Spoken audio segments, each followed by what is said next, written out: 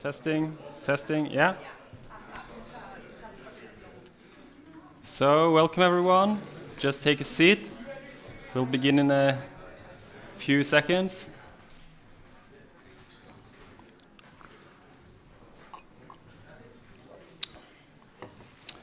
So, uh, welcome everyone. My name is Kevin Johnson. I work as a senior advisor at uh, Nordic Energy Research and I've also been the program manager of the joint uh, Baltic Nordic Energy Research Program. I'll say a little bit about more about me later, but uh, first to the practicalities.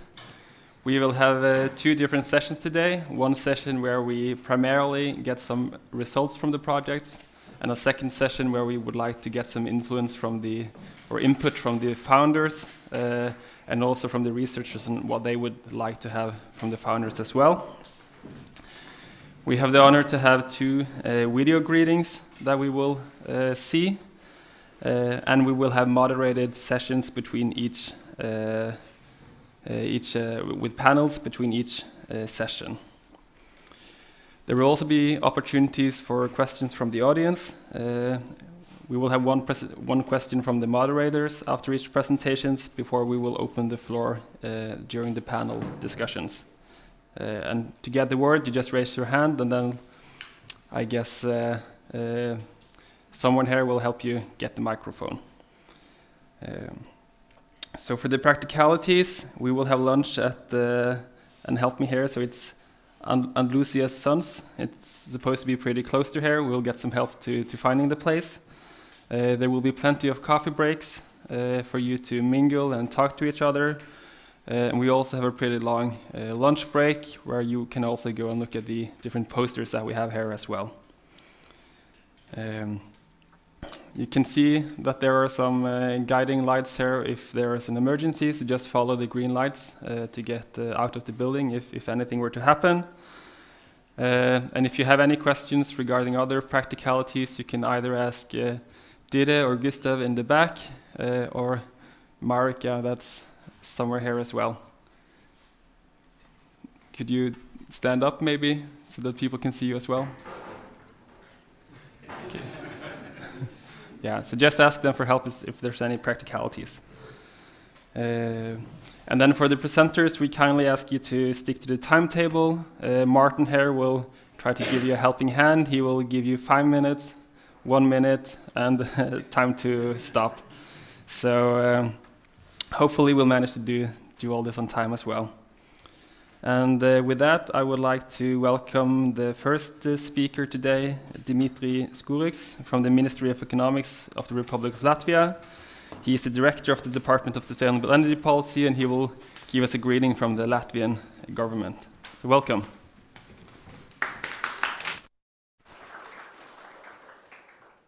Good morning, ladies and gentlemen. Uh, it is my exquisite pleasure and a great personal endeavor to welcome you on this unfortunately rainy yet still scenic morning here in the capital city of Riga.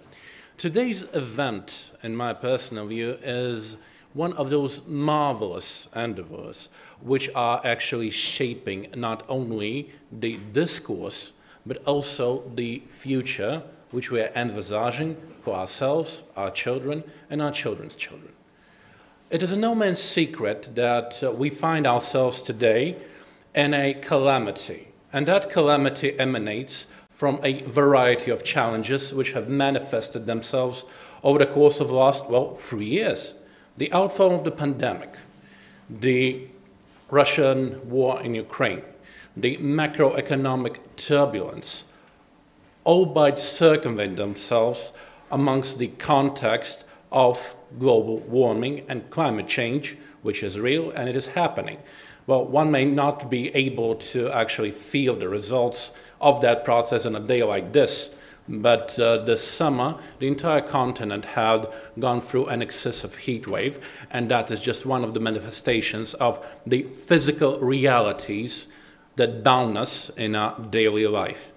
And from that perspective, ladies and gentlemen, it is important to understand that with every storm, there comes a possibility for sunshine.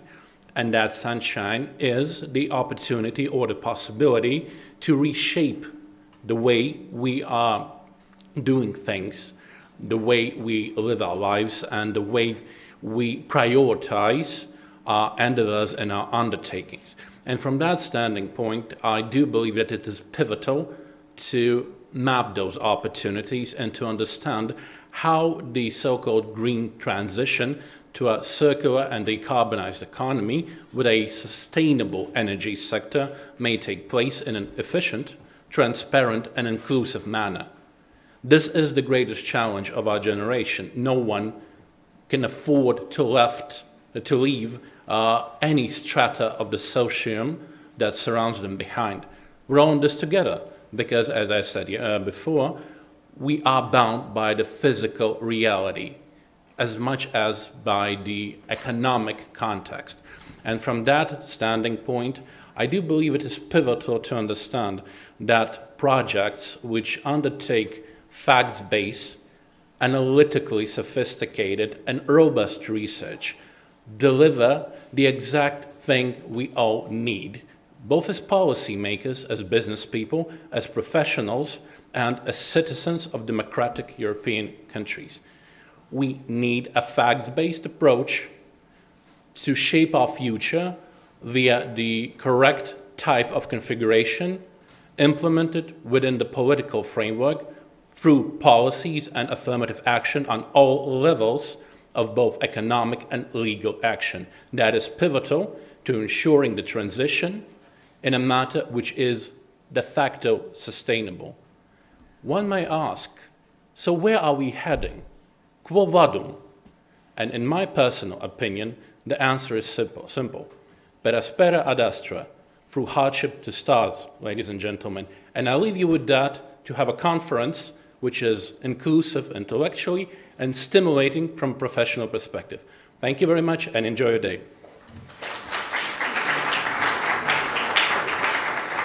Thank you so much, Dimitris. And for today's uh, second greeting, we would also like to welcome uh, Klaus Skytte, the CEO of Nordic Energy Research. Welcome. Thank you very much, and welcome from my behalf uh, as well. Um, and also on behalf of Nordic Energy Research, I'm very delighted for, for this opportunity to join forces with so many excellent uh, experts. Uh, do I talk too much? Ah. You know my name, it doesn't matter. Uh, so Nordic Energy Research is our organization, uh, organizing this conference together with our dear colleagues from the three ministries of uh, the three Baltic countries, uh, Latvia, Estonia, and, and Lithuania. And we're also organizing or co-organizing together with, with, uh, with these three ministerials this joint research program that this conference is, is part of. So we're very delighted for that. Just to say a few words about Nordic Energy Research. We are uh, the platform for cooperative energy research and policy development under the auspice of the Nordic uh, Council of Ministers, which is the main forum for official Nordic cooperation which involves Denmark, Finland, Iceland, Norway, Sweden, the Faroe Islands, Greenland, and Åland. The three Baltic countries, um, they have become closely tied together with both formal and informal Nordic cooperation. And today I, I dare to say that we cooperate in an informal and, and close manner. In the framework of this uh, cooperation, the Nordic and Baltic uh, Prime Minister and Foreign Ministers meet annually to discuss questions um, of regional interest in the so-called NB8 uh, for format, of which the meeting uh, is November 10th in, in Tallinn this year. So, so, it's only two weeks from now. This Baltic cooperation uh, with the Nordic Council of Ministers, it actually goes more than 30 years back. The Nordic Council of Ministers opened offices in the capital cities of all three Baltic countries or states as early as in 1991. Um, Nordic Energy Research followed up on, on, the Nordic Council of Ministers initiative on cooperating with the Baltic states in 1999. So it's also more than, than 20 years ago, by strengthening the energy cooperation between the Baltics and the Nordics. In 2018, this joint uh, Baltic Nordic Energy Research Program was initiated with the objective to promote energy research and analyze in the Baltic states and inspire inter-Baltic and Baltic-Nordic cooperation, as well as to promote Baltic-Nordic research area. So today, Four years after, we are gathered at this conference, finally. We have had some years with Corona, but now we are gathered here to learn, to share results from the project financed by the Baltic Energy Research Program. You will hear some of them. You can see on the, the posters behind you some of this. So this is only about research, but we are also gathered, gathered here to create long-lasting cooperations. The cooperation and mobility between the research environments in the program, as well as the networking at this conference. We had a very delightful uh, dinner yesterday. We have this conference today. We have a, a, a dinner again tonight. I hope that all of you will use that to create friendships, collaboration that will last for many years uh, in the future as well. So today we, uh, at the conference we have the opportunity to gain insight into several of the excellent projects. You hear some of it, you will see it from the program uh, later on. And it's all project, as we also just heard, that is creating useful and timely common uh, knowledge.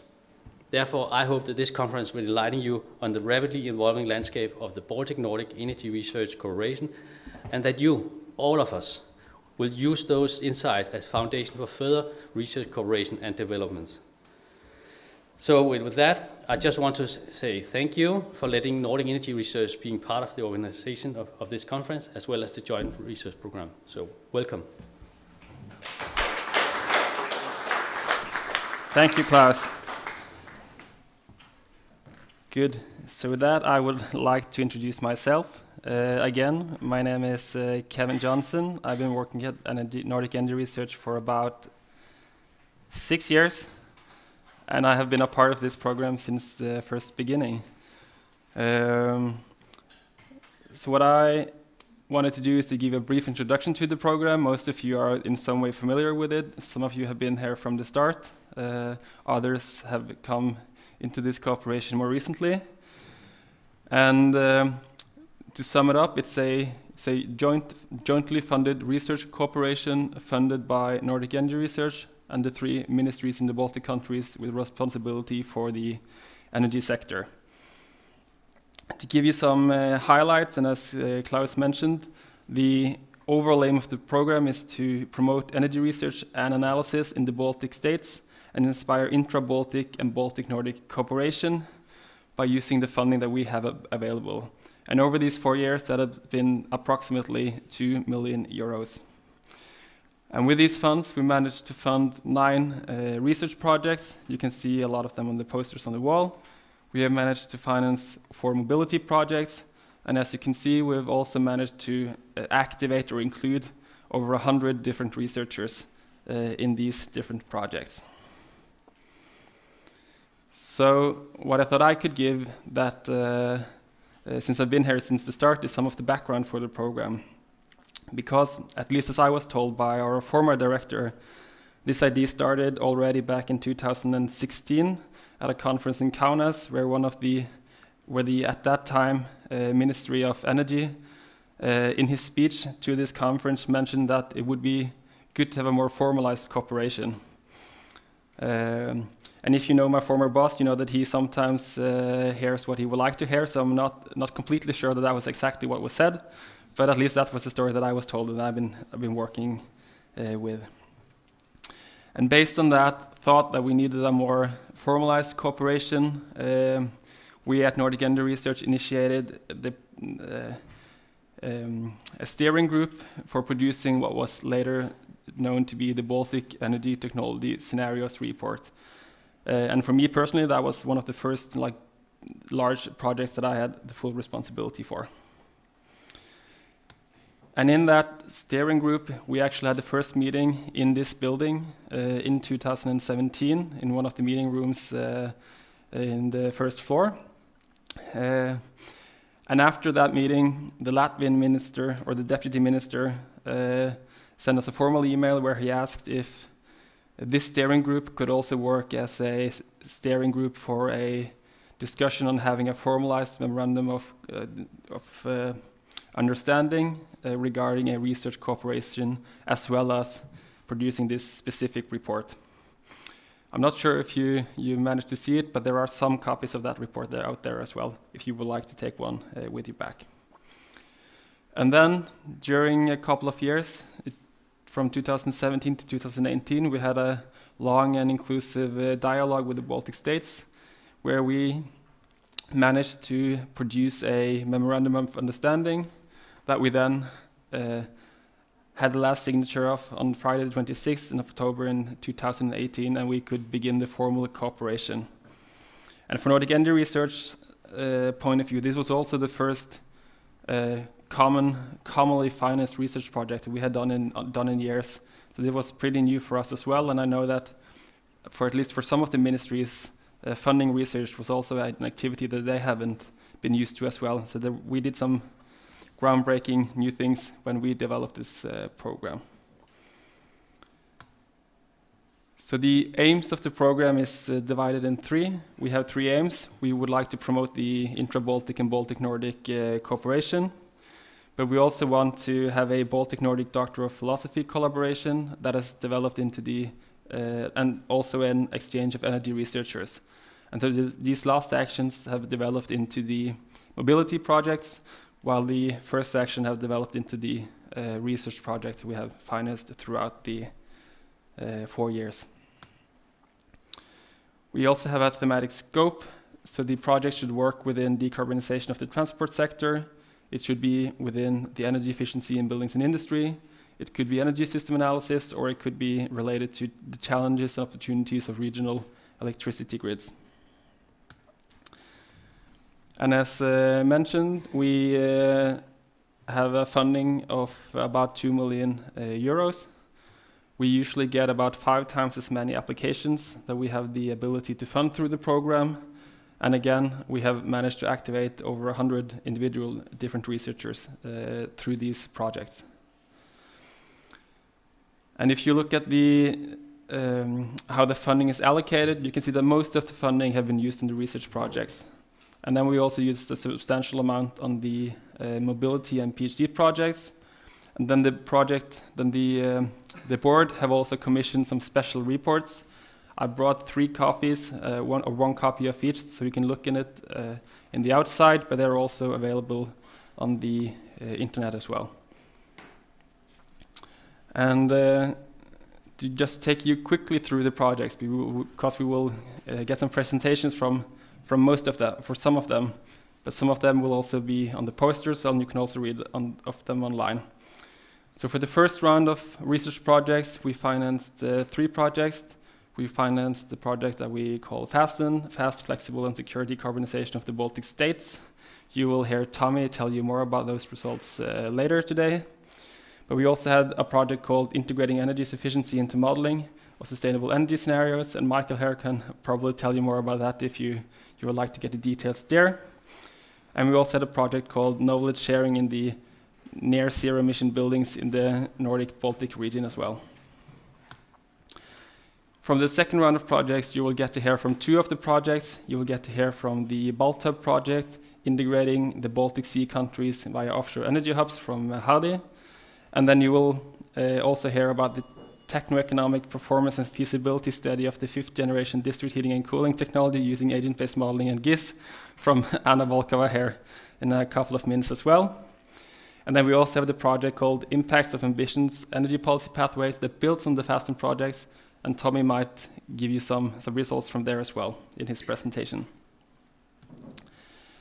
Then we have some newer projects that just started up in 2022 uh, where you will get to hear from the Nuance project, the role of hard-to-reach energy users in reaching Baltic and Nordic climate uh, targets, uh, a multidisciplinary analysis from Andra Blumberga uh, today.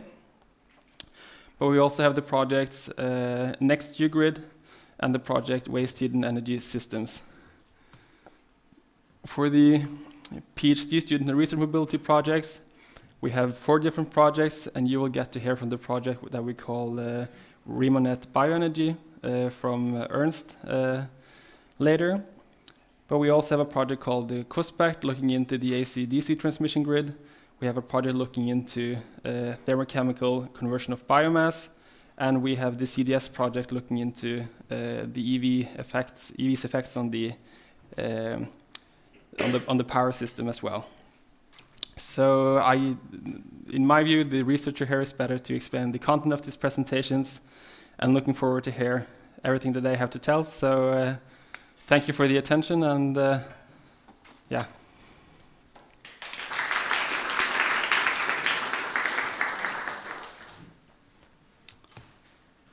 And with that, we would like to welcome uh, the first presentation. So, Anna, would you like to come up here?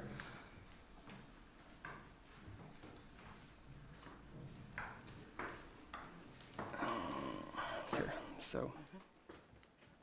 So Anna is uh, from Latvia. She defended her PhD at the Riga Technical University in 2008 and for more than uh, 30 years she has been working with district heating uh, and she is now the head of smart district heating systems and integrated assessment analysis of greenhouse gas emissions at uh, Taltech. Uh, beside her work, we've learned that she likes to travel with her family uh, and also sing in a Tallinn Russian folk choir, uh, Sudaruski, Sudaruski, with an alto voice. So please welcome and let's hear a bit about the fifth generation district heating system. Thank you. Thank you very much for great introduction.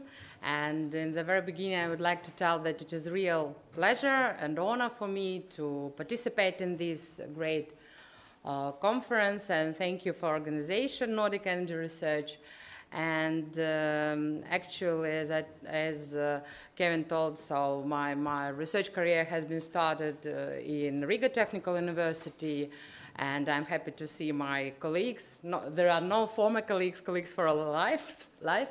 and uh, now I work during last 13 years in Taltech and Tallinn University of Technology. And uh, actually, I participated in five projects of Nordic Energy Research. Uh, on, on, in this project, in this program, but I will have another one presentation in the second session and we'll stop on it more. Uh, but now I would like to share results, some, some results of our uh, Agent G's fifth generation district heating and cooling project that actually will be finalized after some months. And uh, it is uh, project regarding novel technology, fifth, uh, fifth, generation district heating and cooling, and there are wide discussion regarding this topic and this future in the Baltic states and in, in Europe. And uh, our main task were to, to investigate, to study the potential in the Baltic states and to provide this scientific basis for our ministries too, for the future. Yes. So very briefly about what fifth generation district heating means, because I suppose that not all uh, people are experts in district heating here. And uh, actually, the main idea that it is district heating where ultra low uh, temperature heat is transferred uh, to buildings and in each building there are individual heat pumps uh, that can increase temperature for heating purposes or decrease uh, temperature for cooling purposes. Uh, there are very wide discussion about correctness of this term, including discussions among the researchers who were authors of generations idea for district heating, and they don't like, frankly speaking, this title. In the very beginning, we did not like it too, and I'm not sure that we like it still. So, uh, actually. Uh, maybe more correct title would be ambient temperature uh, district heating. And it is rather niche solution that can be used in very specific conditions, but we decided to study, to be prepared for future, to study this potential in the Baltic states. And uh, we had, have, still have very really great consortium. And actually this idea came from Dalarna University. They were initiators and they uh, invited me and decided that it would be more, um, uh, it would be better if uh, Taltech would start uh, coordinating it. And actually Tallinn, uh, Tallinn University of Technology are coordinators. Then uh, our partners, Dalarna University, Riga Technical University, and Lithuanian Energy Institute. I'm, I'm very happy that uh, most of our participants from each of these partner uh, research organizations are here. and I hope we will together stand near our poster and present it and discuss it with you. Uh, we, uh, the most active this part were during pandemic time, and actually we had around 25 or even more already online meetings. Uh, we had two meetings in person due to other conferences where we had possibility to meet and uh, some uh, meetings with some of partners. And for, and for, sure we had yesterday great meeting today, so maybe more, I should add more. And uh, during this project, uh, we had presented already our results, some part, partly results during two conferences in CONECT Riga and in Aalborg Smart Energy System Conference, the main conference for district heating. And we uh, have planned to presentation. One will be after, after two weeks in Paphos and uh, in spring, I think, yes, in Japan. We have already published two papers and they are publicly available in energy reports and in uh, uh, renewable and sustainable energy reviews related to this project and uh, one more accepted about business models uh, for fifth generation district heating will be published in the nearest future and one more planned. So rather productive from, from research side during these two years. And duration of the project, as I understand, as all other projects, it is two years. And uh, Kevin mentioned these four uh, main fields of interest for, for this program, and three of it were covered by this project. It is energy efficiency in buildings, energy system analysis, and challenges and opportunities for regional electricity grids, because in this case, uh, power to heat uh, solution were rather important. And we had content related, for sure it were more work packages, but content related uh, for uh, work packages. And first work packages about uh, fifth generation district heating and co cooling agent database development. We were responsible for it, Taltech. Then technical performance analysis of fifth generation district heating and cooling in the Baltic and Nordic regions led by Dalarna University. Business models of this solution led by Riga Technical University and barriers and drivers of this technical solution. Uh, and it was led by uh, Lithuanian Energy Institute. I just tried to find these faces here, our people who worked with it. And we have already outcomes. It is actually uh, during previous uh, project, specific project about heat pump potential in the Baltic states, Taltech has created uh, uh this uh, online uh, ArcGIS map with uh, waste heat sources for our three Baltic states, including uh, so low temperature and high temperature heat uh, sources, waste heat sources, industrial waste heat, lakes, rivers, seawater, sewage, uh, sewage plants and so on. But during this project, we have added three new layers, and actually it is not so traditional heat sources like electric transformers, uh, and retail stores and data centers. And uh, based on literature review, we have understood that uh, these are one of the most uh, um, investigated and interesting agents for this fifth generation district heating and cooling and we tried to collect information from each country, from each Baltic country and edit it to map and here is link. I understand this presentation will be available online so you can use uh, for some preliminary research and uh, uh, for some planning purposes and so on. So it is already available tool that can be used. So speaking about uh, Lithuanian Energy Institute tasks, so they more um, were focused on barriers and drivers. There are rather many of them, and we had long discussions and uh, interviews with experts and so on. But actually, I would mention as a main barrier for this um, uh, technical solution and for many other uh, non-fuel district heating solution that actually the main barrier now would be in our Baltic states existing district heating system, uh, very well developed, biomass based in many cases and in the same time in some of our countries still rather high share of non-renewable electricity. So in this case, when you have some something like power to heat solution, it would be a real barrier for implementation of such technology.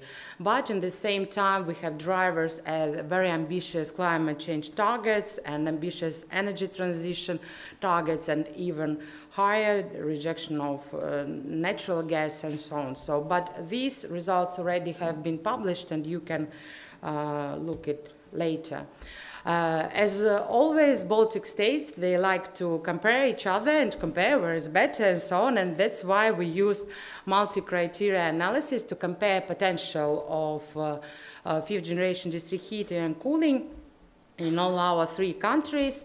And there are many criteria, including share of renewable energy, uh, renewable electricity, CO2 emission factor for electricity now and planned, a maximum minimum heat tariffs and uh, share of new buildings, and uh, one more uh, group of uh, criteria were related with this map that I have uh, shown. So actually, based on this map, we have uh, analyzed uh, excess heat um, potential from shopping malls, excess heat potential from electric transformers and data centers.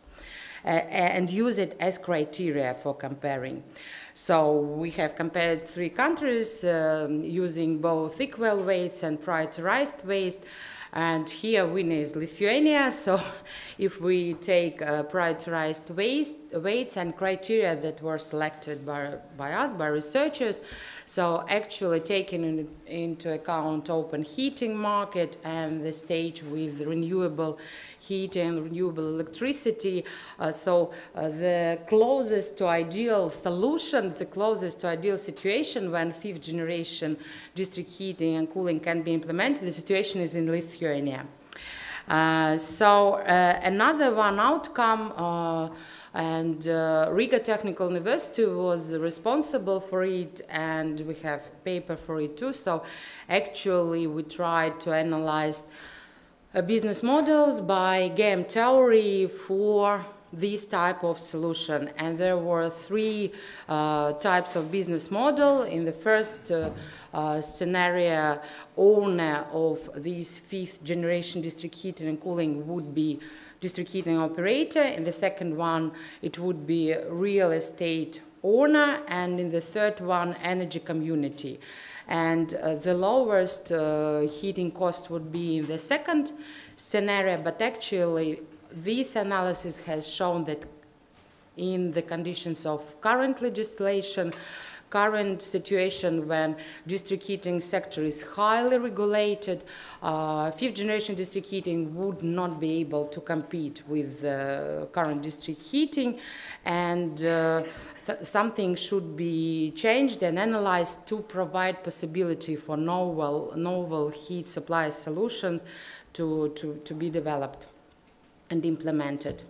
And uh, actually, uh, another type of research result, uh, and Dalarna University was respons responsible for it. So, techno-economical analysis of fifth generation district heating system has been done. Cooling was not included, if I'm not mistaken. Yes, actually, detailed thermohydraulic model for small district uh, has been created. And what is interesting that we have used data for uh, district uh, from Tallinn, from uh, new district with new buildings with floor heating, but uh, data regarding heat source was taken from Riga from data center and just this way and uh, Sweden researchers has made uh, has made this analysis as well TRNSYS model of substation uh, for the fifth generation district heating and cooling has been created and network model included and these uh, results will be published as well and there are many results regarding flows and temperatures but here's example of COP for these individual heat pumps uh, how it it will be increased based on uh, outdoor temperature. And, uh, but actually, as I understand, it will be published maybe in, then, in the beginning of next year. Yes. the main author told yes. So actually, still project is not finalized, and at the moment. Uh, uh, we plan to prepare final project report. We plan to partly uh, prepare recommendations for ministries, and I will mention it during my next presentation because I had to split a little bit. Fact sheet published for it is in preparation for public, and we plan a final workshop for our observers, for stakeholders, and uh, to present uh, to present our uh, results. So, thank you for attention. Please, questions. So, uh, thank you, Anna. So we have prepared one question for you, uh, and we would like to know what is your outlook for the heating situation in the Baltics this and the coming winter? And how can your situation, having in mind the geopolitical crisis ah, and uh, everything, and how is your research supporting uh, this? This research. Yeah. um, actually, uh, uh, current situation uh, for sure. Um, I would tell that if we take all our three countries, uh, my current country where I live, Estonia, was um, mostly prepared for it. And not because of this type solution, because if we, during other analysis, this power to heat uh, solutions are implemented. We have in Estonia too, we have uh, more individual heat, heat pumps and so on, but uh, for district heating, uh, we have the highest share of biomass for district heating in uh, Estonia, and we don't have not only one, I think we have very small district heating network where base load is covered by mm, gas boilers. We have, uh, during last two years, almost all last uh, gas boilers has been, have been replaced by uh, biomass uh, boilers. But if uh, I take this situation, yes, so this political situation, led to, to, mm, to the situation that uh, uh, even more biomass uh, boilers have been installed. And for this type of solution, for large heat pumps, for solar heating, and for other non-fuel technologies, uh, high share of biomass boilers and very well developed high temperature district heating is real barrier. It means that, okay, we have uh, this, uh, we are much closer to carbon neutrality, but uh, it means that uh, we, when you have absolutely new installed uh, efficient biomass boilers, I don't believe it will be replaced by, by fifth generation district heating. but still, in some places, in new uh, in new districts uh, where, where, maybe not so close for, to existing district heating and so on, it can be a solution. And we, uh, during this research, we have met with uh, different stakeholders, with uh, real estate, with some, I don't know, for example, the Sadam quartal and Ülemiste quartal in Estonia and other I don't remember with Riga, yes, we had uh, someone too. So they are interested, they start thinking about it. But question is when we will be implemented. I'm not sure that I answered, but because it is rather, it is rather, because from one side we are much closer, we have, due to this active uh, biomass energy supporting policy in Estonia, we have uh, uh, only 20 20% of natural gas in district heating uh, in share, and it is very uh, changing situation. Now it is very positive. But from the other side, we just have uh, uh constructed this barrier to non-fuel technologies at the moment. Yeah, thank you.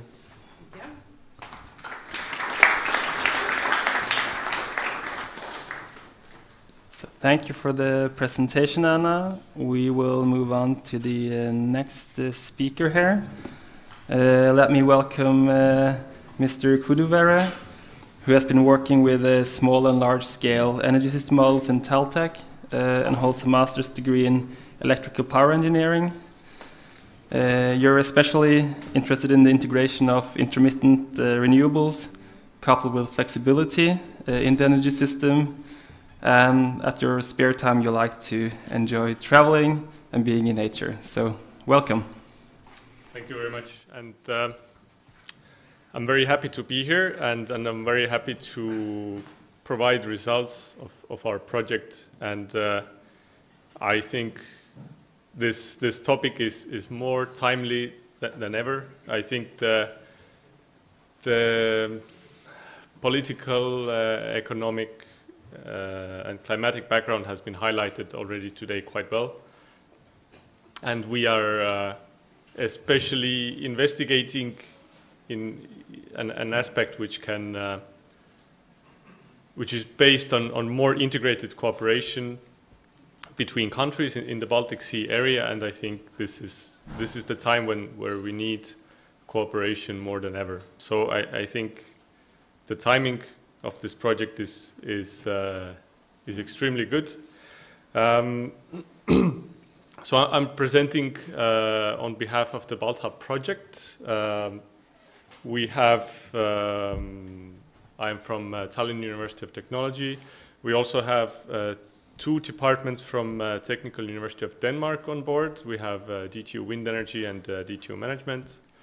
Uh, then we have Kaunas Technical University from Lithuania and, and SINTEF from Norway.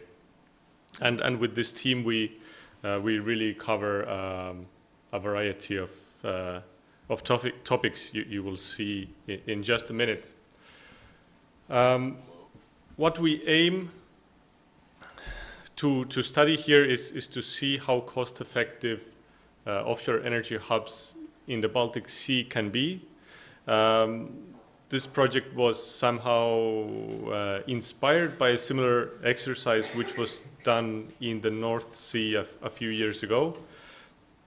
And uh, now the same methodology has been applied in the Baltic Sea area however, with some uh, significant uh, improvements in uh, in the analysis. I, I will get back to that in, in a second as well. Um,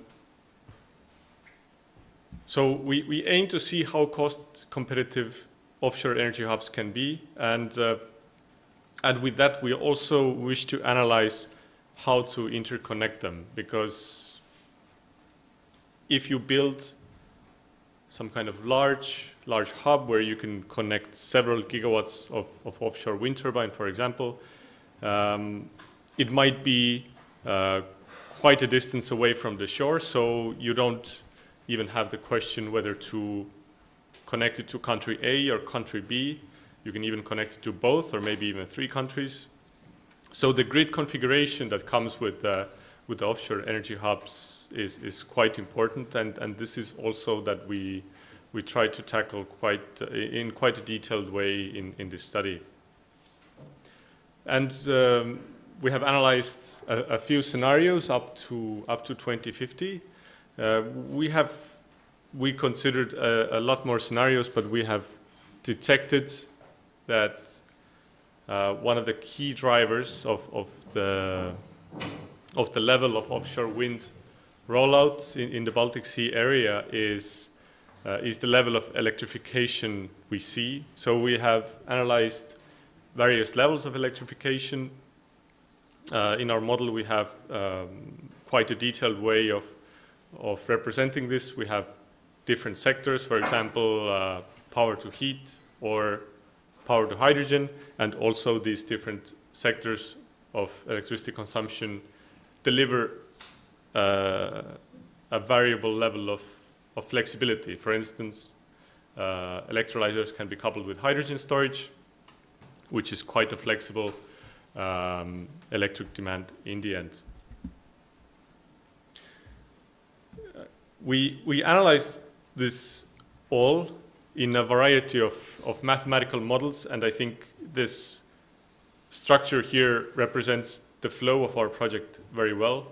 On the left side here, you can see uh, we have started off with some very detailed uh, wind energy modeling from DTU Wind. Um, and and in, in this time, uh, DTU Wind uh, really took uh, up the task of analyzing what is the effect of scaling wind power. Uh, and um, if we construct a large wind park in, in one place, you can see um, several effects that uh, manifest themselves. Uh, firstly, on the lower side, you can see which is uh, represented by PyWake. Uh, if you analyze how wind moves around individual turbines, you can see that uh, the generation of subsequent wind turbines downwind is, is reduced a little bit. So this is what we call uh, small scale um, wakes. So that has an, the larger the wind park, the, the more significant effect. But we also see that if you start constructing really, really large scale uh, offshore energy hubs in, in several gigawatts, you can also start seeing mesoscale effects, meaning uh, basically in the large scale area, you can see that the entire um, wind mass uh, starts lo losing its kinetic energy. So we see these effects kick in at different uh, uh, well scalability levels. I have an image of that uh, quite soon. But this wake analysis and and uh, and this wind power generation analysis concludes in the CORES model, which then delivers uh, these very detailed wind and solar generation time series into Balmorel. And Balmorel takes this wind data as input and, um, and models the energy system. So Balmorel is, is, an optimization system which uh, provides as output to user with the cheapest or the most economically efficient way of fulfilling the, given demand according to the input criteria. Within Balmorel, we analyze our scenarios and we, we deliver these scenarios to the Power GIM model, which aims to take a look at the uncertainty in, um, in grid expansion. The key issue here is, as I said, we investigate different grid configurations, meshed grid and, uh, and radial grid connected to one country or several countries or bidding zones.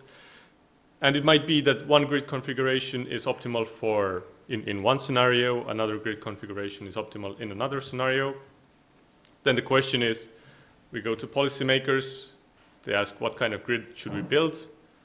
Well, yeah, we, we don't know what kind of scenario will be realized, but the Power GIM model will take this uncertainty into account and try to detect um, the no regret grid investment options for us. So that's kind of putting the optimization results in um, into, into no regret decisions uh, for the policymakers. Uh, we have in our project uh, completed uh, almost everything in, in, the, in the first four blocks. So we have Balmorel model results. We want to go a little bit deeper, uh, analyze some more technical aspects. I will touch upon that in a second. Uh, and, and the Power GIM modeling is, is, is underway. So today I will not be able to show you results, but in the final version there will be. These are the offshore hubs on the right side that we analyze.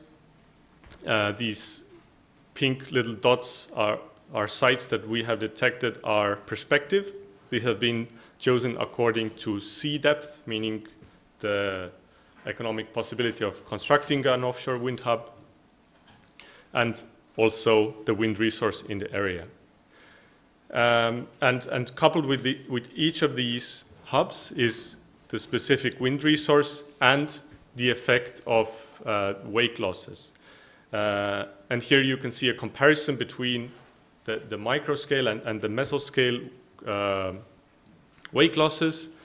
So if we include the, the large area of effect losses, as I described earlier, you can see that if we go into hub sizes of around 6 gigawatts, then the uh, mm, power generation loss or, or reduction is, is already quite significant. And uh, just to highlight here, the, the lower the original wind speed in the area, the more significant this effect will be. So just running ahead a little bit, this significantly affects the competitiveness of hubs. For example, on this map here, you see in the north between Finland and Sweden because the wind speeds there are not particularly high to begin with. On the left, you can see what is the uh, geographic area that we analyze in Balmorel. So, of course, our target is to model the Baltic Sea area, and that, for that we analyze specific results. But in order to represent the larger context of the energy system development, we include an area which is much uh, larger in the model. Uh, for example, France is significant with its uh, particularly high electricity demand. So uh, large energy systems like that are important to include in our analysis as well because they have an impact. And, and on the right side, you can see the three scenarios we, we analyze. Uh, in the most modest scenario called heat only, we just uh, optimize power to heat scenario. This scenario, well, very roughly indicates uh, somehow a, a, business as usual demand trend so that we don't see a significant increase or decrease, uh, roughly cruising on the same level as now. Then we have a more electrified scenario where we have um, uh, electric mobility added, uh, and then the all electrified scenario where we add a lot of uh, hydrogen hydrogen demand into the model for uh, industry and and and transport fuels. and so, as I said, we have mm, analyzed the power system with the Balmorel model uh, quite extensively already. And here you can see the first results. Um, because we allow the model to make uh, decisions on certain type of demand, for example, uh, the model has an option how much it would, in a particular uh, district heating network, uh, to supply heat from, let's say, uh, biomass boilers or heat pumps, then in the model results, we can also observe the realized load because the model has some kind of decision points regarding that. Uh, and you can see how this load varies according to sectors. And of course, naturally, the all electrified uh, scenario sees the most substantial um, increase in demand. And of course, the demand increase is delivered by hydrogen production as, as was defined by input. But this is just to illustrate how much demand uh, varies uh, uh in our model. And, uh, and, and uh, here is how the production side varies. Um, what is interesting to see is that we observe all kinds of renewable sources delivering the additional energy that we see uh, in the all electrified scenario. We see offshore uh, hubs, so that's uh, wind power in mesh, mesh grid configuration, radially connected, but also solar. But this is for the whole region. Um, uh, and also to show where electricity is used in terms of heat and, and hydrogen produ production, how these, um, how these develop over the year. But our focus was on the Baltic Sea area. So the electricity production, and particularly interesting would be the, the offshore grid rollout in, in the Baltic Sea area. That we can see that um, hub hubbed wind or, or mesh, meshed grid configuration wind has um, perspective in, in all three scenarios, but we see a substantial increase in, in, uh, in offshore hubs if we see a lot of uh, flexible demand put into the model.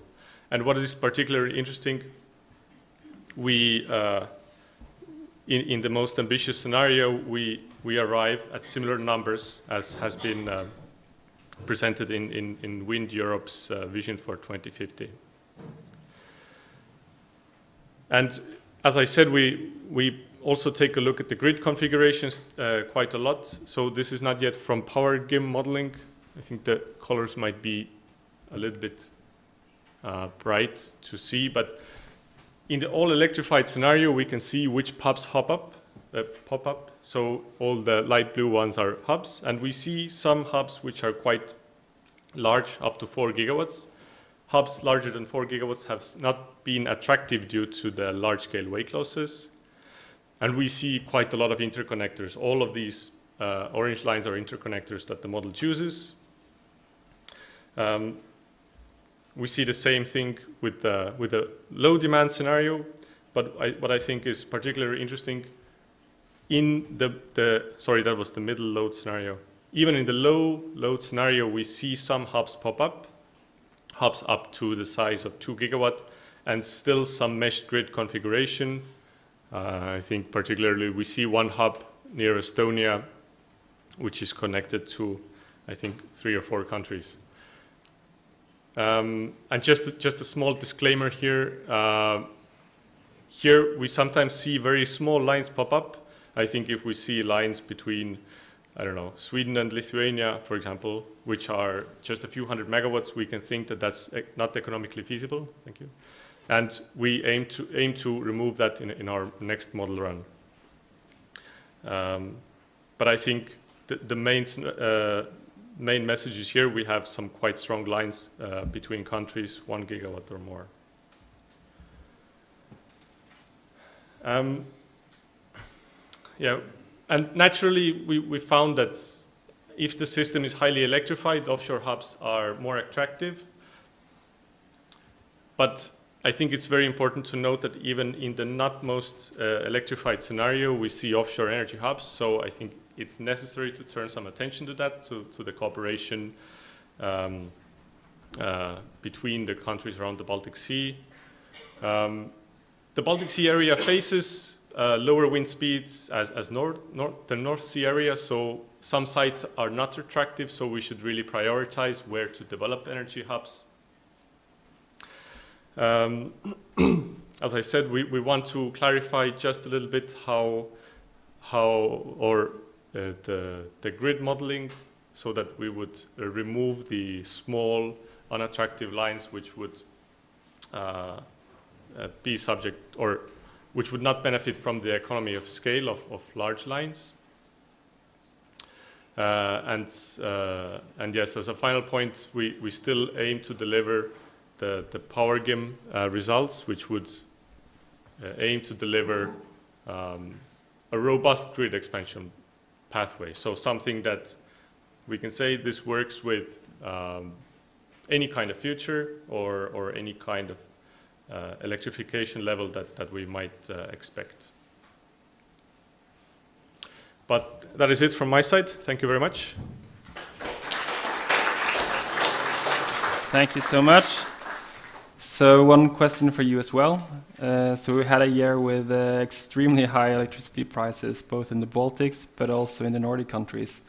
How does this uh, price increase uh, impact the economical assessment of of the, the offshore wind farms you, you're looking into here? That, that's that's a very good question and and a very difficult one because uh, when uh, when we talk unofficially in, in the corridors, we see that, that, that wind power has become very attractive. People want to invest in it, but on the other side, we have we are hearing that there is kind of a supply problem. That mm -hmm. you want to build a park, and you have to wait for five years for the turbines to arrive, for example. So I think people want to make this decision now. They, they want to build, but I think the uncertainty whether in five years we will have the same attractive price is very high. So I don't know how, if I can give you a straight answer on this. Well, uh, thank you.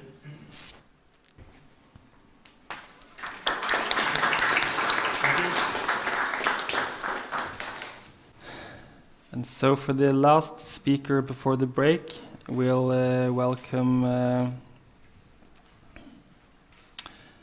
Ernst Biko. Uh, he's a PhD student at the Lithuanian Energy Institute, and he's a PhD student and a junior researcher at the Lithuanian Energy Institute, and he will tell us a little bit about the experience of being a PhD student uh, within the Joint Baltic Nordic Energy Research Program, but also under the COVID pandemic. So welcome. Yeah, hi. Uh, hi to everyone. Thank you for letting me to make a sort of small speech.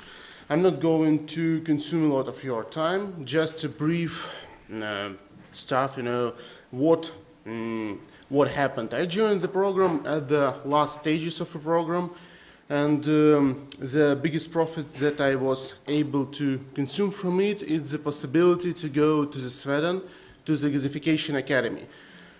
Uh, basically, it was extremely great stuff because uh, seven days, a really intensive course, um, which was able to provide me the knowledge about how to do the thermogravimetrical analysis, the gas chromatography analysis, which are widely used in the um, gasification sphere and uh, like uh, without that of course it is still possible to learn from the internet and stuff but the quality of the knowledge would be completely different. So uh, i was not working directly under some projects by the i mean i was under the ramanet of course but i was not directly working with something. I only participated in this uh, summer school and uh, I want to say like the words of thanks to the program, to the possibility that it gives to I'm not speaking only from myself, I'm speaking mostly for like for all the PhD students for the possibility to join mobility programs, to like visit all the summer schools because I see that a lot of guys from the Sweden summer school are still now here, for example, yeah. And I hope that we grabbed a lot of like pos positive points from these possibilities and that was a great experience. So thank you for allowing us to have this experience.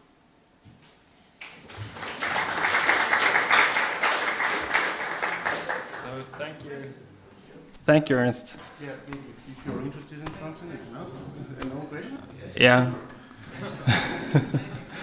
So with that, I think we might go for a break a little early. Uh, we'll be back at 10:45. Uh, there's coffee on the sides and there are posters on the walls. So enjoy your break.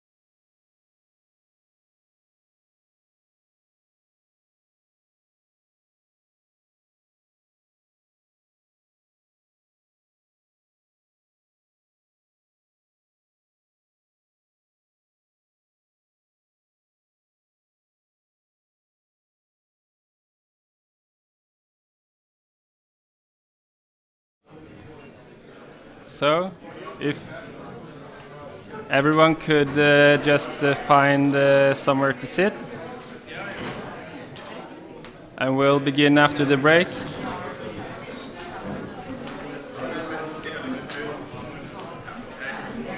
We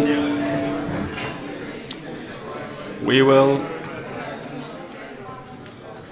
So, welcome again. Uh, I hope you enjoyed the break. We will begin this uh, this session by a greeting from the Minister Riina Sikkut from the Estonian Ministry of Economic, Economic Affairs and Communications, uh, and she will be uh, shown on video. So. Uh, greetings from Tallinn to all uh, the participants of the joint Baltic Nordic uh, Energy uh, Research Conference.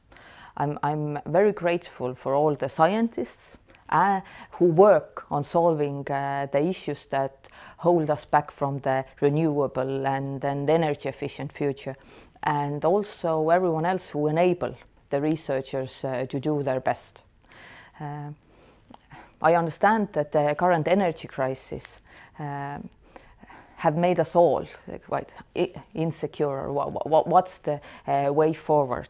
Uh, but I, I, would like to assure you that uh, although uh, the, this winter or the next one might be tough for everyone, uh, I, I, strongly believe that uh, the current crisis is actually moving us towards the um, climate neutral and energy efficient future in a faster pace than uh, we would have expected otherwise. And I would like to uh, point out uh, three things why I consider uh, your contribution and cooperation extremely important. Uh, first, um, the renewable uh, energy future. Estonia, for example, just adopted a law that set a very ambitious target that we should produce the same amount of electricity we consume uh, over the year uh, from renewable uh, sources. and the goal is clear, it's, it's understandable, it's set, but the path towards it requires new solutions and the best knowledge. so this is mm, the, the, the effort that you all need to put in how to solve the question for uh, all the states in the Baltic and Nordic region. And uh, although we, we know which way to go, uh, the specific solutions uh, can be uh, probably improved and cooperation. When we talk about uh, a large uh, share of renewable energy in, in our energy mix, then mm, connections between countries and mm, regional approach to, to energy uh, security and energy adequacy, it's, it's essential. We can't solve the uh, puzzle state by state or country by country. Uh, we have to do it for a region. Mm, uh, secondly, uh, energy efficiency. Uh, how to renovate our buildings, how to um, make the use of energy uh, reasonable. We don't want to uh, waste resources in Estonia or any other Baltic or Nordic uh, country. How do we do it? And it has to be working on, in the background. It has to be comfortable for, for every uh, domestic or business uh, user as well. Uh, we can't achieve energy efficiency if it requires day-by-day -day decisions or, or, turning off and on a switch by every single person. It, it has to be smart, digital, uh, this demand response solutions and, and so on. And uh, in addition to uh, renewable energy uh, mm, uh, solutions, uh, energy efficiency improvements, a third, transport. It's a challenge for Estonia and there is a large behavioral component in that.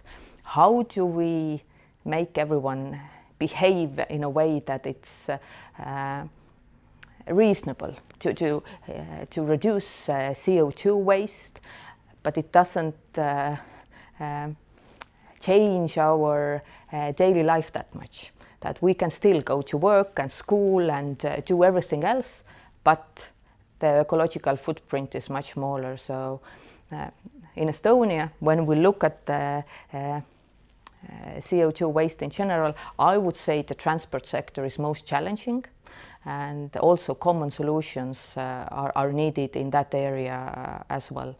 Uh, so I, I hope you'll have good debates, a very nice networking opportunity, and you you put the I don't know the, the uh, base for uh, solving uh, very important uh, problems uh, in the Baltic and Nordic region uh, in order for every one of us to achieve the climate neutral, neutrality goals that, that we believe in. so all the best and hope to see you soon.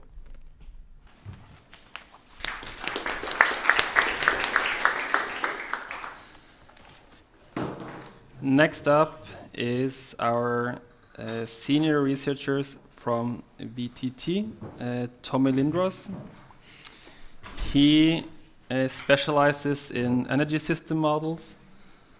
Uh, and together with his team, he's working on different types of modules such as the TIMES, Backbone, uh, and the IRENA FlexTool, and use them in various uh, academic and company projects. The models can be used to look into energy policies, emission reductions, uh, and different types of deep technological changes. And on his uh, spare time, he enjoys climbing, both indoors and outdoors. I know you also do some um, frisbee golf, and he can also show you around in Helsinki if you need somewhere to drink a beer as well. so welcome, Tomi. Thank you. yeah, it's great to see you all here, and uh, I tell a summary of what we did in the modeling project of the Baltic countries and tell a quick summary of the results. The focus was on uh, additional energy and climate policies that could be done in near term.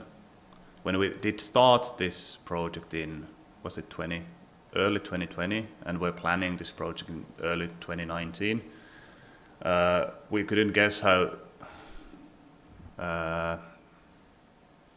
up to date it would be on, on the time of release when we are now uh, many people are asking questions that what more could be done to, to reduce either natural gas use or the emissions or decrease the costs of the energy system.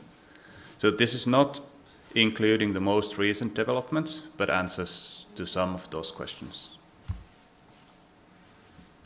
Let me see how can change the slide. Ah, change is there.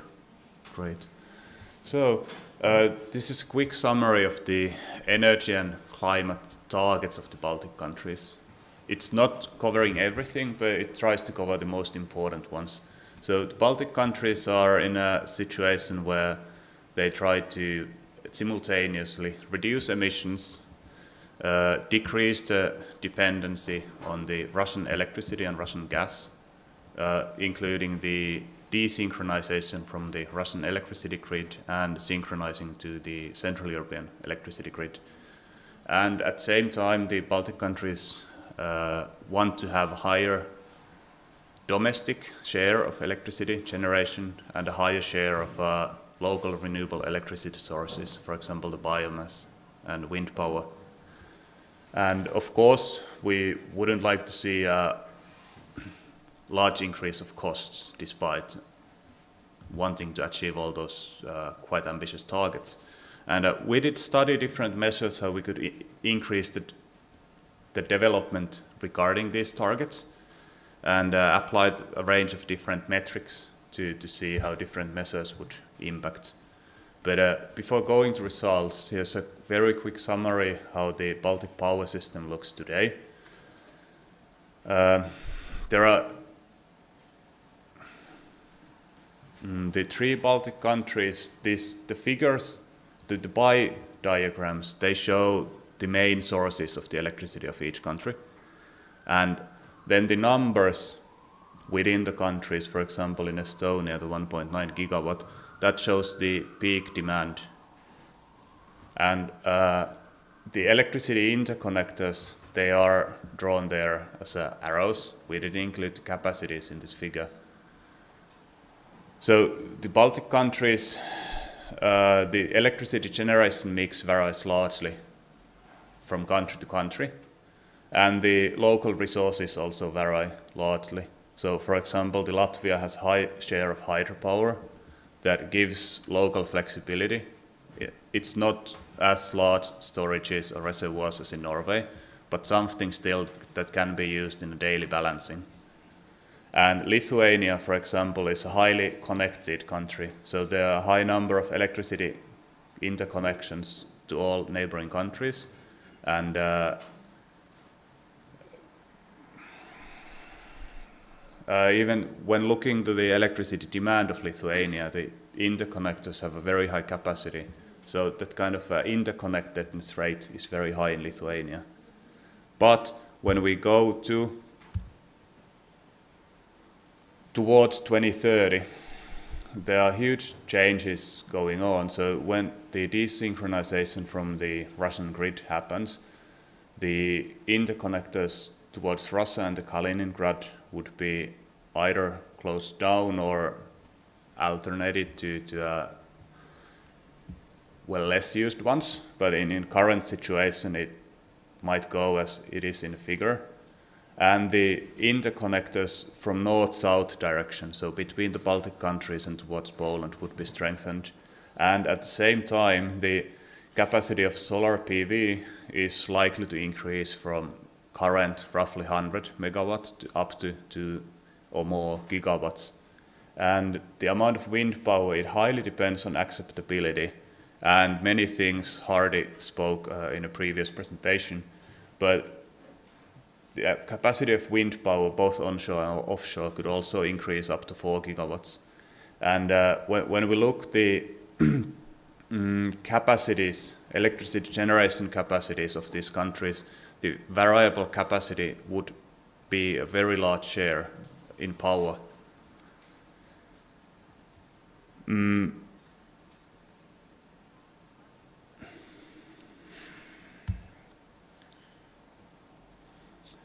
Here's a quick graph comparing the electricity generation in 2017 and 2030. And uh, the biggest change is there. It, this is our own reference scenario. So just to, to make it clear here, these are not from the national climate and energy plans. We did do assumptions following those plans, but not strictly and uh, especially the development of wind and solar has been increasing a lot in recent years. And what we can see here is that uh, especially if Estonia phases out the shale oil, that would reduce the amount of domestic generation quite a lot and would convert Estonia from electricity net exporter to electricity net importer. This might not happen now when there is a much, much higher concern of the energy security than what there was when we did these results. And most of the European countries have been revising the plans of fossil fuel phase out and might actually keep up the fossil fuel capacity longer than what we can see in these scenarios. But uh, the amount of wind power and solar power would increase a lot, and uh, in all of the Baltic countries, they would correspond uh, a major share of an annual electricity generation.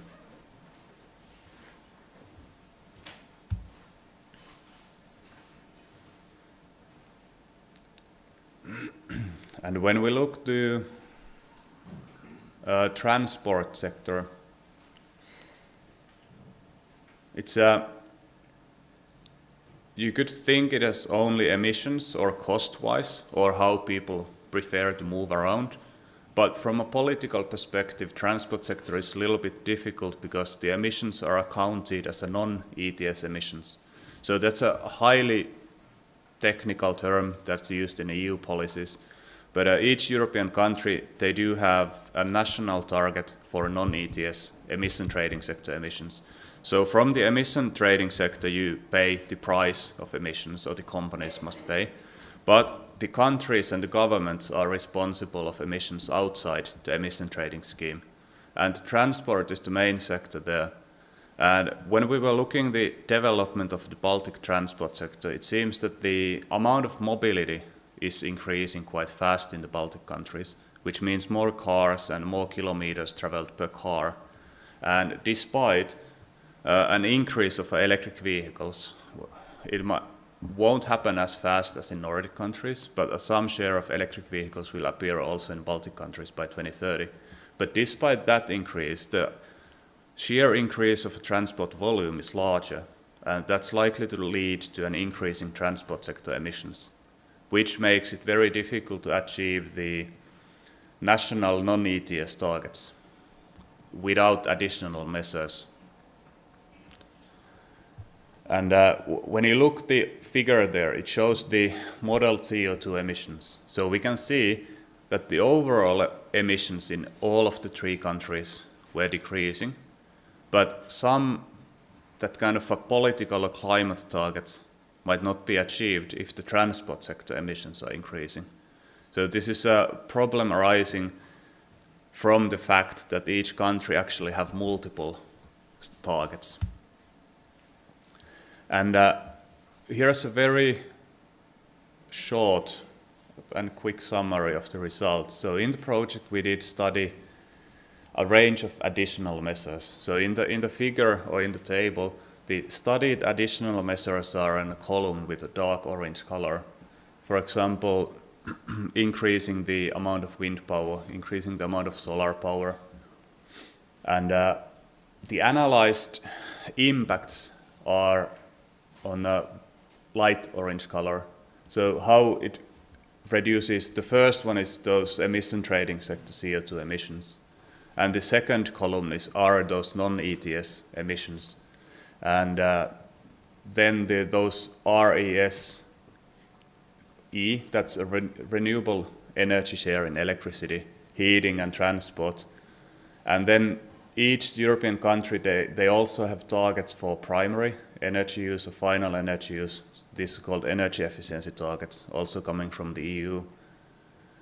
And uh, the energy security targets, those are mostly national targets, so countries are wanting to achieve higher energy security. And the last row is the cost. So whatever we will do, it will have some cost impacts. And uh, when we are looking those additional policy measures, one thing we note that none of the studied measures uh, would be always beneficial from every indicator. So when you look the, the cell, if, if that cell is green, it indicates that that action would make the situation better according to that indicator. Or if the cell is red, it says that the situation goes worse from that perspective. So, for example, mm, when we look adding heat pumps, that's a good example. So, it increases the electricity demand, so that increases emissions in the power and heat, heat power sector, but uh, it reduces emissions elsewhere. And uh, similar with electric vehicles. So electric vehicles, they will reduce the transport sector emissions, but increase the emissions in power sector. And uh, some of these measures had a stronger impact in, in certain category. So the darker the color is, the stronger the impact is. And uh, the, uh, we, we couldn't analyze the cost impacts of each measure. So for example, reducing the transport demand or transport volumes, for example, replacing or switching from private cars to public transport, we couldn't say the cost impact. But uh, we, we tried to provide this kind of a broad range of impacts of different measures for the policymakers. And uh, cannot say which would be the best, but it really depends how these different indicators are valued in a policymaking. So Two years ago, when we were doing this analysis, uh, there was a high stress on the emission reductions and increasing of renewable energy. But when looking these results nowadays, the, the policymaker maybe would like to en, uh, stress more the energy security. But uh, our report, there's uh, well, there's not link there, but you can find the link from the Nordic Energy Research website. And uh, the, the report shows the analysis behind that how we came up with these conclusions and how, did, how we actually did the modeling and show the numerical results and actually much more details than you want to know probably. But uh,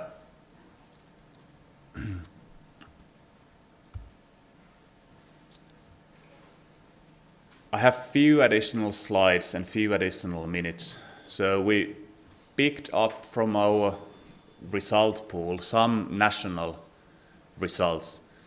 So when, when looking the Estonian results, um, we noticed that if the oil, shale oil phase out would happen, there would be quite great need for replacing or additional capacity. And this, this slide is written from the assumption that the shale oil phase out would happen as the, the Estonian government had a plan two or three years ago. It might have been updated, but be, one of the measures we did study was to, to keep up the existing oil shale capacity as a backup. And the two cheapest measures to add national capacity was found out to in, uh, have grid batteries as a backup unit or keep the existing shale oil units as a backup. And uh, after this study, the, we found out that the Estonian, uh, or if all Baltic countries actually decided to invest to grid batteries as, as a reserve source. Looking to Latvia, uh, in our analysis, we find a high risk that additional wind power does reduce the operation hours of large CHP units in Riga. So when you build more wind power, it reduces the electricity prices, that reduces the profitability of a CHP unit. And in an upper figure, there's an hourly oper operation of uh, Latvian system if we assume no additional wind at all, and in the lower figure, when we assume an additional wind. So the, the Latvian system, the electricity generation would be mostly from hydropower, wind power, and electricity trade between the neighboring countries, which leaves very little space for the CHP units, which as an effect risks the economical operation of the CHP units and might lead to unwanted, unwanted capacity phase-out. It's not certain that it will happen, but it was, was found out as a risk in the study. And then the last one from Lithuania, that uh, in that kind of a 2030 reference scenario, there was very, very high share of variable renewable electricity in Lithuania. That means wind and solar. And uh, that, that's a higher share than what we actually see in any European country at the moment. And uh, we do not have operation experience from such high annual VRE shares from any country in the world. And it's maybe not a problem, but uh, it's definitely something that should be studied more. And uh, I was flagged out, so thank you. Oh, there's one slide more. We don't have time for that. But uh, we, we did write a summary of these opportunities, risks, and threats for each Baltic country and the region in general. And uh, I hope you can find time to, to check the project results. Thank you. Thank you, Tomi. So you might also keep uh, some of these uh, results in mind for the panel discussion as well. Uh, I wanted to ask you, how do you feel, you mentioned it slightly, but how do you feel that the relevance of your research have, have been changing since you began the project and after these, the current events and the changes in the geopolitical uh, context and energy context? Mm. Yeah, that, that's a good one. And there's two major changes that I see one is the emphasis of energy security and unknown risks. So we, the energy systems are facing quite many risks we didn't analyze only a few years ago. And the second one are the high prices. So this research, we did not have a high price scenario like we see prices today. And uh, it would change how we uh, interpret or find out the results, especially regarding the domestic generation capacity. So whatever could replace natural gas today would be seen much more profitable than what we do see in this study. Thank you. Then I think we would move over to the uh, panel discussion, so you could take a seat over there. And we would also like to welcome Anna and Hardi and Ernest as well. So I'll start with an opening question, but uh, we also hope to get uh, a couple of questions from the audience as well. Um, just trying to find out who's who will manage the microphone. Uh, will that be you, Ditte? Yes. So if you have a question, you can raise your hand and ask, and Ditte will help you to, uh, to show that. I'm just putting up this correct slide here as well. So I can also come to this side. You have each one of your microphones, so I would like to start by asking each and one of you, and you might also join. Great. So I think the first question from us at Nordic Energy Research is, uh, based on your research, what is the main policy recommendation that you would give to the policy representatives here today? Uh, and then I think we could continue with uh, Tomi's uh, so that he can give some of the results from his last slide here. We, we had to figure out a few policy recommendations for the poster because that was kindly asked by the Nordic Energy Research. And uh, in, in our research, we, we wanted to just analyze the impacts by different indicators to, to give the policymakers the background information and give them the required information to choose. But when you're giving a policy recommendation, we do a lot of assumptions that what's actually wanted by the Baltic countries. But uh, we tried to pick one which is a safe one. So when we go towards 2030, in all our modelings we see an increase of costs despite what, what's happening. But when new wind and solar power is built, that will reduce the cost increase in all our modelings.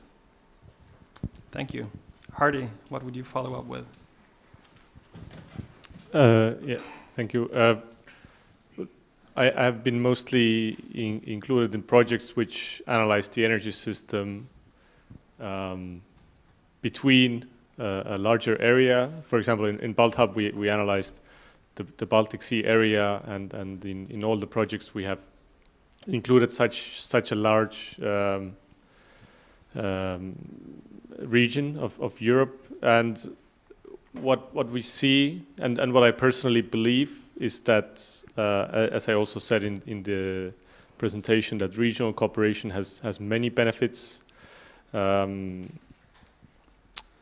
there are some initiatives uh, between, uh, for example, Estonia and Latvia to start developing common uh, offshore grid. I would encourage to go in this direction with even more enthusiasm and courage.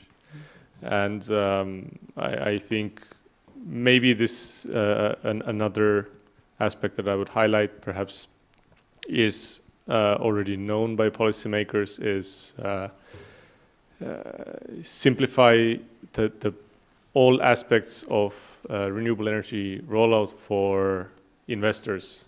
Try to make planning more streamlined, uh, try to include all necessary parties in a simpler manner, so which would make investments more uh, easy to make. Thanks. Anna. So my topic of uh, research where I have been involved within uh, this program is related to heating sector and uh, actually if we analyze all our three countries uh, we have such trend or tendency to, to that uh, this uh, climate um, transition uh, transition to clean energy is focused on biomass biomass burning. For sure it is due to our specific condition geographical conditions and availability.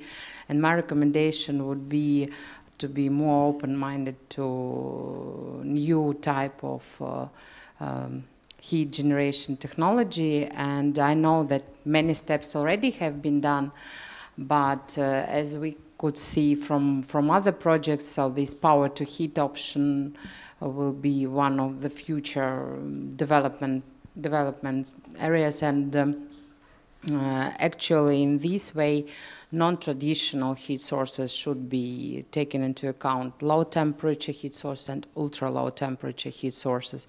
And we tried to provide some tools for it and uh, but for sure it will be not so obvious not so short-term solution long-term solution and hope that we will be successful in this direction.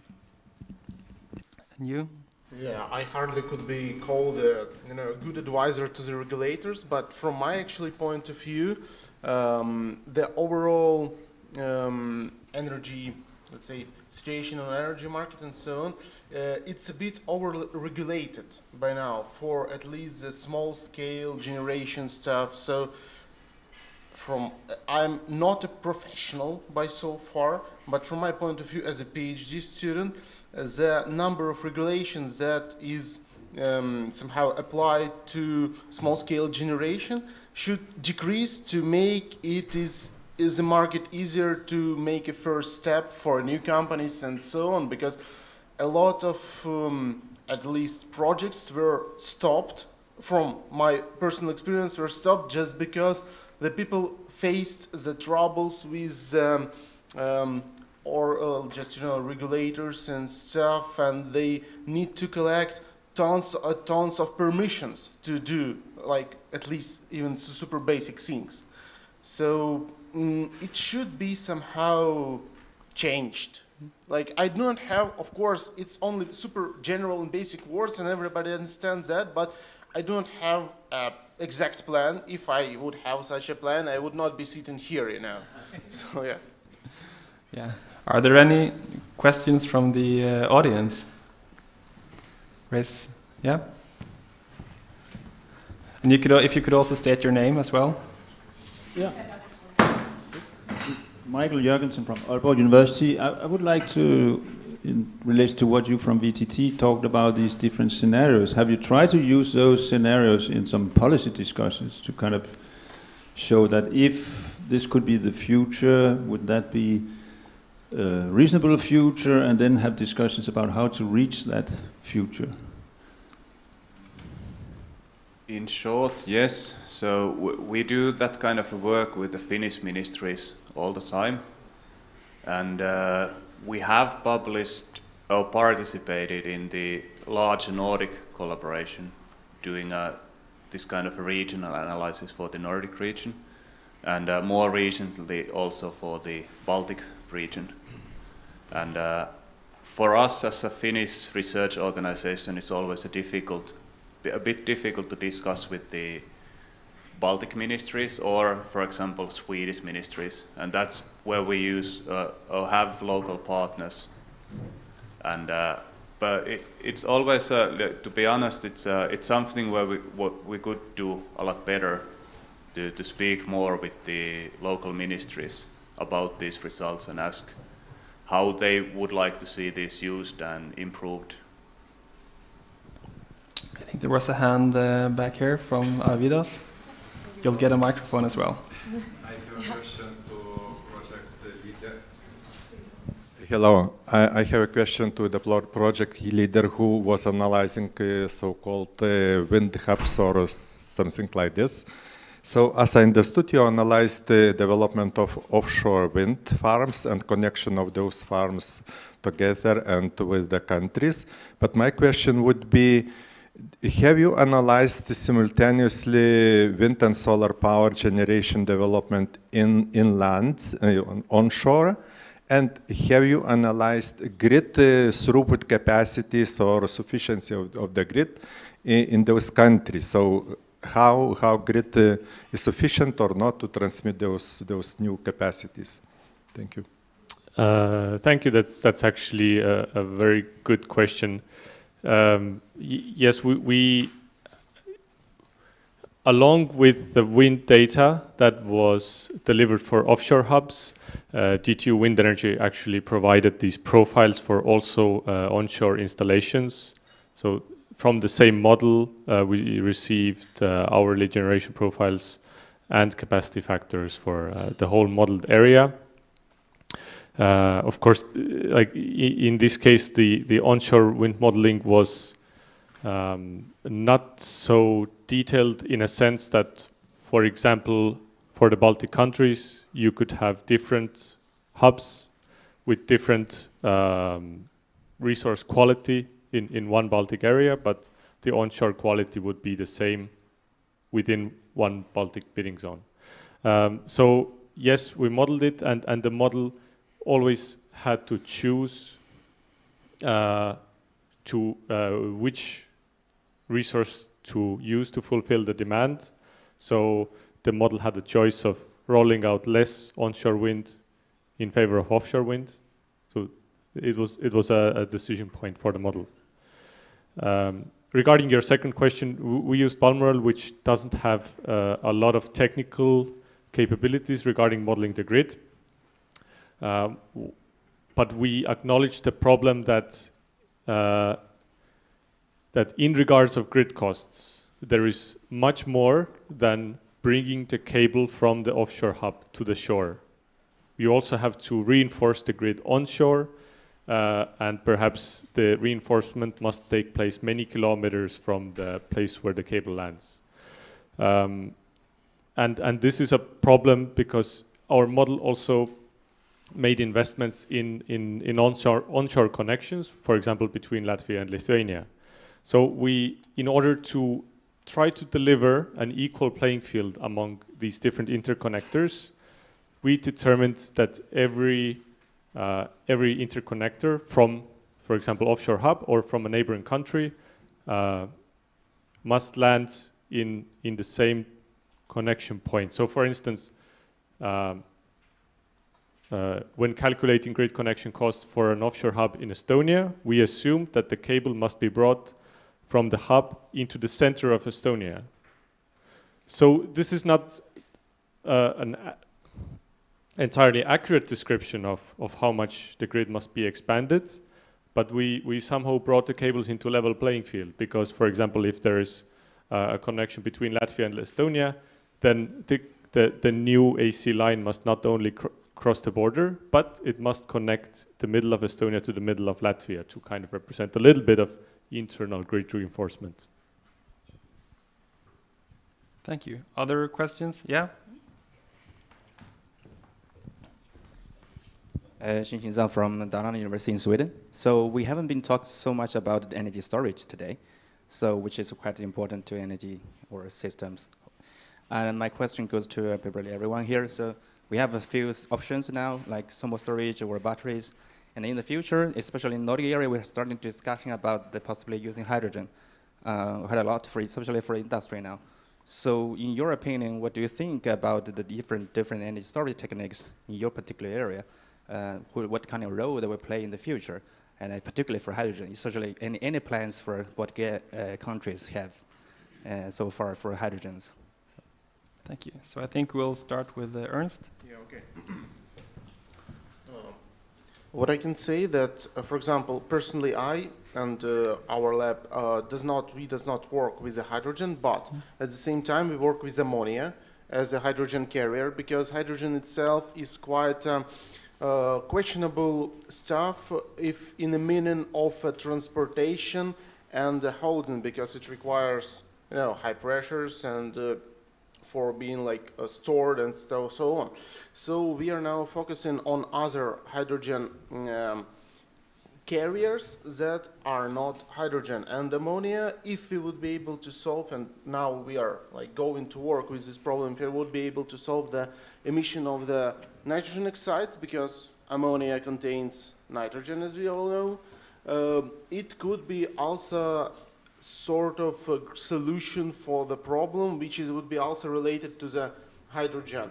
But uh, we are going to use not the direct combustion or whatever, but uh, plasma-assisted reforming, plasma-assisted combustion. So those technologies. At least I can speak from, uh, you know, my lab. My, we are working on this. Maybe somebody is doing something else, but I'm personally doing that. So partially we are in the thematic, but not directly with hydrogen, but hydrogen containing fuels, let's say. Something like that. Yeah. Anna. Yes, I would go, go back from hydrogen to, to heating because uh, many analyses have shown that uh, using hydrogen for heating not uh, the best option because you can use it for much higher exergy energy and uh, uh, actually but uh, this um, energy storage topic for sure is actual both for heating and power power uh, power grids because uh, we have uh, more and more due to renewable energy implementation and waste heat uh, waste energy implementation, we have uh, more and more fluctua fluctuating uh, energy production and which will not be the same as energy consumption. And in this way, for sure, variable energy storage are needed and I, I, I, would tell that they are needed on the level that uh, when it's used for, so for heating, it can be uh, thermal energy storage, both uh, short term and long term, depending on, on needs and uh, heat production. And for sure, for electricity, we have, uh, I don't know if you have in your model this hydropower, uh, this. Um, um, uh, energy storage and so on. So because we, we will need it because of this fluctuating and not stable uh, energy production. And it is absolutely uh, uh, topic number one. That, but we don't have just exact project about it, yes, mm. because it was not as a, um, as, a as a main uh, uh, topic, how it is, aim of, of interest, main aim. Maybe you should add it to the next to the next stage just to get more project on it. Yeah, thank you, Hardi. Uh, yes, I, I'm in, in, in favor of, of flexibility and, and storage in, in any shape and form. and uh, I, I, I have this feeling from the analysis that, that I have performed over the various projects is that you know there is no simple one solution to, to any problem. Uh, we, we have to use all the available options.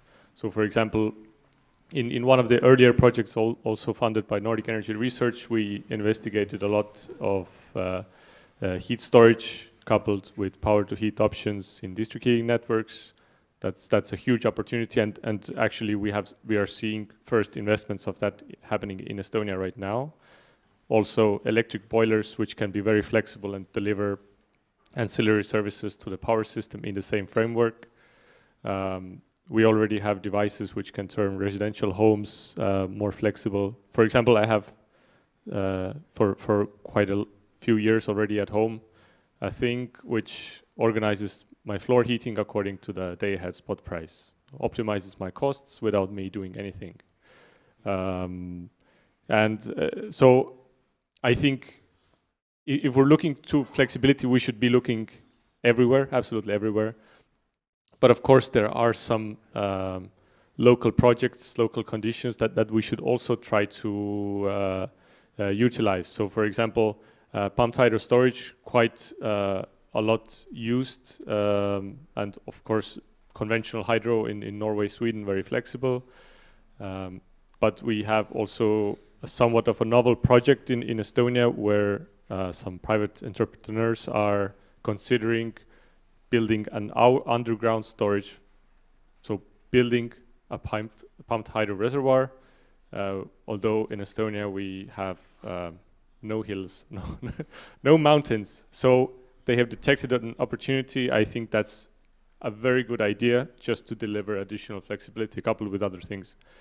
Now, in regards of hydrogen, I don't know, as I, as I don't believe there is one single key. I think hydrogen can certainly play a role. I don't know what role this will be because there's a tight competition with chemical batteries. Uh, I think it will really depend on how the technology evolves. The cost of chemical batteries is coming down due to technological innovations. On the other hand, we have pressure from uh, material prices. Um, both technologies are subject to significant innovations, I think, I believe. So I personally don't know which will be better. Tomi? Quite much was already said, but maybe one point to add is that uh, the, the need for storage from the system side increases when the num uh, amount of wind and solar increases. So currently we are already starting to see high di price differences between, for example, night and day, or when it wins and when it doesn't win. And that creates the economical basis for the storage investments from the energy point of view. And uh, so far it, it's been mostly within a day like for example the Lithuanian pumped hydro system or the but when we are going to very very high wind and solar shares we, we start to need weekly storages or even monthly storages and these are currently handled with fossil fuel storages so you have a pile of coal but when we start reducing the phasing out the fossil fuels we will start seeing the challenge of uh, monthly and seasonal storages which will be a big challenge and that was not included in our study because we studied the near-term changes. Other questions from the audience? Yeah. Great. Okay, we um, have a few, um, but uh, should we start maybe over here? First, and second, and then third.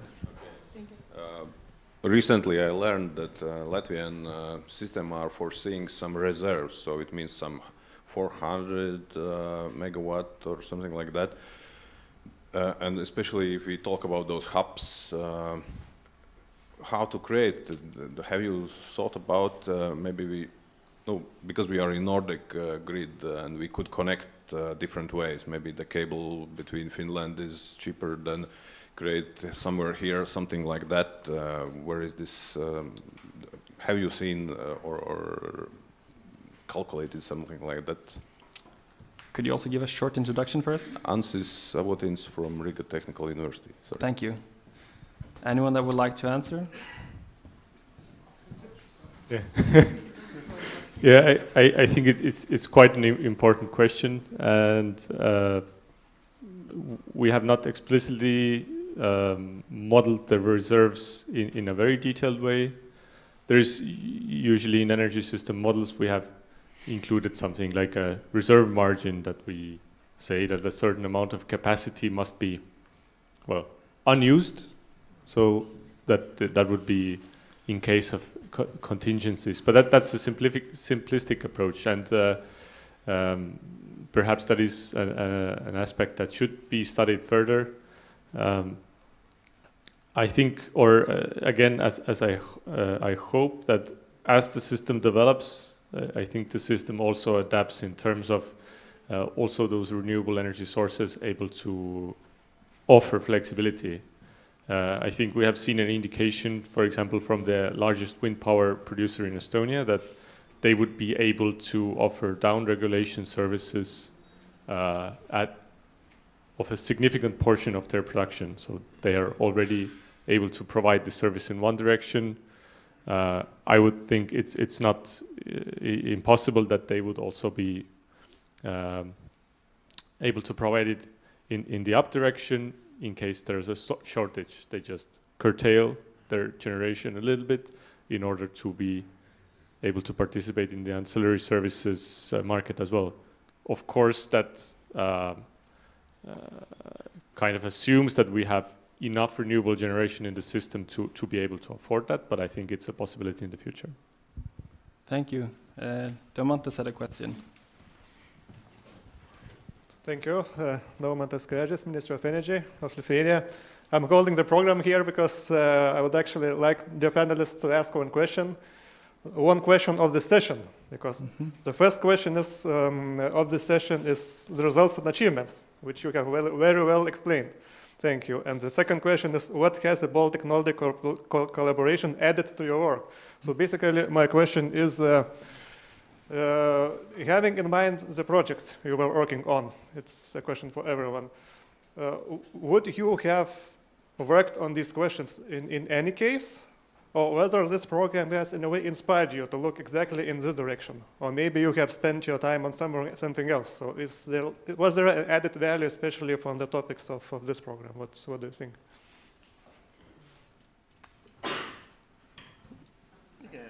Would you like to start? Yeah? Yeah, it's not a big deal. Uh, as for me, I was working on a more or less related uh, topics and problems for earlier times and like through my master and blah, blah, blah.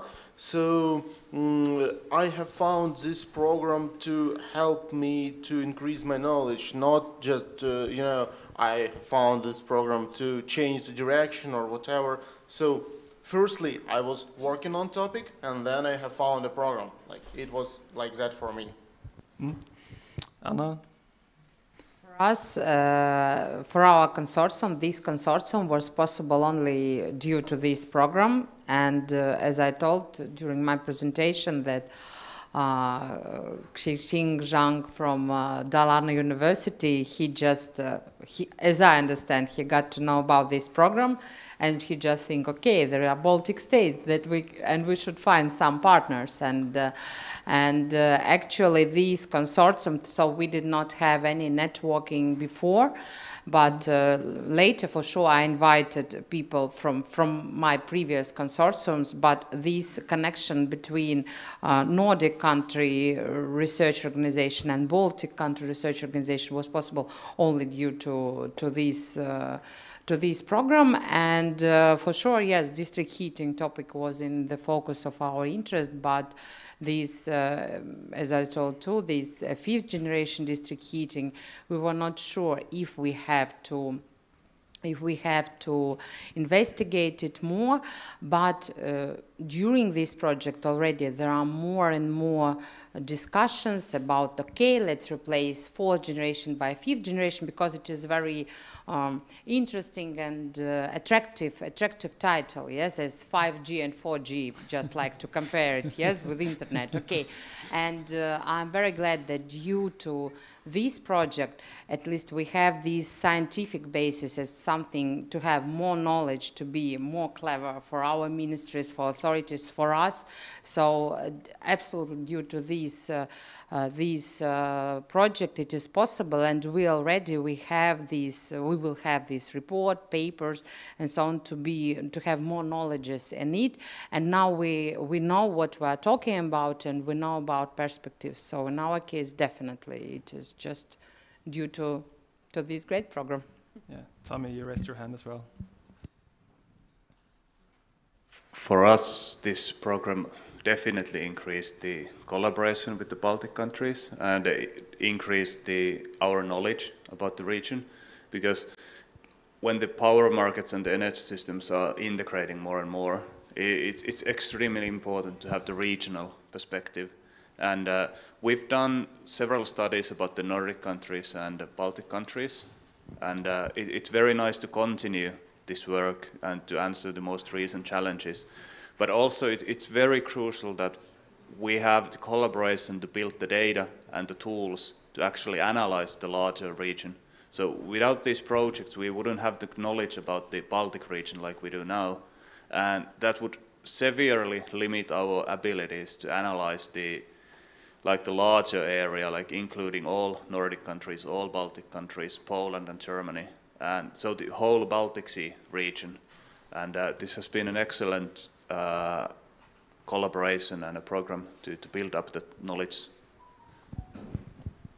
Yeah, I, I, I personally have had uh, the chance to, to participate in, in, in quite a few Nordic energy research pro projects already. And I think generally this, this has been a fantastic experience. Uh, I, I, spent uh, some years ago half, half a year in, in, in, Technical University of Denmark in, in one of these projects. And um, it, it really gave me a, a, lot of lot of depth to my analysis because um, well I, I, think the Nordic universities are quite large compared to ours, especially uh, DTU who has a lot of emphasis on uh, energy analysis and and uh, uh wind uh, wind integration. And uh, well that's at least my perspective that it's it's it, the energy analysis in in Estonia um, does not have uh, so many people. We're not able to be so specialized. So being introduced to uh, uh, to to the good Danish colleagues gave me a lot of insight into very important details that I didn't know before. For example, in the Balta project, uh, the the whole analysis about the the wind resource and the very detailed wake uh, wake losses. I think I could call this a learning experience on, on wind power for, for me as well. Uh, so I, I, think for me it has been uh, getting to know some of the details, but, but very important details. But I, I, I think as, as more general, uh, I don't know what's the impact of this, but I feel like getting getting to know all the great people in, in the Nordic countries, it's feel it feels that we are somehow this this this this one energy community around the Baltic Sea, and it makes in my head the the cooperation more feasible or or, or possible. We have these joint projects. Uh, maybe that's also an inspiration for the policymakers. Thank you. We had one more questions somewhere around here. Yeah. Uh, hi all, my name is Renath. I'm a postdoc researcher from TalTech. So this is something which come to my mind while listening to the previous sessions. So uh, I think in Baltic Sea as well as maybe in, uh, in all the seas, there is an option to create energy islands which uh, not only focus on the wind, offshore wind, which can also be integrated with the uh, floating PV and maybe battery solutions so that uh, it will be more sustainable and more energy reliable. So I would like to hear from the experts that uh, what will be the feasibility or like what is your thoughts on developing energy islands uh, in Baltic Sea? that one was That's for Hardi. Yeah, I, I think a, a, a, very broad question, although a good one again. Uh, yeah, yeah, how, how do we define energy islands? We in, in our various projects we have considered uh, very many options. Um, so ju just just to go into a little bit more details, as as an uh, offshore hub, we usually understand that we, we construct somehow a platform to to which we connect maybe some uh, uh wind parks, and maybe on the platform there's a transformer. But why not also an electrolyzer or, or I think, as you said, PV panels. Yeah. So it's there's there's actually quite a lot of questions here. Should we build an interconnector to the mainland, or maybe even a hydrogen pipeline? Um, and and I think all all of this is is a possibility.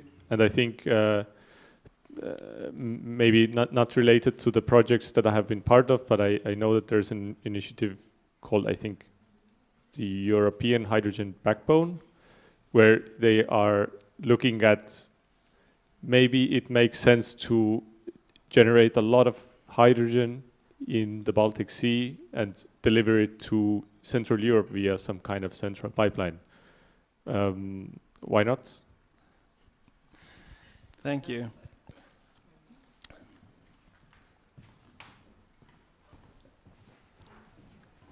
Ilse Garoza, Norwegian Chamber of Commerce in Latvia.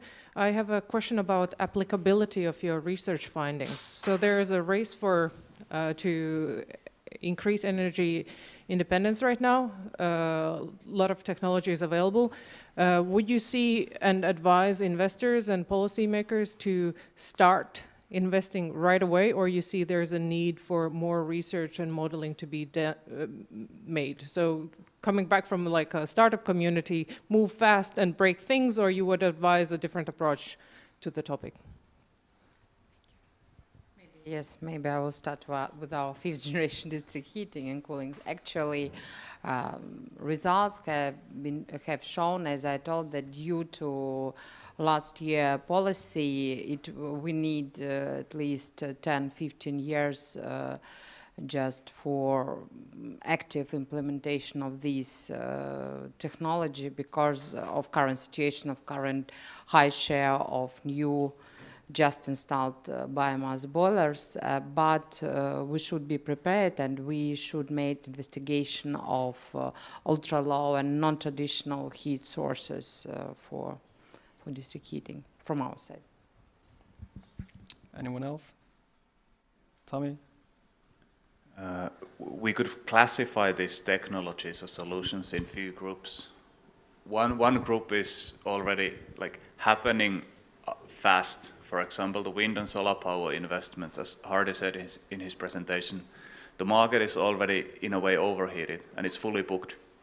So even if somebody would want to invest more, there would be nobody to supply more, unless we wait for several years when, for, for example, the European offshore wind power, so you need special ships to do the offshore installations. And those ships are booked for a few years already now ahead. And uh, same with solar PV. So we do see increasing solar PV prices in Finland because people want to install it so much.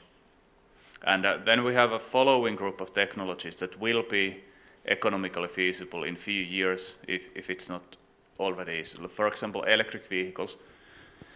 Uh, the governments can speed up the development, like the Norwegian government has done. But then you have governments who have not reacted that fast, and the technology might become commercial and profitable without the government. And, but then you have few technologies like lacking behind in, in that kind of a development tract, and they would need a boost there.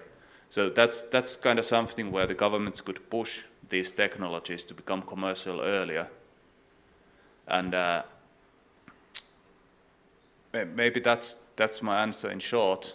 But uh, it, it's very important to acknowledge that each technology belongs to this kind of a different group that should be treated differently. Thank you. We had one more question here.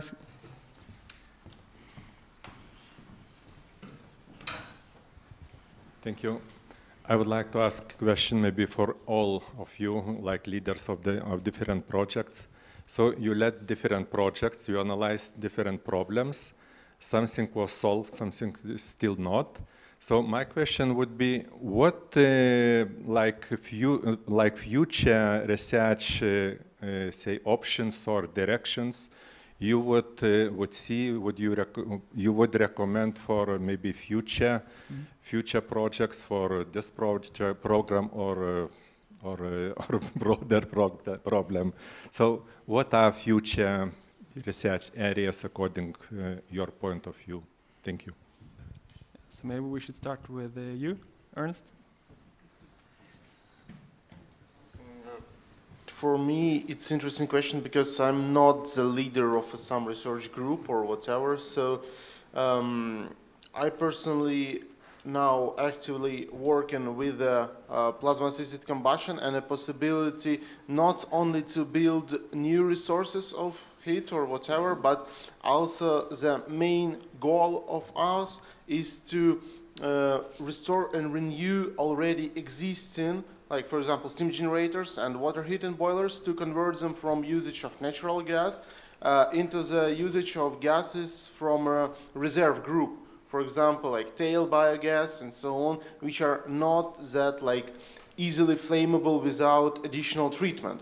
Uh, so like I personally work on this thematic now and I see that there could be a, a big profit because uh, to build a power station would require much more time than to just, you know, uh, change the um, let's say, burners, the layout of uh, just some constructional units there, but that would not require from you to completely rebuild the firebox, to reinstall all the tubings and so on. So from my point of view, uh, we should also concentrate not only into investing to the completely new, but also trying to, yeah, it is uh, like part-time solution, but we now need to close the holes in our energy budget and somehow to uh, provide a possibility for already existing equipment to stay for a bit longer until the new technology would come. Because by now we are sitting in such a situation when we are not able to use already existing equipment that consumes the natural gas because of a lack of natural gas, a possible lack, let's say, yeah. And uh, but we still got the same consumption of electricity and heat energy, so we need to do that. And uh, it is such a, you know, like scissors, and we need somehow to get between those, like, blades of those scissors. So, kind of like that, yeah. yeah. Anna. Will comment a little bit regarding what you mentioned because uh, it is not related uh, to our scientific work or research, but actually, yes, we face the same situation regarding lack of gas and uh, district heating too. And then uh, many of our um, of district heating operators had to go back to shale uh, oil. It is oil produced from oil shale, fossil fuel and they had to use existing technologies to produce for this short period uh, to cover, but to be independent, to cover these uh, peak uh, heat loads by, by shale oil, which is not very good in the term of, of climate. Uh, uh, problems, but uh, but it, it just when you don't have any choice. Uh, so we, due to this fact, it was possible to reject uh, Russian natural gas. But uh, speaking about uh, future projects and future research, answering your question, actually we already participate this time as partners in two ongoing projects, which will be presented later. One of it is hard to reach consumers and another one about waste heat and both of them are very um, important. This topic should be investigated more, and it is very good. Uh, when I looked uh, these aims of uh, Baltic Nordic um, Energy Research prog project program, I understood that uh, you have four of them, and actually, what, what can be seen just looking from the side that this transport uh, topic is not covered by uh, joint research projects. I thought absolutely not covered, but now today I have heard that you mentioned one slide was dedicated to, to transport topic, but this topic, okay, it is not my field, maybe I am a researcher, would be interested more, more about heating, but actually if I see the, and to be more um, complex to take all factors into account, so these transport topic for sure.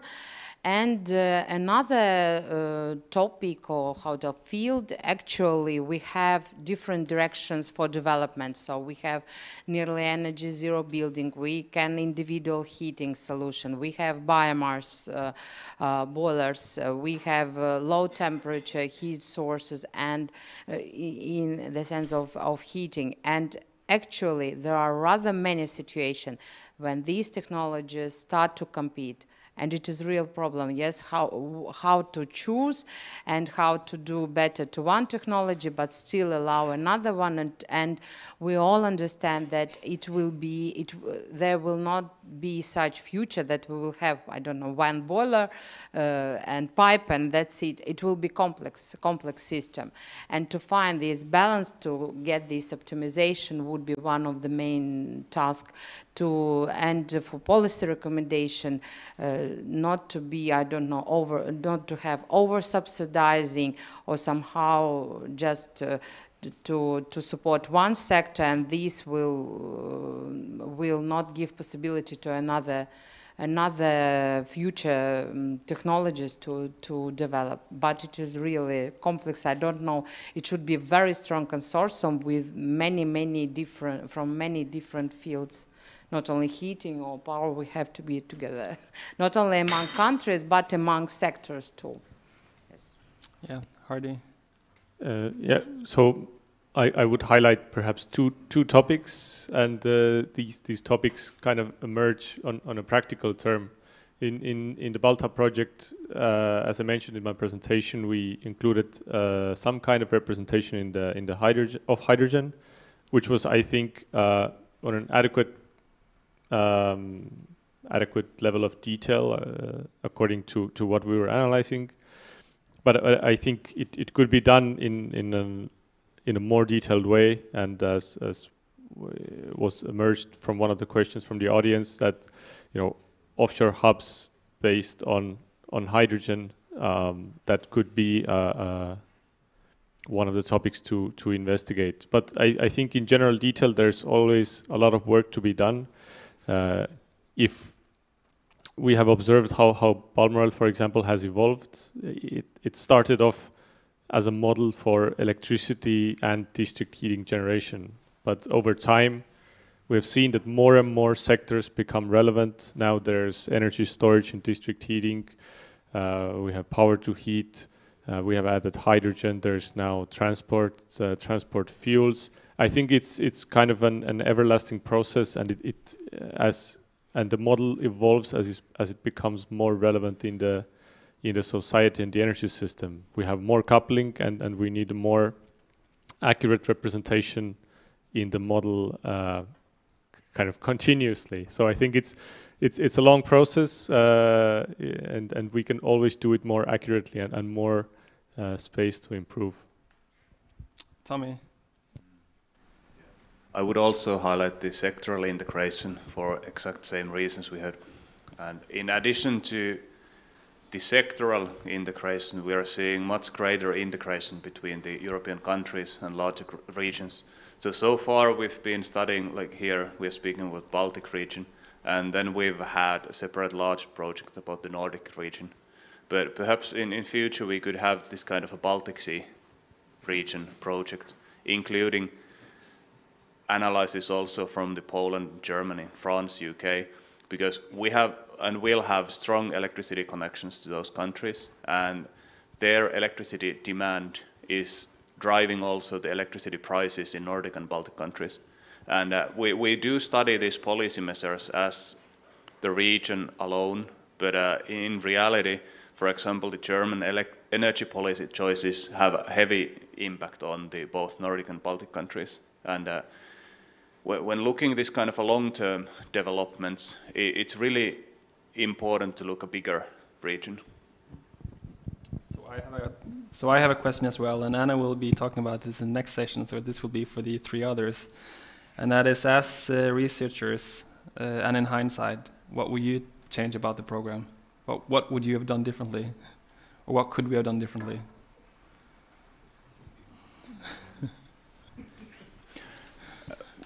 As, as one audience question was, we should have and could have had more cooperation with the Baltic ministries to mm. discuss, for example, like it would have been quite easy to adjust the list of studied policy measures or adjust the list of studied indicators and uh, if we had had more, like we did, we, we had almost uh, more than five discussions with the Baltic ministries in the telcos. Mm. But uh, we, we could have had more to, to make those lists more relevant and introduce our results even more and discuss, like have more interaction there. Hardi. Uh, quite a difficult question, but I, I think perhaps uh, what what uh, Tomi highlighted would would be quite a good idea. Um, maybe in in the projects that I was included in, perhaps additional communication with uh, with the ministries, with the stakeholders would have been uh, quite a good idea. Um, maybe even if if I reflect on, on the Baltap project more specifically, uh, in the project application, we somehow established that uh, that the regional TSOs would be the the core um, contact or, or, feedback group. Uh, perhaps inclusion of the ministries in that group would have been more beneficial. Hmm. Ernst.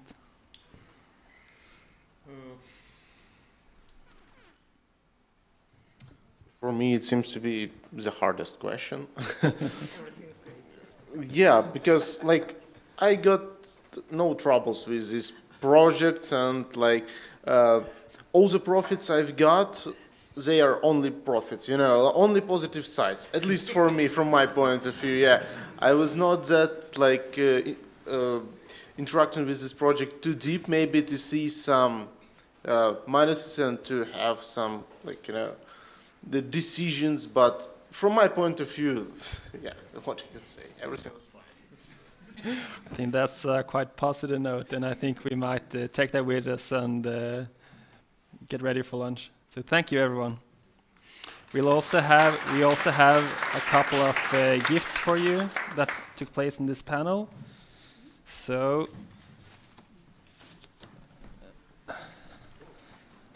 Thank you for coming and for participating. Um, thank you. Great, and also thanks to the audience for asking very relevant and good questions as well. And we'll uh, meet back here at Half past. half past one, so we have a good one and a half hour break. Um, Marika will help us to get to the lunch place, and then afterwards, when we return, I hope to see a lot of good discussions in front of the posters uh, as well. So thank you.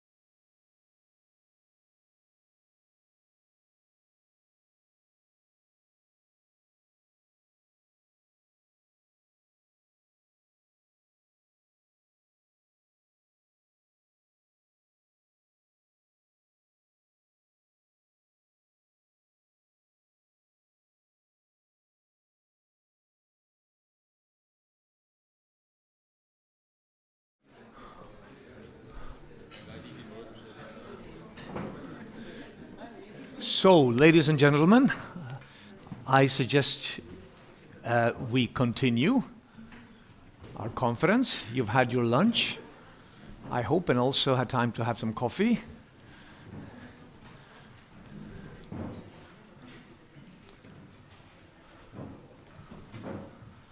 So, very good. Uh, well, I now have the difficult task to replace Kevin as a moderator for uh, the, the, coming session of, of this conference.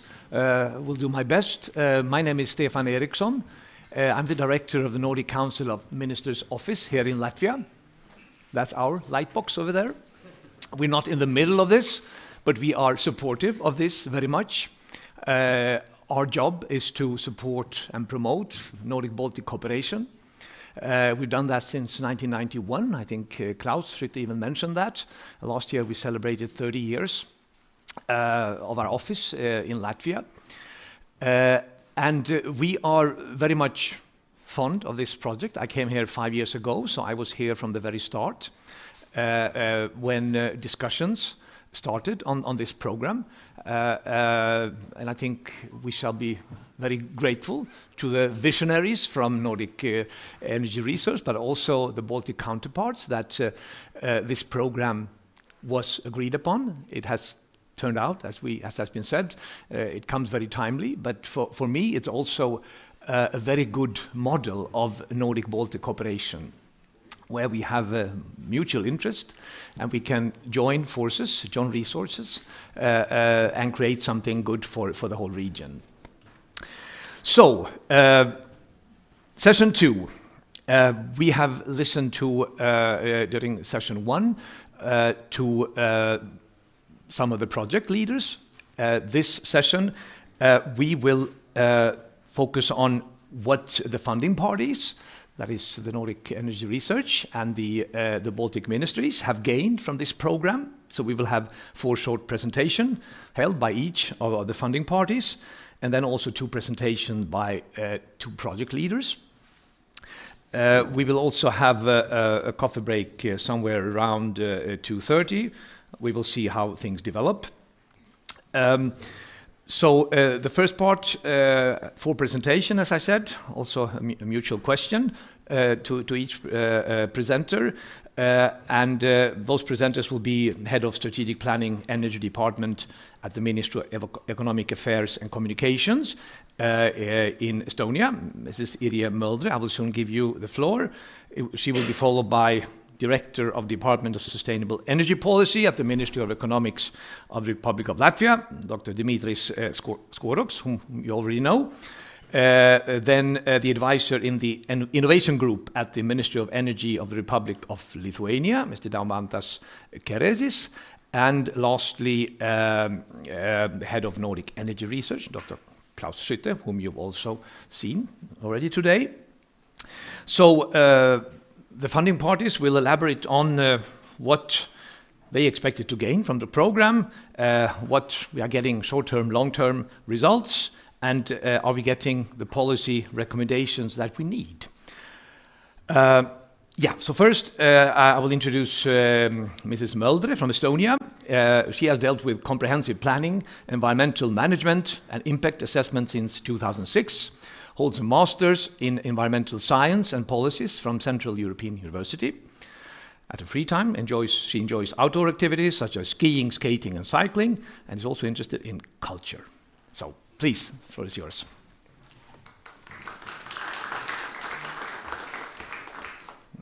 So there we. Yeah, that's what.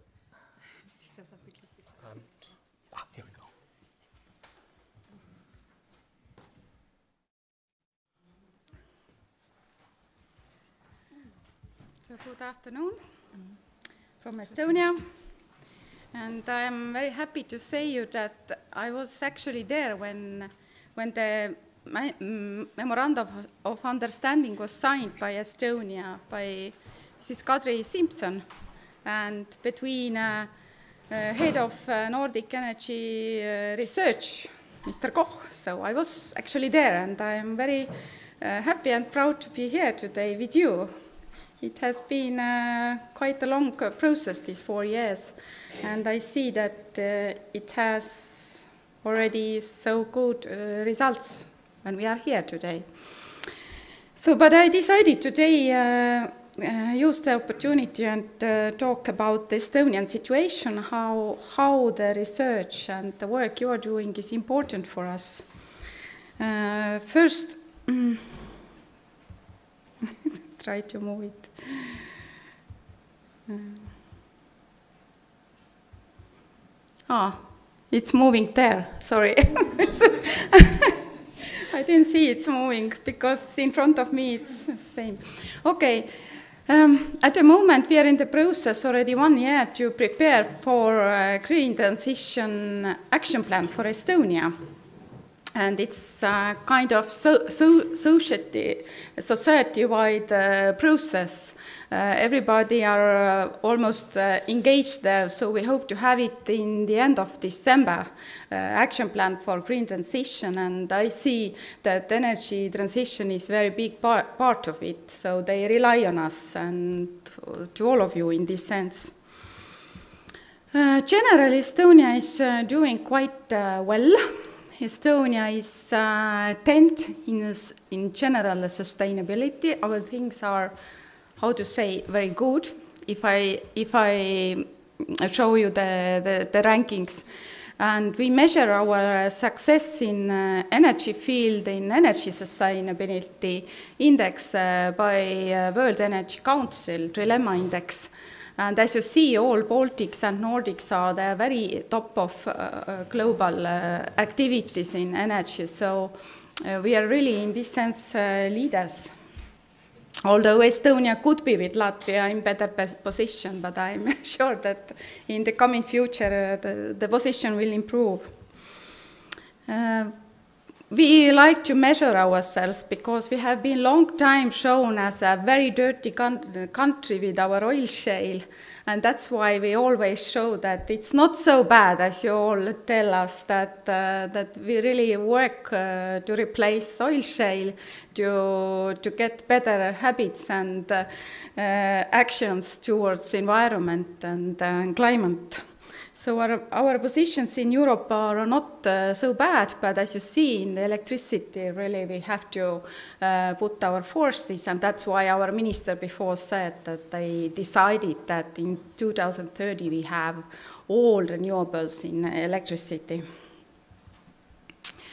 Uh, filling uh, national energy and climate plan, we are on track, but as you know, next uh, year we have to show uh, adjusted plan, new plan for energy and climate. Uh, we are uh, starting to prepare the next, uh, next plan uh, soon after we have uh, finalized the reporting of the present plan for European Commission in the March. So after March, we are able to make more serious work for our new plan. But the existing uh, so bad. I don't see this anymore here. Existing plan we have uh, until 2030, and if uh, if I may say, we couldn't make it uh, without Nordics because at that time we also uh, already used a lot of uh, modeling, uh, preparing the national development plan for energy sector. And we had, for example, Danish Energy Agency modeling for us with Balmoral our scenarios for, for electricity. And in total, uh, taking into account all uh, energy sectors, we had like the 135 scenarios for Estonia, uh, different combinations. But uh, if you took into account all sorts of uh, requirements, uh, legal and international norms, then, then only 15 of them were, were acceptable. So we have long traditions of using scientific base and modeling in our uh, national uh, development. So all the uh, important keywords that have been today uh, talked, they, they are all included in our uh, future planning and we try to be on track in, in every sense.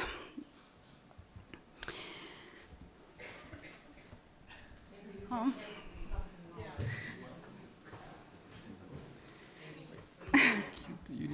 And uh, uh, yeah, thank you. Along with the, with the present plan, we had a separate plan for, uh, for research and uh, development uh, with 400,000 euros for year to make, uh, uh, to make uh, so all sorts of investigations and analyses. And among that money, we had also one quarter of it went for this, this program. So last four years, in this sense, we have been in very privileged uh, position in Estonia because no other sector, I suppose, ha don't have any such a specific uh, development plan. But we were really need on that. So mostly these analyses we are doing, uh, doing uh, to the program are for uh, preparing regulation and, uh, and policy making, and uh, they are really in um, in very different subjects which are uh, present uh, needed. And uh, speci specifically, we share our information in our unofficial web page, energiatalgud.ee. It's the last line where we put all the all the main results or and all all energy related issues to share uh, more uh, broader knowledge uh, to our uh, no, all stakeholders and uh, interested, interested uh, parties. what has this, this program given to us? It has given all new knowledge is very important and our uh, general development related issues. And I asked also feedback from our scientists who have participated in the program. So I see that without them, uh, we wouldn't have the, the state um, development plan as, as we have, and uh, they co contribute as very important content to, to make better choices in the future. In this sense, um, scientists kind of res uh, are responsible also about the development plan we, we bring, out, bring and work on. Uh, how we use results from the program. Uh, as I said, we have been uh, already long time based on scientific knowledge and modeling, and it may seem time to time that maybe, maybe the connection between ministries and scientific institutions is so, not so strong. Yes, it's not every day, but we try to keep uh, the connection, and very often we go back to the university, please help us out. And we make uh, also one, two, times per year at least uh, meetings for, for um, our scientists and also energy consultants uh, to work on the most uh, important issues. So we really hope that in the future, when the future projects coming out from the program, they, they take it into account that actually they give us um, so important information, we rely, rely, rely on them, and they are in, no, res responsible on the, on the future. So it is not only about the policy making, but it is also a question of making right decisions for the future. For example, in the uh, study where what we were uh, holding this, uh, this year with the help of European Commission money on climate neutral electricity. Uh, there we have now seven scenarios and how to how to pick up the the best or the the right one then we need uh, uh, let's say the uh, independent scientific view on that as well so from my side, all I, I really hope that uh, all the coming projects they, they take into account that uh, we need those results desperately and as soon as possible. so good luck with that. Thank you. Uh-huh. If you just stay, st uh, thank you so much, Irja. We will have a question around the joint uh, a bit later, but one question, if you would name I mean, one pressing issue where, where research and, and researcher could really uh, address uh, uh, to, to, to the help of the ministry, what would you? one mention. subject. Yeah, I mean the most pressing issue where, where really uh, you know research could be uh, of help for you. At the moment, uh, we talk about a lot about energy um, adequacy. That we, in the present situation, especially. Okay, But, uh, thank you. Yeah. Please. So uh, we continue uh, with Latvia, and uh, I'm about to give the floor to uh, Mr. Dimitris Skoruks, uh, Doctor of Economic Sciences, experienced manager, uh, professional economist, years of experience in the public sector, in the public sector of Latvia and also in other EU member states.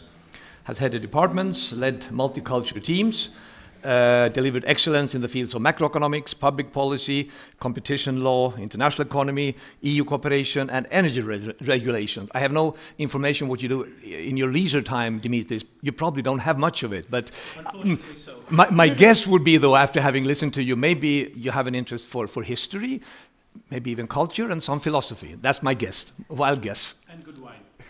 okay, please, the floor is yours.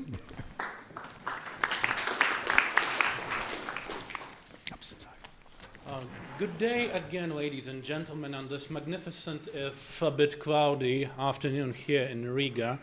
I do believe that events like this, uh, the exchange of ideas and different perspectives which we are sharing today, are pivotal to ensuring a just transition of any kind, uh, even more so in the fields of energy, financial, and social sustainability, which would shape the way our society functions in a democratic yet inclusive fashion for years to come. In order to, uh, in a sense, reinforce my statement, I would like to share with you a little bit of information on the Latvian perspective. Uh, even I would even go so far as to narrow it a little bit uh, to the Latvian civil service perspective on the program, and uh, from that standing point, I would be able to uh, deliver on the initial question of what has been achieved and in what way has that been brought forward. So, in order to do that, one would need to start from the very beginning, which would make sense. And that beginning uh, is traced back to 2020 when the National Energy and Climate Plan had been put together. And I'm deliberately using uh, the term of put together, as it was less science based at the time and more politics driven, not policy, politics driven, and that is of essence. So the plan was adopted in February 2021 based on the data from 2020, and uh, half year down the line, the Fit for 55 package, uh, in a sense, hit the country in the face. Uh, stating that, well, the goals which have been set are not ambitious enough, and that a throughout revision of the plan needs to take place. Come this year, the Russian war escalates and Repower EU induces additional higher goals of that plan to be revised in the future. And from that standing point, it uh, was immediately clear that a science based approach is pivotal to establishing a goal set which is not only sustainable and thoroughly ambitious, but achievable considering the current state of affairs. And that state of affairs, well, in a sense, brings us to a realization that retrospective is also a thing, much like the physical reality by which we are all bound. So, if we would look at the Latvian energy mix back in 2020, one would immediately notice two underlying issues from a climate change perspective. First and foremost, that's the transportation sector, which consumes the lion's share of fossils here within the country. And secondly, is the dependence on natural gas, which is a dual matter for one reason and one reason alone. Natural gas is the least polluting fossil, as they sometimes call it. I mean, we do not have coal in the country. We do not uh, utilize lignite as our northern neighbors in Estonia. And from that perspective, we were have, and still are, by the way, heavily dependent on natural gas as a source of, first and foremost, heat, and secondly, balancing electricity. And when one brings up the topic of electricity. Here in Latvia, uh, there are two issues, again, two issues, which emanate from the configuration of the national generation capacity set. First and foremost, uh, we are strong in renewables in general, and electricity generation sector is a manifestation of that embedded sustainability. I mean, hydropower and biomass play a vital role here. And natural gas is the only fossil used for producing electricity here within the country. So from that standing point, again, the issue is that on one hand, we're stuck with the least polluting fossil, and on the other hand, it's still a fossil, and it until this year, ladies and gentlemen, was a uh, Russia originating fossil, which of course is an issue in itself. So from that standing point, the uh, current configuration of the National Energy and Climate Plan uh, was not sustainable on any level, both in the ESG uh, paradigm or the general philosophy of uh, advancing forward as an open market prosperous economy. So a revision of that plan would need to take place, and different scientific institutions had been contributing to the analytical background or the analytical evaluations behind the revisions taking place. Uh, I also have an academic background, and for better or for worse, well, which uh, from my standing point is the bane of my existence, uh, I kind of tend to question a lot of embedded choices. So from that perspective, uh, I do know that each and every scientist has its own way of doing things, and the assumptions are deeply embedded within well, the confine of the uh, analytical or economic or philosophical school from which that particular scientist is emanating. And that means that, uh, for better or for worse, again, it's always plausible to challenge assumptions and to have different points of view. Those points of view may be even conflicting as long as they're robust and analytically sound. And that is where policy comes to be that is where choices need to be made. So, on top of all that, the program comes into perspective, and the program had contributed immensely to understanding what type of endeavors could have been undertaken. We've uh, revised our attitude to hydroelectric power generation, and our hydro resources are now viewed as a potential storage facility rather than just a means of generation, uh, to give you an example. And by way of another example, we always thought that solar panels were the, the solution to district heating. Well, as research showed us, that was not the case, considering our latitude and our geography. From my personal perspective, and this is not an official position of the ministry, but I do speak from the bottom of my heart. The most important bonus that uh, manifested itself over the course of uh, program development is the truly deep and elaborate type of engagement we have with our counterparties and their colleagues. I do think that the greatest benefit which we reaped, and it was mutual from the program, is the sense of camaraderie, is the sense of mutual support and a sense of European unity, which was delivered by the researchers. And from that standing point, ladies and gentlemen, the biggest bonus of the program is, well, the fruit of it all, our cooperative effort, which paves the way towards a policy decision paradigm which is both facts and respect based, and that is important. Yet, of course, there is the purely technical or scientific dimension of it all. The program did confirm, uh, much in line with what other um, research undertakings had proven to be true, that offshore wind generation capacities combined with onshore capabilities and photovoltaics, uh, which are, the latter are, the Mm, distributed in a uh, decentralized fashion uh, to convert consumers to prosumers. So that would be our future at the foreseeable 20 to 25 years. This is the strategic goal to which the country should start working towards as of yesterday. And I do mean that we're a little bit lagging behind uh, all of the issues which uh, are manifesting in a way which uh, well, I'll, I'll just be blunt and non-diplomatic here. We needed to adapt this plan earlier, and we needed to change the way of thinking earlier. Yet, La- later doesn't mean lost. So, from that perspective, we are commencing forward with our partners. And that, ladies and gentlemen, is the best outcome of this program yet. Thank you very much.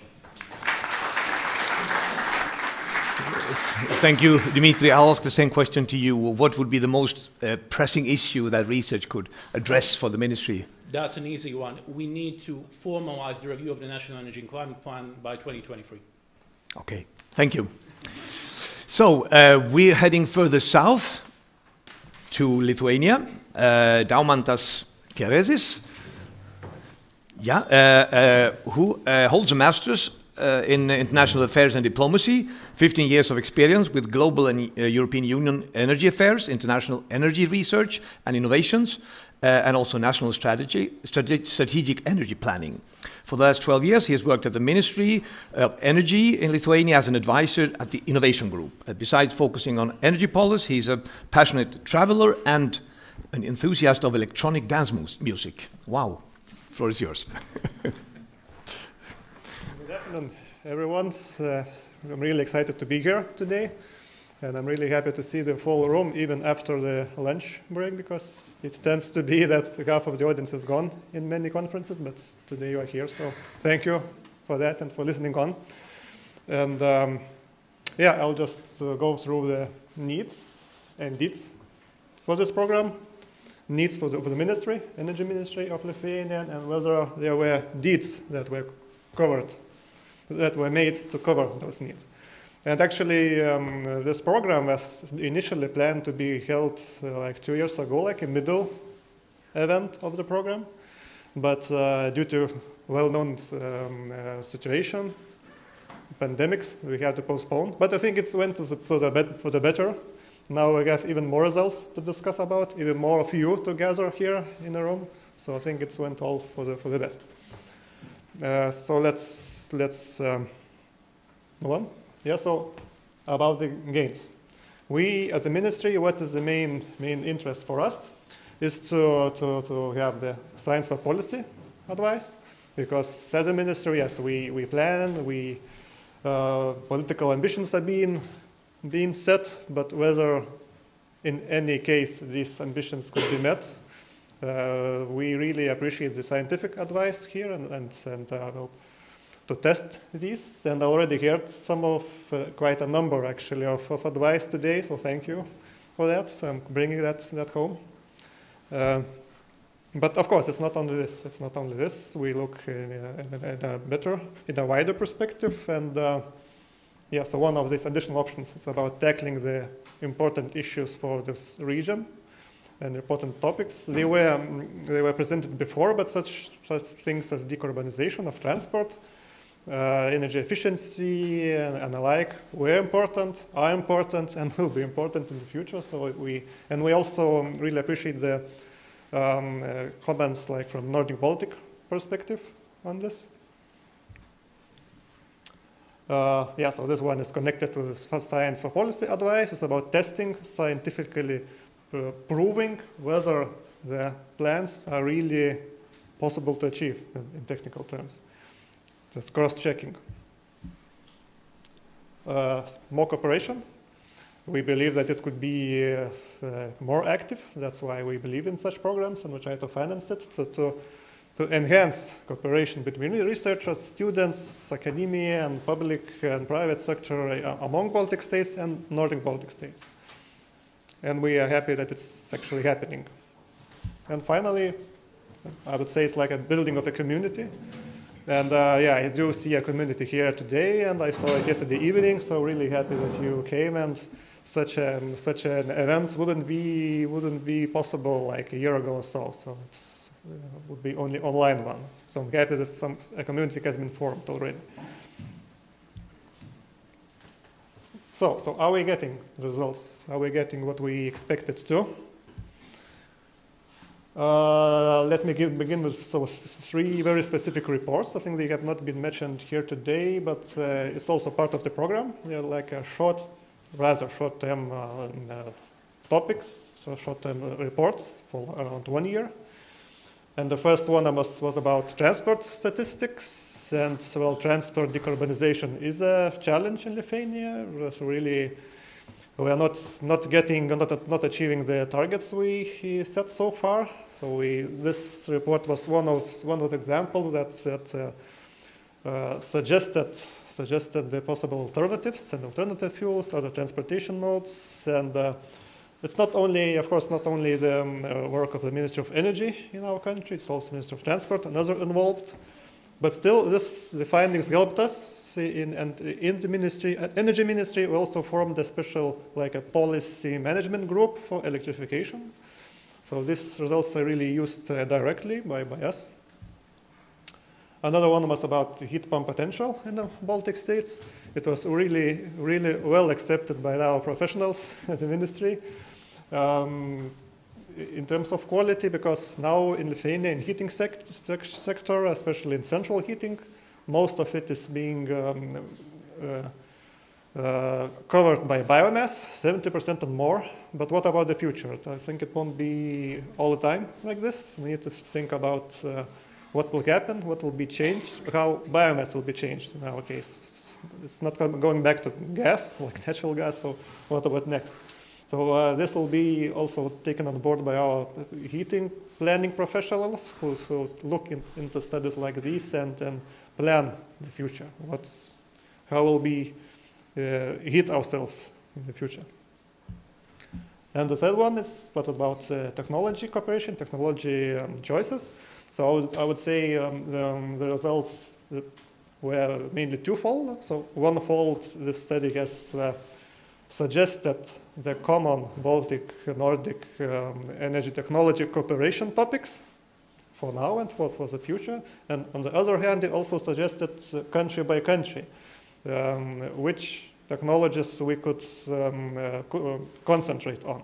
And we also, have, uh, we also hope that this study will um, help us in, in um, defining our further cooperation topics, like for, for, for Baltic and Nordic countries.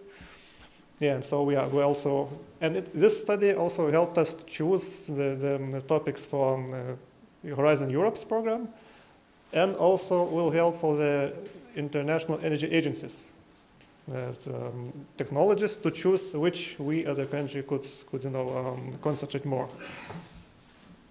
And uh, now going to the research projects, just before going on, let me see just a couple of things here. Uh, we are of course aware about all the projects which are being, being conducted. Uh, we have looked all of them through, but here in this slide I will show only the ones which are already finished because the questions about the outcomes and how these outcomes um, help us. So that's why only three of them will be mentioned here, not forgetting another ones. Um, and even for those projects, we got the results like two weeks ago and so, so it will be not a very deep dive in the, in the topic, but like an impression of um, general recommendations, what, what, we, what we found. And mobility projects will not be touched here as well, because we see the, uh, the um, outcomes of these, well, mostly for the students, for the researchers, but not very directly for the ministry policy making. So the first one, uh, FASTEN, the context were already presented today uh, about uh, it and, uh, well, generally speaking, what are the outcomes of the minister's work every day? Like, what are the outcomes which, that we can, you know, touch? So at the end of the day, it's like strategic planning and lawmaking, I mean, some documents.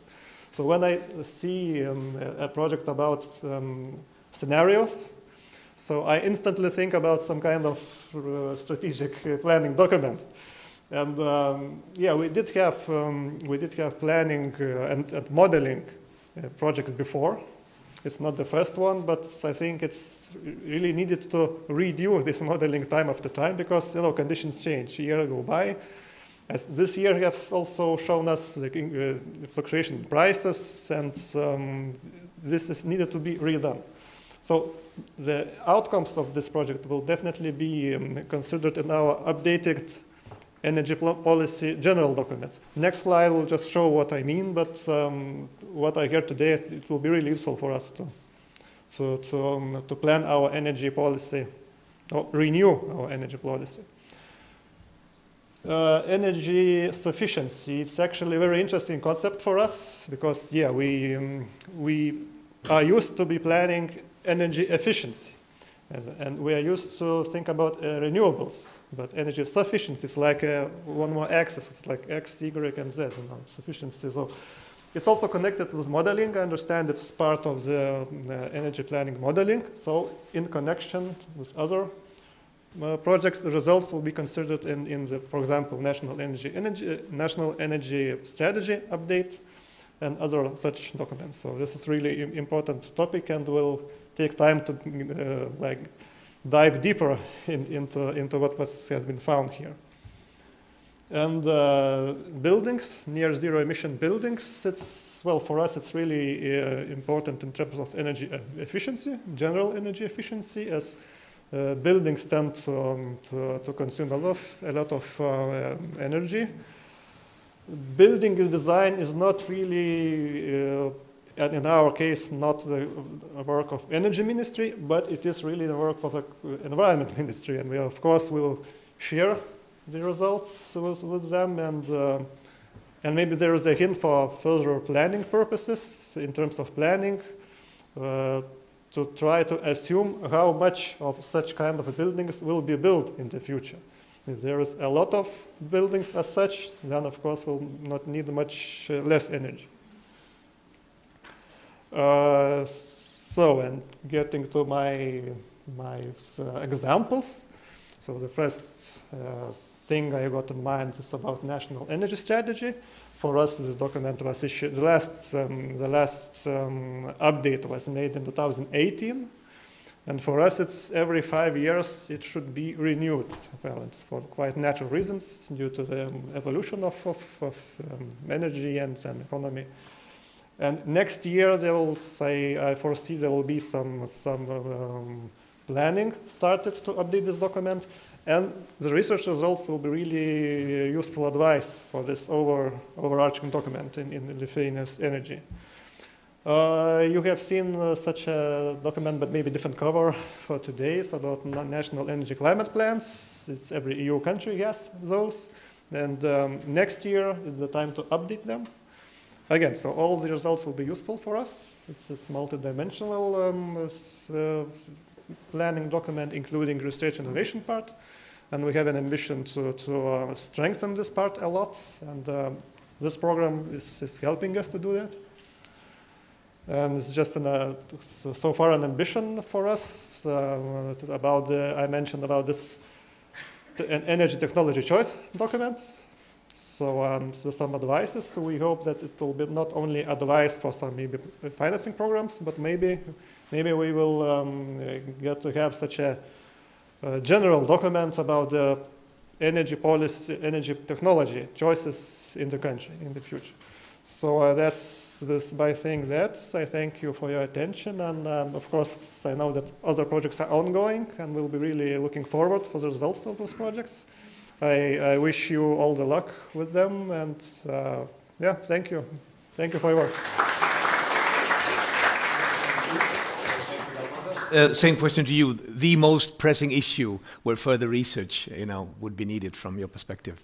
Yeah, of course, there are many issues, but if I need to choose, choose one, so yeah. uh, I can say maybe offshore wind. There's a lot of offshore wind talk being, being uh, and plans being made.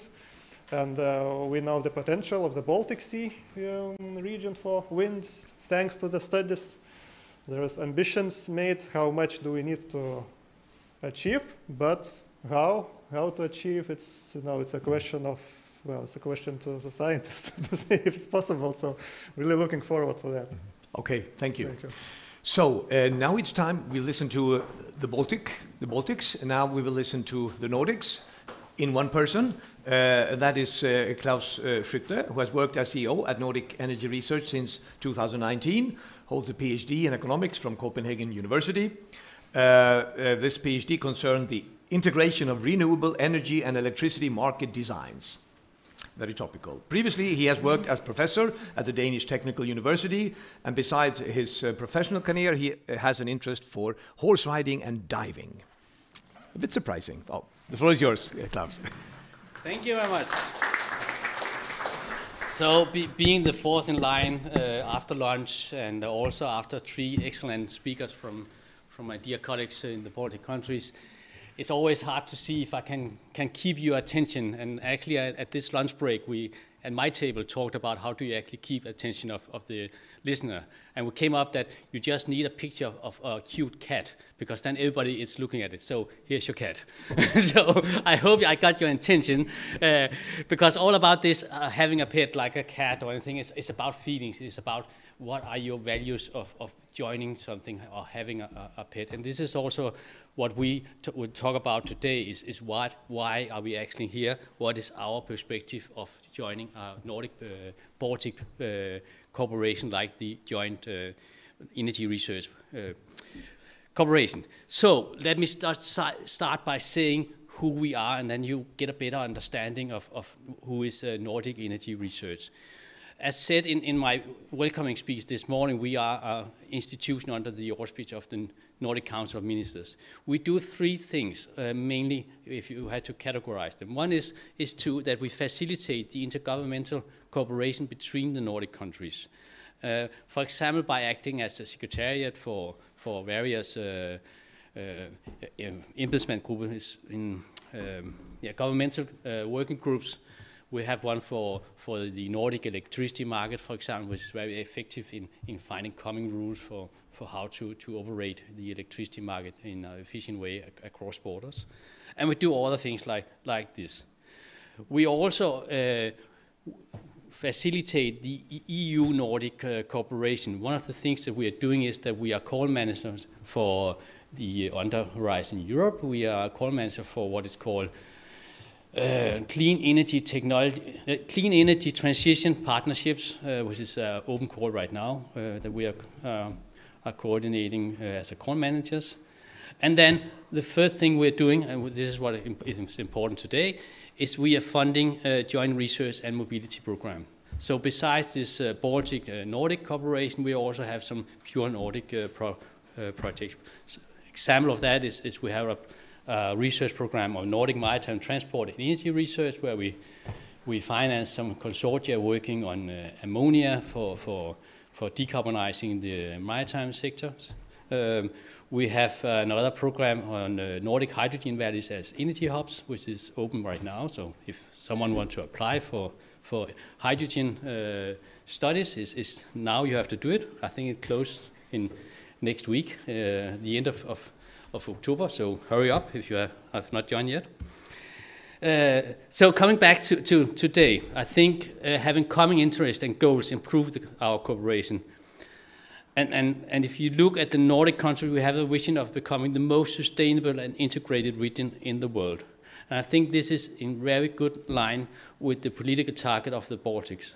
Because to, together, I think together we can, the Baltic and Nordic country uh, is in a joint, jointly um, in an excellent position to de deploy innovative solutions due to our ambitious energy and, and, climate policy goals, which you have just heard from the three previous uh, speakers, as well as our extensive research program. At the same time, we have a strong history in, in, in, energy cooperation between the countries, and they actually make us in a, a unique positions. But then, of course, you can ask, can we, a small country, lead the green transition?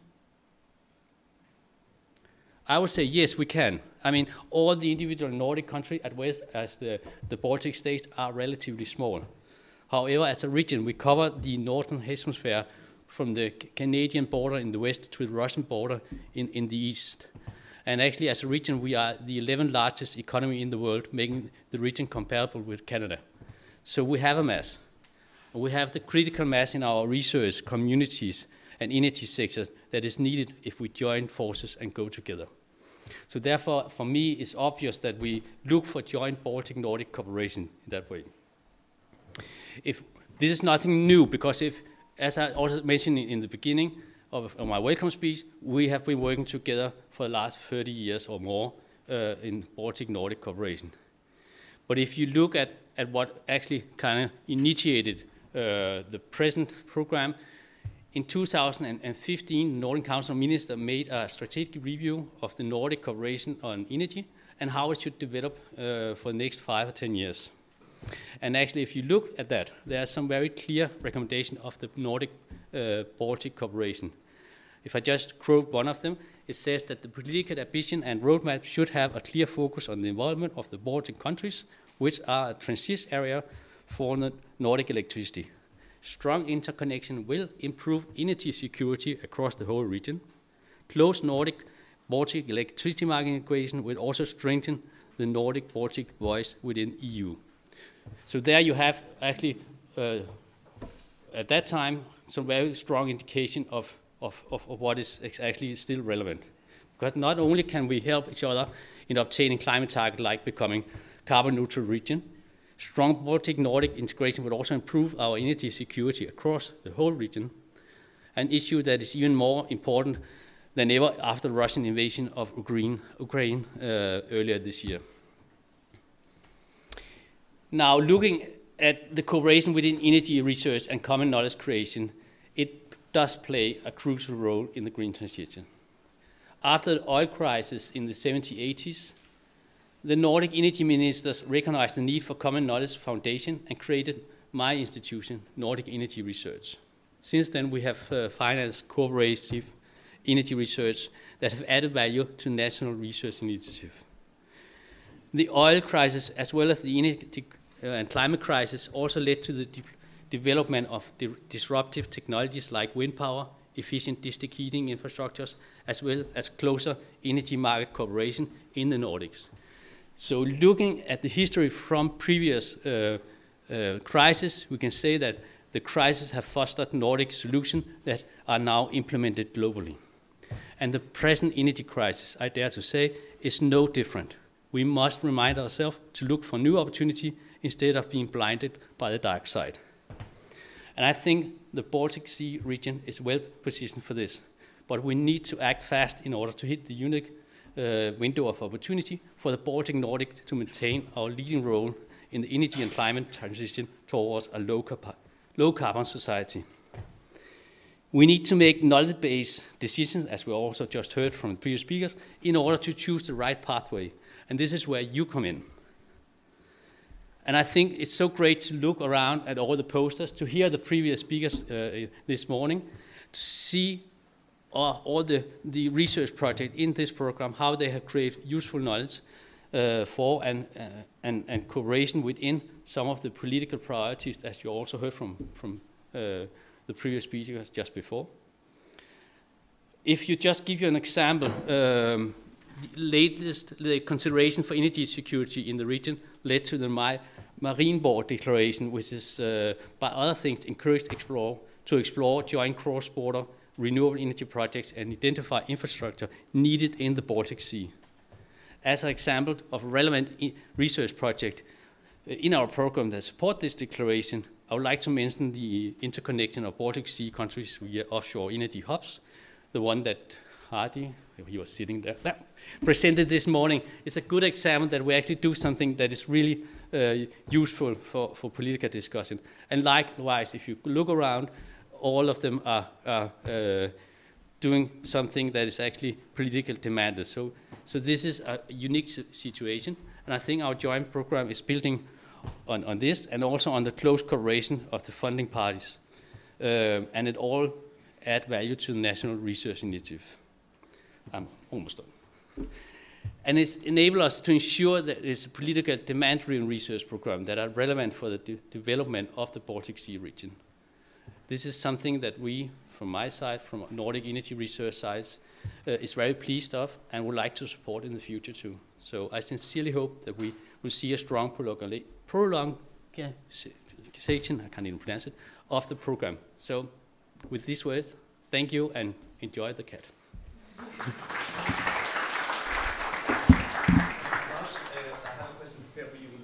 partly have answered it, but I will still ask it. Uh, okay. Why is Baltic Nordic research cooperation important? A little bit philosophical, actually, question. Okay, so you've I been giving answer uh, You've been given a couple of interviews to Latvian media, so you've probably been asked something, something, something no, similar. actually, not this one. Not this one. No, anyway, I think you can have a lot of technical answers for this one, but the most important, I think, is that we are, are, are thinking alike. We we have a common trust in other, like we are more in family that, that, than, than many others are. And, and that makes that, that facilitate the cooperation that we dare to stand on, on each other's shoulders. And then our differences is actually what make the cooperation strong. So this is what I will, will say uh, is the most important thing. Thanks. So we will now have a small panel. So I invite all the previous speakers up here to take a place by the microphones.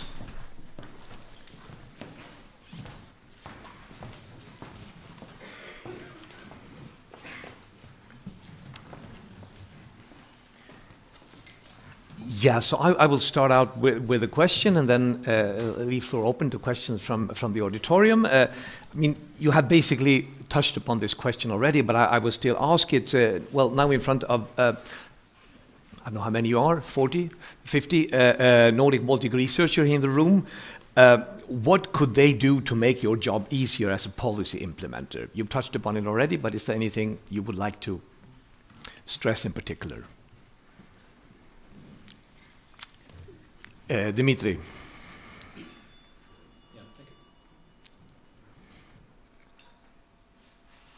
Testing? All right.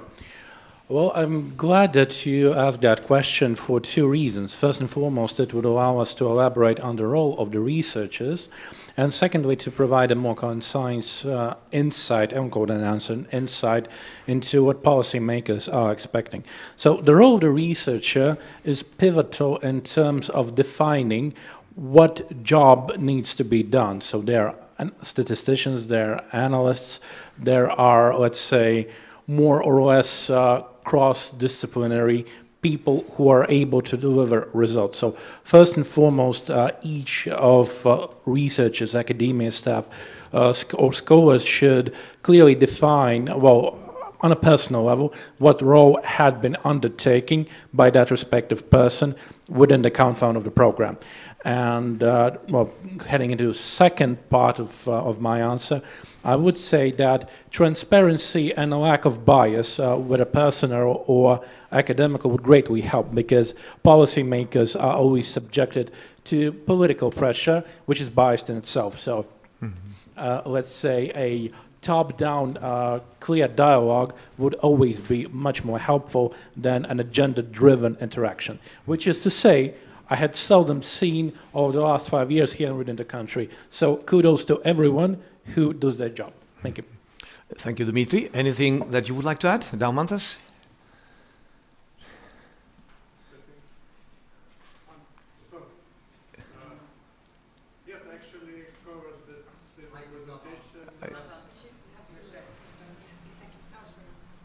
Testing now. Okay. There we go. Yeah. yeah. So I did actually uh, cover this in presentation. I think. Uh, well, to make our job um, easier, the advice I just uh, stressed it there because we um, we at the ministry are not the ones who know everything. Uh, that's I'm ready to say this and really need advice from the uh, research part.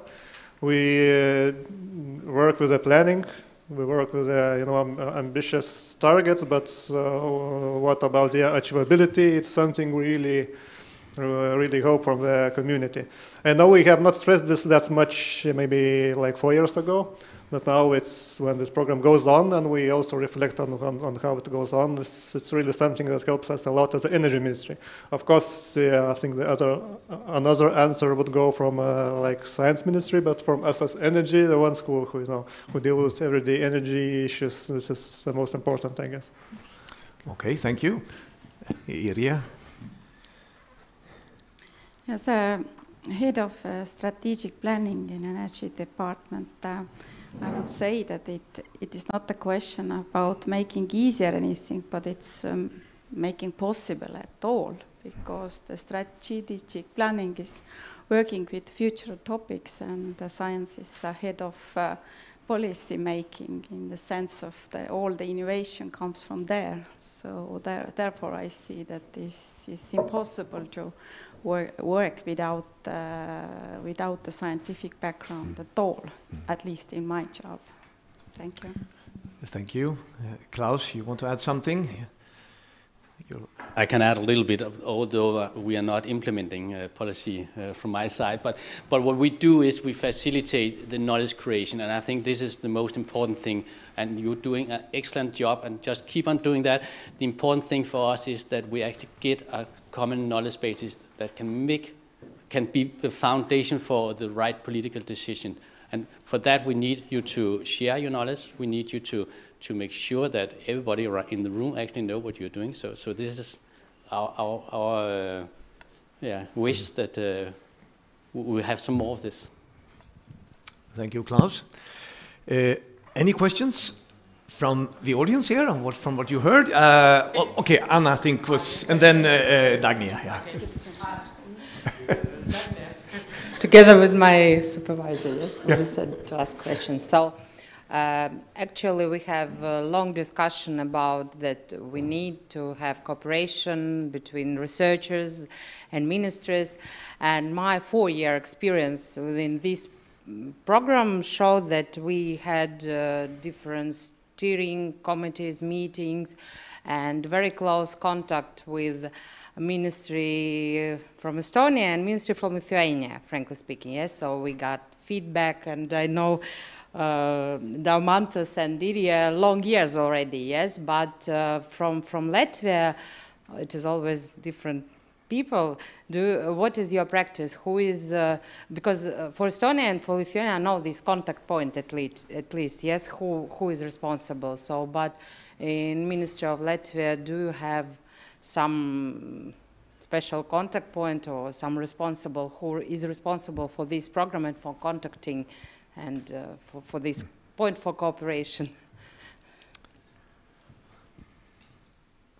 Well, that's a technical question, and I do believe that uh, each and every researcher values stability and funding the most. And from that standing point, it's of course always uh, a nice to have in terms of overall conjunction of any type of uh, physical, online, or other official or unofficial interaction, a fixed pool of people who you work with.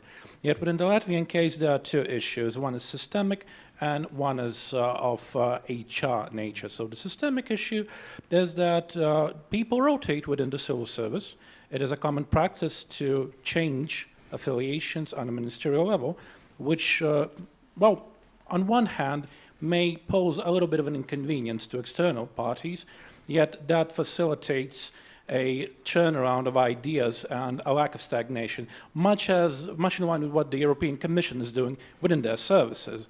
I mean, you, you see an average chef de division uh, being rotated each and every five years. So that's, uh, from that standing point, I do believe that there are no issues there. It's just a practice of a country and you need to be acquainted with the specificities, so to speak. And the HR issue is very simple. Uh, young people coming into the civil servants tend to be ambitious. They tend to try different areas, and that's a horizontal change of planning. So I wouldn't advise any researcher to hope that on the Latvian side they'll have the same person as their focal contact point for the next 50 years. I mean, that's implausible. So it's a dynamic environment, and this is why, well, I personally and most of my colleagues enjoy working there. Okay, and maybe I just will yeah. continue, yes, uh, to Klaus' just question, because we we uh, know how we transfer our knowledges and results to our ministries, to Baltic ministries. And, uh, but uh, this final point in Nordic, it would be Nordic Energy Research, this organization. But uh, how these results, uh, which are interesting for, for Nordic countries too, how they transfer to Nordic ministries, do you have this, this connection more?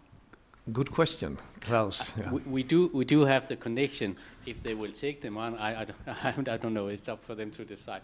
But what we do is we, we, we, we publish it at our website. And we, this is one thing, just a starting point. Yeah, yeah, yeah. I, I can see you're not convinced yet. but what we also do is we actually help uh, giving input to the ministerial meetings, uh, both Nordic ministerial meetings and also the uh, NB8 meetings in, in Tallinn uh, and later this, this month, no, next month.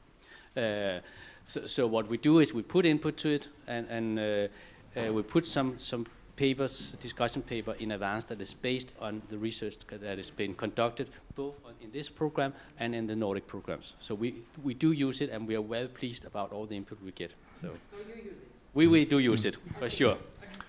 Next was uh, Dagnija please. I have two questions to Uh, uh, my first question is to representatives from Baltic uh, min ministries, and the question is about Tomi Lindroos' presentation. Very nice presentation with really nice results. How, how you will use those results for in, in, in the plans of climate and energy uh, plan 2030 or you will not use that? And second question is, um, is it possible to arrange some uh, energy society to, to hear and to understand about those results and to inform about that, what is done in Nordic Energy Research Program in this project and uh, and we have a representative from Nordic Council uh, office, and maybe it is possible to do. Is it possible that you could answer what Estonia, Lithuania, and Latvia will do on that? Okay, two questions. Who would like to start from the Baltic side on how uh, the result of, of uh, one of the uh, um, research of, of Tomi Lindroos, I think, yeah. Well, I may begin, uh, if no one minds, of course. I do believe that the first question uh, was the easiest one of the two. Uh, the results shall be used, uh, as it has been officially stated, for the review of the National Energy and Climate Plan in the next year uh, by 2023-ish.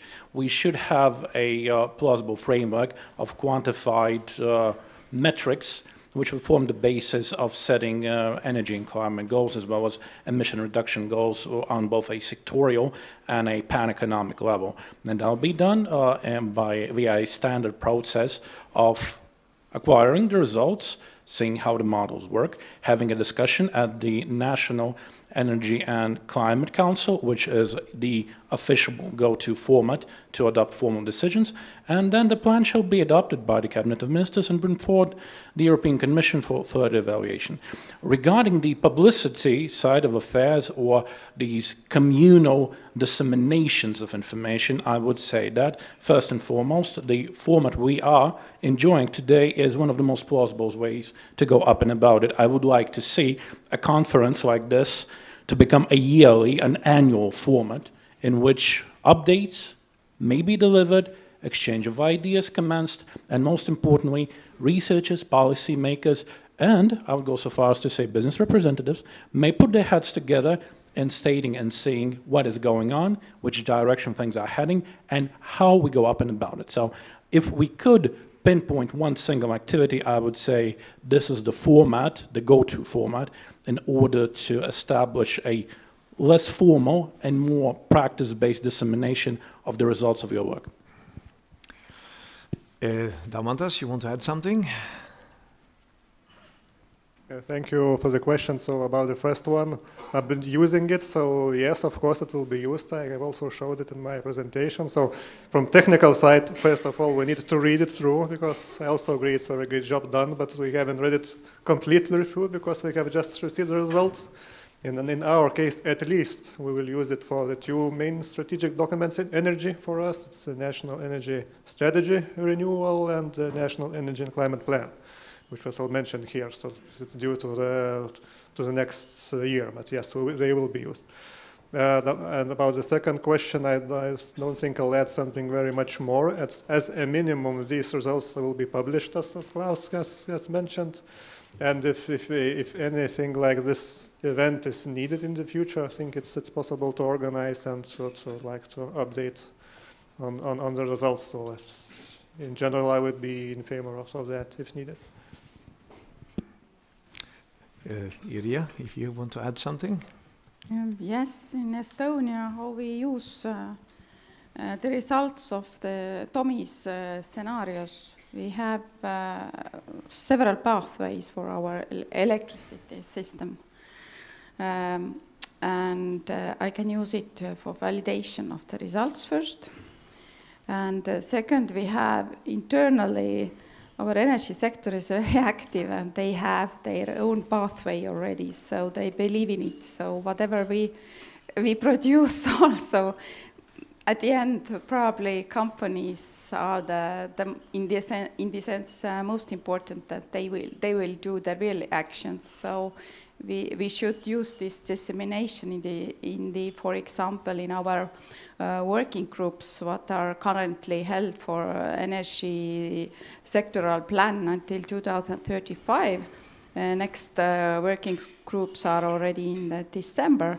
So we can use the results and we are looking there with our uh, uh, sector representatives through all the different scenarios and uh, discussing uh, wh what would be the best for Estonia.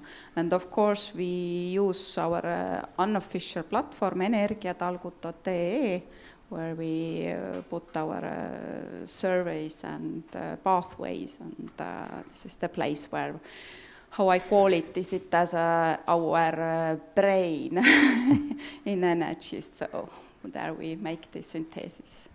Thank you. Uh, Klaus, do you want to say something about further dissemination of results? I, I could do that. Yeah. So, so the way we also use it is not only about this that, as I just mentioned before, that we use it for, for uh, knowledge-based uh, political discussion paper, but we also use it to identify new research gaps, what is, what is needed to, to be the challenge for tomorrow.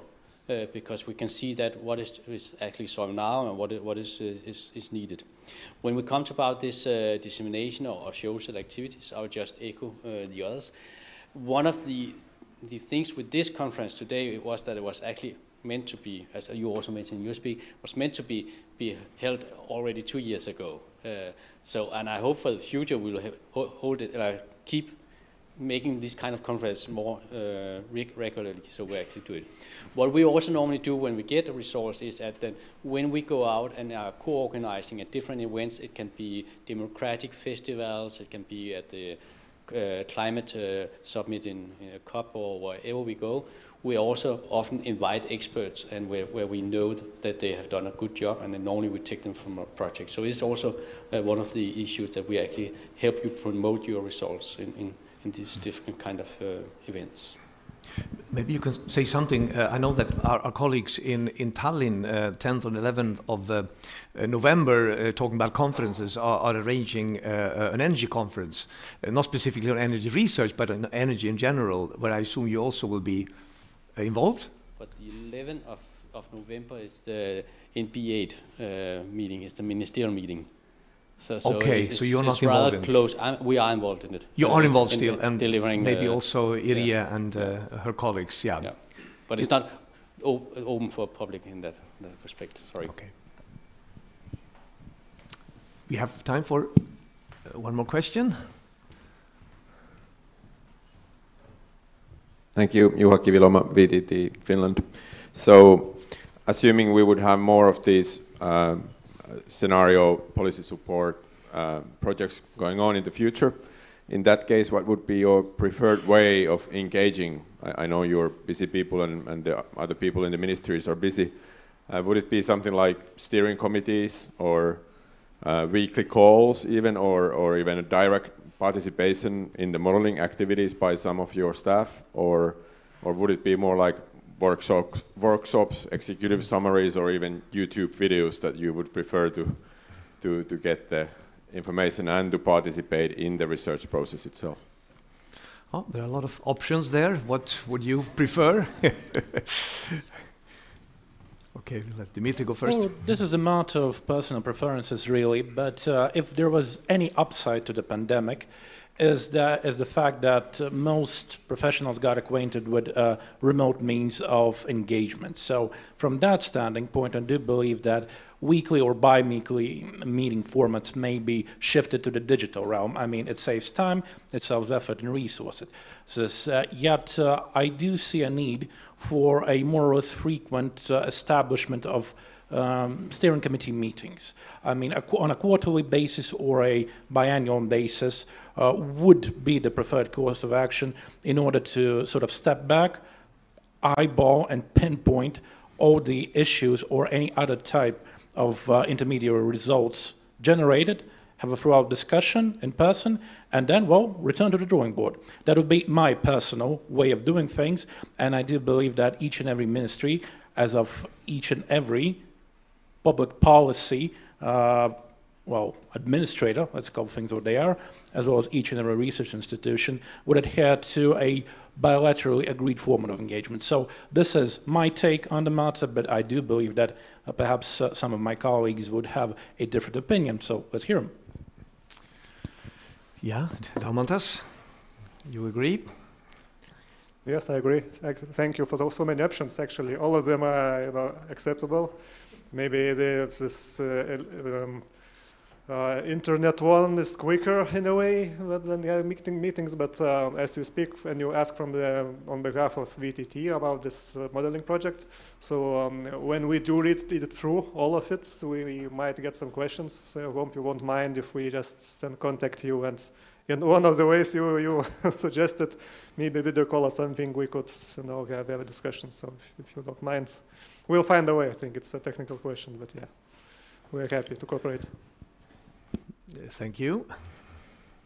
And lastly, Iria, before we go for a coffee break, yes, please. Yes, if there is any specific questions or something needed to be discussed, easiest is just to a quick Teams meeting uh, to agree the time and uh, let's see through what we have in Estonia. We have a lot of different pathways and just to find, uh, as I said, validation of your results and our results. That, uh, all the other ways as well. But uh, but if you need sp specific things to discuss, we are open just to find time, and uh, it could give uh, both sides. Thank you. All right, it's incredible how punctual we are. If there is no really urgent question, I think you can. Well, there's one more, a short one. Yes, I, I will try as far as I can. Okay, let's have a last short question then. This is Engineer Khalid Zahran speaking from Egypt. I'm working on behalf of the Ministry of uh, Petroleum in Egypt. It's my honor to be here with this uh, best networking. I have lots of questions for each specific, but I will uh, do it later. But I have a general question for all of you and the people of the Nordic and Baltic. Where, uh, what about the uh, the security of supply for this kind of energy in a uh, taking into consideration the uh, uh, geopolitical uh, situation that is going in these days, specifically speaking between Ukraine and Russia. And the second question is, is there any possibility of uh, interconnecting between your country as a Baltic and the other European uh, parts. It sounds like you are zones, the Baltic the Nordic, and the South European and the Eastern uh, and uh, uh the, the Western. And, and this question is also trying to, to go beyond this area to the MENA region. What's your plan? What are you expecting from the MENA region, specifically for Klaus regarding the hydrogen and ammonia? You didn't speak any more about the energy transition and carbon neutrality plans. Uh, I, I, I, might say that you, ha you have to have like a matter of dynamic uh, strategies, not a, a, a, business as usual strategy. You have to, to, to go dynamic way with uh, this geopolitical situation everywhere. Thank you. I'm sorry for, uh, for this long. Thank you. Very relevant, important question. Definitely. I don't know. We, we will try to dive into it and give some short reactions. I don't think we will answer them all, but we'll try. Well, not to break the tradition, I'll start first again. Uh, in order to answer both of these questions, and they're both worthy of a PhD thesis, hands down, uh, it would take me about two and a half hours each, as I like to talk. Yet, in order to not keep uh, um, esteemed colleagues from uh, the much uh, anticipated coffee break, I'll just provide you two short bullet points on each one, and then we may uh, engage in bilateral fashion. So, security of supply. For the Latvian case, the elephant is the room is the absence of uh, Russian natural gas delivering uh, possibilities, not capabilities, but possibilities. So we're diversifying our supply chain. We are engaging quite proactively. Um, I would say producers and stakeholders within the region, within the broader European Union, North America, and uh, the uh, Arabian Peninsula. So this is uh, what we're doing, and I may elaborate, you know, on a bilateral fashion later.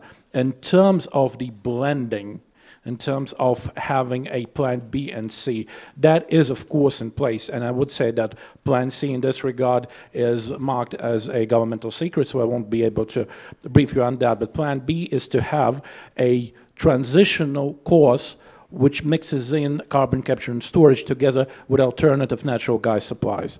So this is, in a very, very tiny nutshell, what is going on, and we may converse further.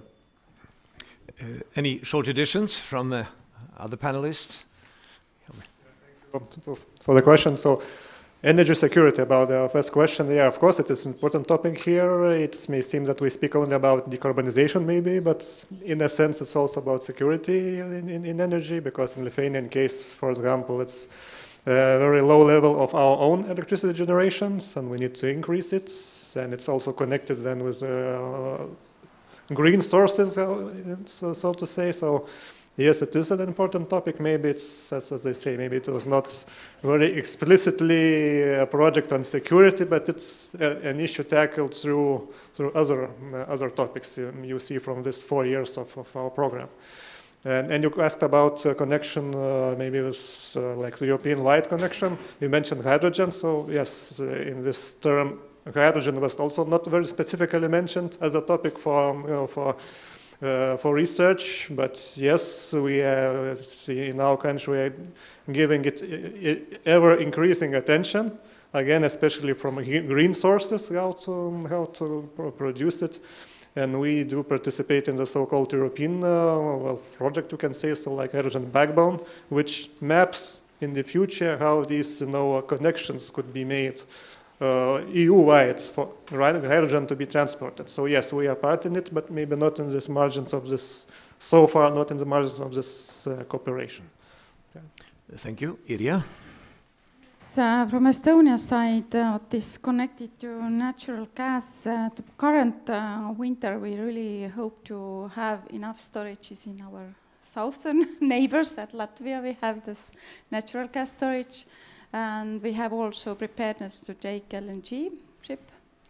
So I, I hope this uh, makes good, but in longer run we are running, uh, we initiated the project for uh, gas network uh, decarbonization uh, with, with Finland, Latvia and Lithuania. So we are working for, for the scenarios there and for, for the action plan.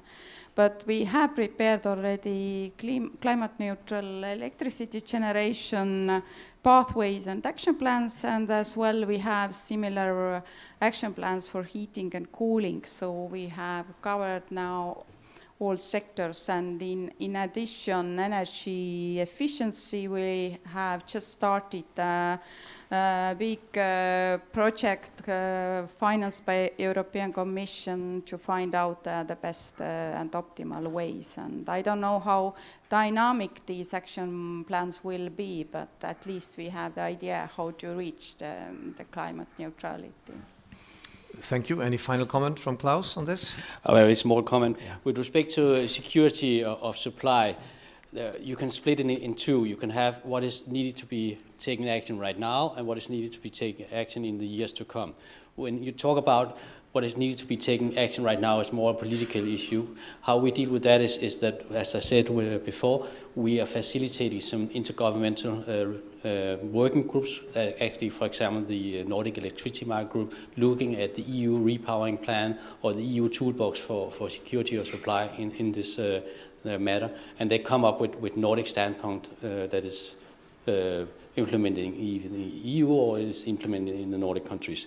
With respect to more long-term perspective, we, we do look at, at this, but it's, it's also to deploy all the technologies that we have heard about today with, with efficient district heating or with, with uh, uh, different kind of, of renewable energy, uh, energy hubs in the offshore, or etc.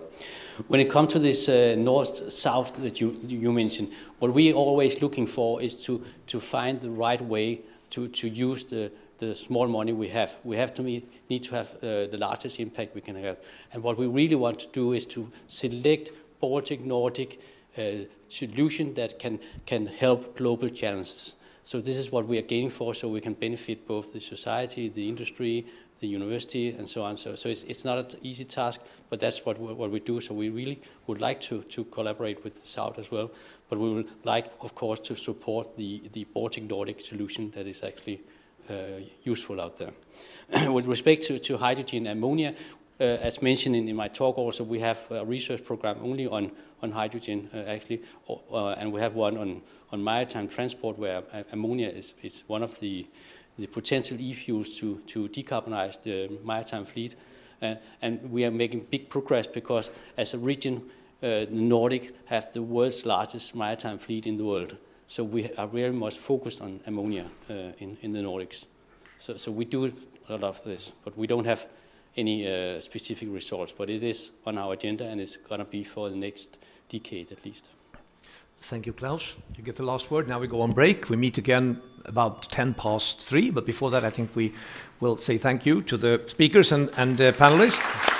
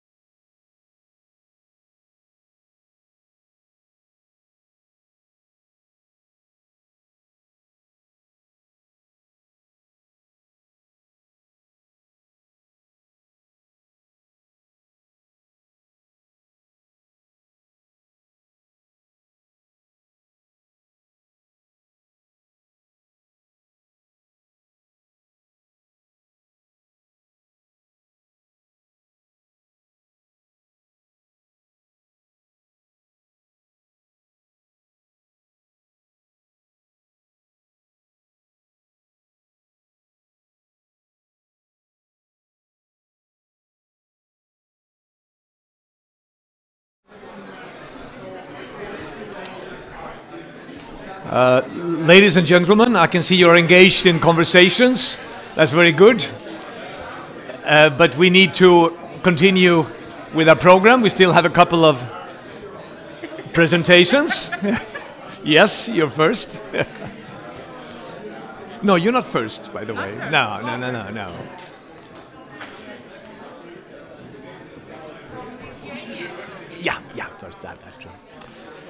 So if uh, the audience please takes their places, we are starting again.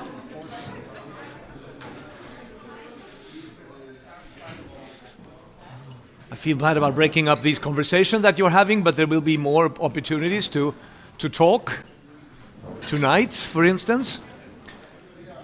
Uh, we are almost on schedule, um, and we will continue with a second video greeting, this time from the Lithuanian Vice Minister of Energy, Daiva uh, Garbaliauskaitė. Hope I pronounced it more or less correct.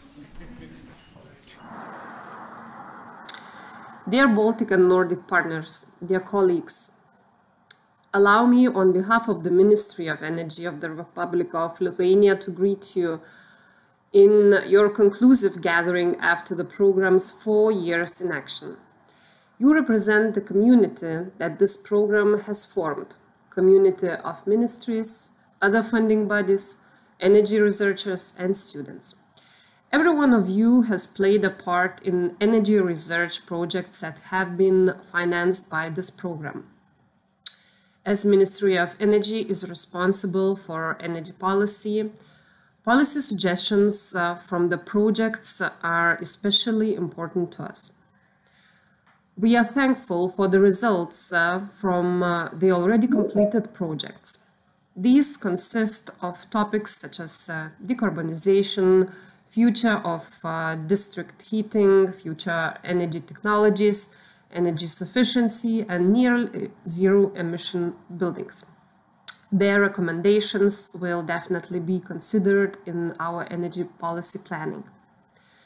Our ideas for future uh, energy cooperation around the Baltic Sea stem from uh, recent Marienborg uh, declarations signed at uh, Marienborg in Copenhagen on the 30th of August uh, uh, this year by heads of states and energy ministers.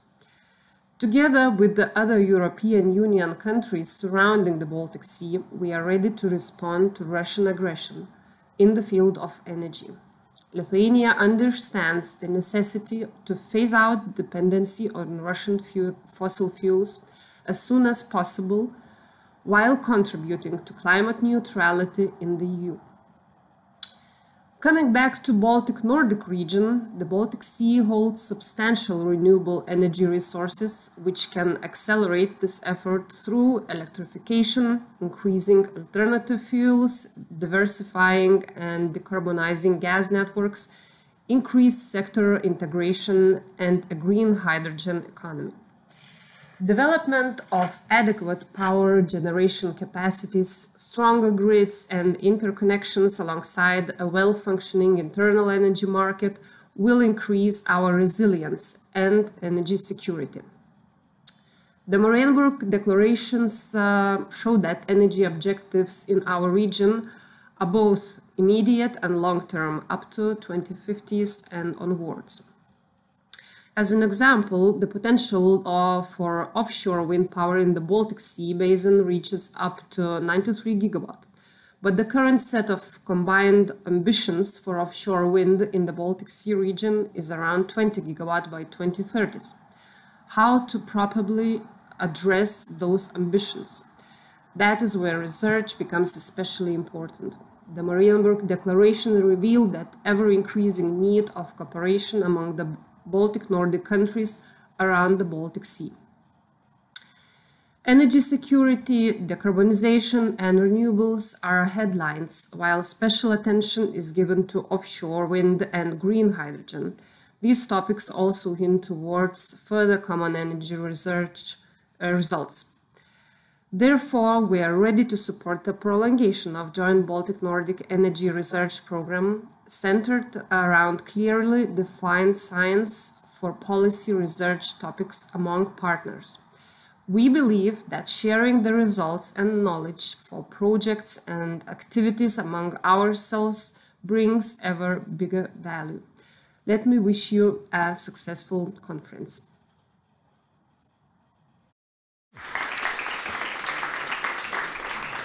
Thank you, Achu, Madam Minister. Uh, we continue with two more presentations, uh, and I'd like to invite again Dr. Anna Volkova. You are a key person in this program. Yeah, uh, professor and head of Smart District Heating Research Group, Taltech, please. The floor is yours again. Again, me. and um, I'm Professor Anna Volkova from Department of Energy Technology from Tallinn University of Technology. And uh, now I would like to, to, to speak about uh, this program, Joint Baltic uh, Nordic Energy Research Program, as incentive for the development of innovative or for novel energy topics of high importance in the Baltic Nordic region.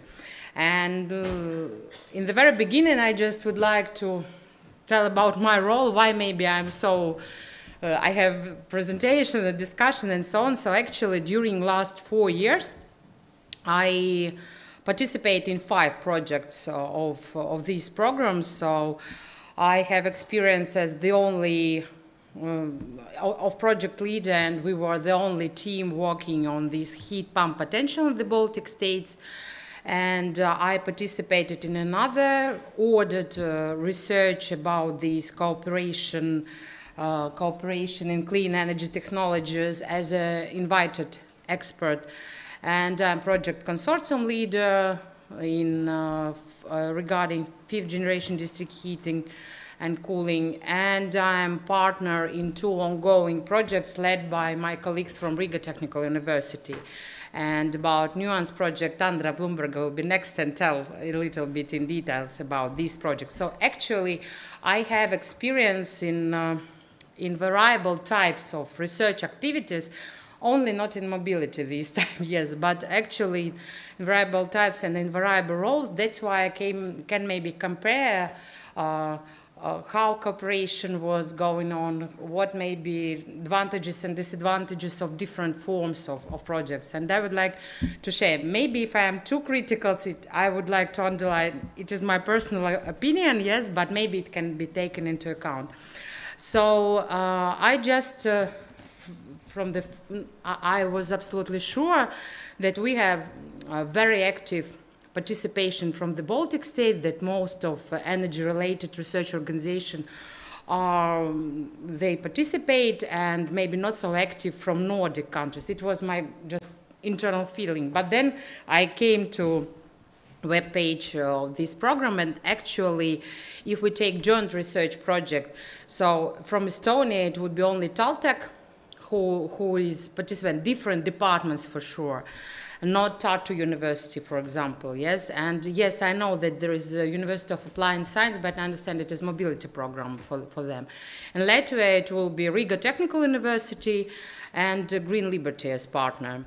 And in Lithuania, it would be researchers from Kaunas. It will be Lithuanian Energy Institute and Kaunas University. So maybe implementation of other research organization can be a aim for, for next. Uh, it would be our com competitors, but it would be maybe more honest and more, more wider, wider picture you will get in, in the result. But uh, Nordic countries are represented by variable, uh, by different organizations, rather rather large amount, but we have Finland, Denmark, Norway, and Sweden represented in, in, in these projects. And uh, now I would like to compare two types of projects and uh, five minutes. I have 14 minutes. Uh, it was, it was promised for me. I'm sorry. yes, a little bit long. sorry. yes.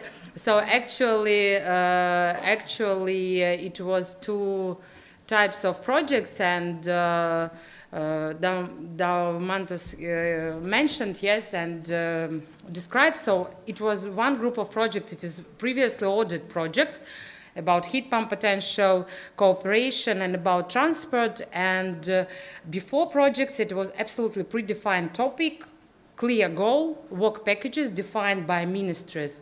It was competition, usually, as I understand, yes, it, uh, and usually it was one partner, one company per project. During project, it is rather short project times. I have participated in two, and it was only six months. Very regular meetings with steering committee on each stage, on draft stage, on, and uh, due to these, it was feedback, draft reports, comments, updates, so very, very close cooperation during all the project.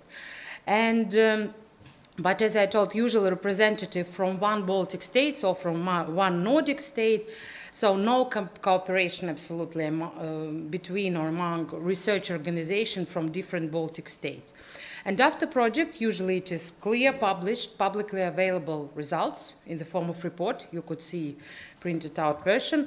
In some cases, more than planned. In our case, it was this available map that was not planned, but during project we published it. And for sure, results can be used by other program projects and uh, usually there is no scientific papers based on, on, it not in our case we published but usually no and uh, very active result dissemination at least i can i can see. But uh, if we take joint research projects so before project usually it is only fields that we have that are identified. And here with green i mentioned that are covered I'm not right because transport has been covered a little bit, but not specific projects still are available. Yes, so but uh, but fields were defined and covered by some of projects. Rather active competition, I, I calculated two, five per one, and I was correct. And in these in this uh, type of project, usually researchers offer, offer their novel ideas, and I got feedback from ministries that uh, ministries and authorities, in some cases, they don't know what can be novel and so on, and researchers would be the people who would offer something that maybe ministries before would not thinking about. And they offer topics where their competence is very strong, and it is for sure big advantages. A longer project time, usually two years, limited or no meeting with steering committee, at least our our um, experience showed it, and I understand during discussion in some projects there were, but actually very, very minimal, and uh, there, there were no. Uh, but it was possible cooperation and active, uh, uh, active contribution from the side of researchers in other workshops, what we have two times per year, but it is mostly by initiative of researchers, so it is their choice if they wish or not. It is not obligatory. Uh, for sure, we have many presentations during international scientific meetings and conferences and so on. So, dissemination in scientific community, for sure. In this case, we have it and uh, scientific papers and very active cooperation among research organizations in the Baltic and Nordic region. And after projects, published scientific papers, partly published results, because I understand you have two weeks ago you have got some results, but I tried, I'm sorry, I tried to find very clear reports. I did not find. Maybe some additional information will follow from Kevin, but it was, uh, yes, and uh, so, uh, but results, if we have it, there are models, some models and some presentation can be used by other program projects. Uh, can be used by ministries and other authorities in case there are clear res results. Yes, in case we, they will have some reports or something, I don't know, partly we will have it now, yes. Uh, no so active result dissemination, maybe we will have it, yes.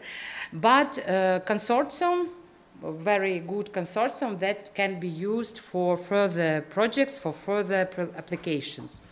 So I imagine myself as Baltic Ministry and think what can be benefits of this. Uh, maybe I'm not correct. So for sure, uh, for joint Baltic re this research project, so for sure, novel areas are developed, developed because they are offered by researchers. Uh, ministries get financial support of researchers in their country, but we should remember that each ministry pays for it. Yeah? That's why question how many they go give, get back. I don't know this financial side, but but yes, but they get this uh, through this program, finance, uh, financial support. Uh, for sure, the knowledge transfer from Nordic region to the Baltic states, and in energy sector, and sometimes it is really useful, and we need it. Possibility to compare with other Baltic states, always interesting and important for all us historically and uh, possible to request additional information from experts and researchers, but uh, it depends on ministry and on communication between researchers and ministries in each country. And active participation in other research, because due to this uh, program, you will get better expertise. Expertise grows during this project implementation. You have your personal, not personal, but in your country, better experts and maybe suggestion. So yes, I'm like girl who offered to make a test for for whole group, but uh, in class and no one likes her. But uh, maybe it should be some somewhere that we have obligatory prepared fact sheets and recommendations for national ministries with country specific, maybe in national language too. We have to have some common position for the Baltic and maybe Nordic region in some cases as the result of each project. Uh, possibility more specific topics or these themes or fields should be defined by the Baltic ministries, what they really need. And now there were many answers, maybe. yes, and uh, maybe additional these specific or tenders, uh, these specific uh, reports half year. Maybe this form would work in some cases better. And uh, possibility to add condition that all three Baltic states should be represented in one project proposal because they are not the case for all projects. In some cases we have Lithuanians and Latvians, or in some cases without Latvians. And one suggestion from my experience from International Energy Agency district heating and cooling platform something like an expert panel, maybe provided by Nordic countries, maybe once per year, but it would be very valuable for each project just to get some opinion from the site, yes? Firstly, regarding uh, for the Nordic region, I imagine myself as Nordic region, so for sure, again, novel areas are developed, financial support of your researchers, the knowledge transfer from the Baltic states to the Nordic region. In some cases, it is really going on and in some fields. In some cases, common understanding for the Baltic Nordic region, uh, identification of the common points of interest in the Baltic Nordic region, and uh, what else? Promotion, promotion of Nordic energy research and uh, Baltic Nordic region in the world and new consortiums, new cooperation networks that will uh, that will lead to to new projects and new investments and financing.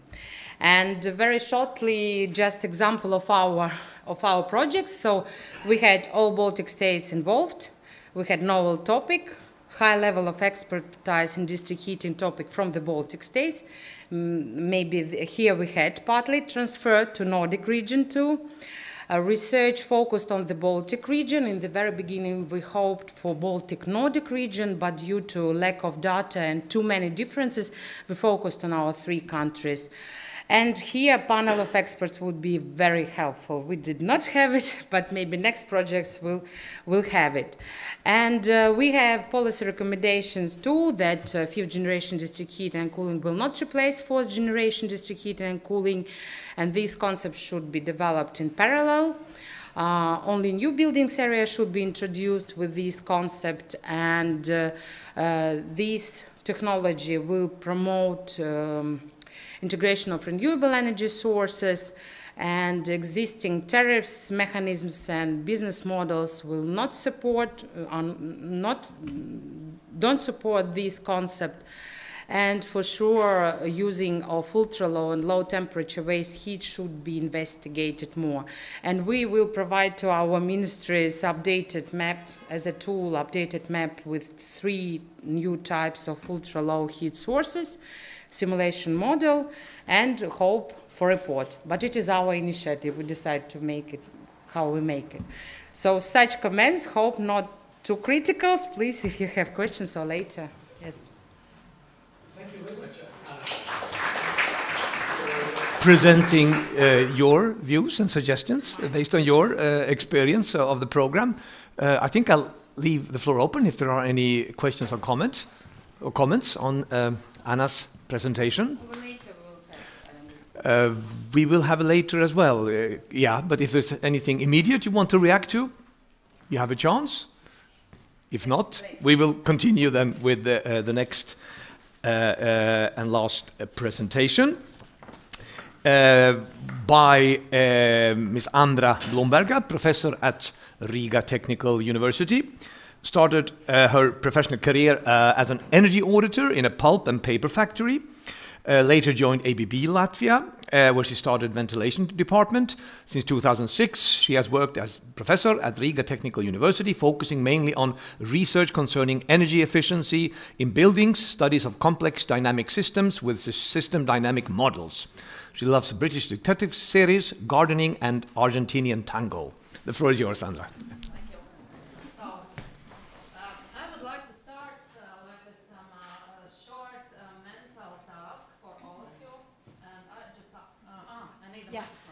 So, yeah. Um, so I would like you to spend, uh, let's say, three seconds on thinking who do you think is a hard to reach energy consumer? What kind of person you imagine? Just, just think. Maybe you know somebody. Probably you know somebody. Maybe you are a hard to reach energy consumer yourself. So, uh, we have a project. Uh, the short name is Nuance. And the idea for the project, I would say it's a demand-driven project. So these are the people who work on everyday basis uh, with uh, uh, renovation of multi-apartment buildings in Latvia. This is where the idea comes from. And the specifics of the sector is that in Latvia, both in Latvia and Estonia, apartments are owned by single owners. So if, if you have to do any renovation, you need a 51% uh, agreement of 51% of apartment owners have to agree to do something together. Imagine an average building, 100 flats. So 51 person, strangers normally, should agree to take a loan for next 20 years. Uh, and the trick is that it's extremely difficult to move these energy efficiency projects. And we talk about energy savings in residential sector now. Uh, and uh, we were wondering who are these people who are not letting these things happen. And there is always, when there is a meeting in a multi-apartment building to discuss energy efficiency projects, there is always somebody who is managing to stop the project at the very beginning or maybe later stage. And only few projects uh, uh are really implemented. So we applied for the project.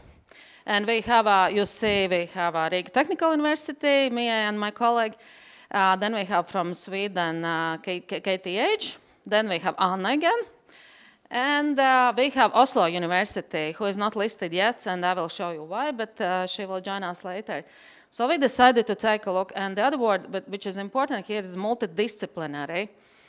So uh, it's, uh, we have uh, energy modelers on the team, we have environmental engineers, thermal engineers, and we have a cognitive psychologist. Unfortunately, he had a seminar uh, on uh, teaching uh, in schools today, and he didn't come yet, but, but he's a very important person in this very technical team.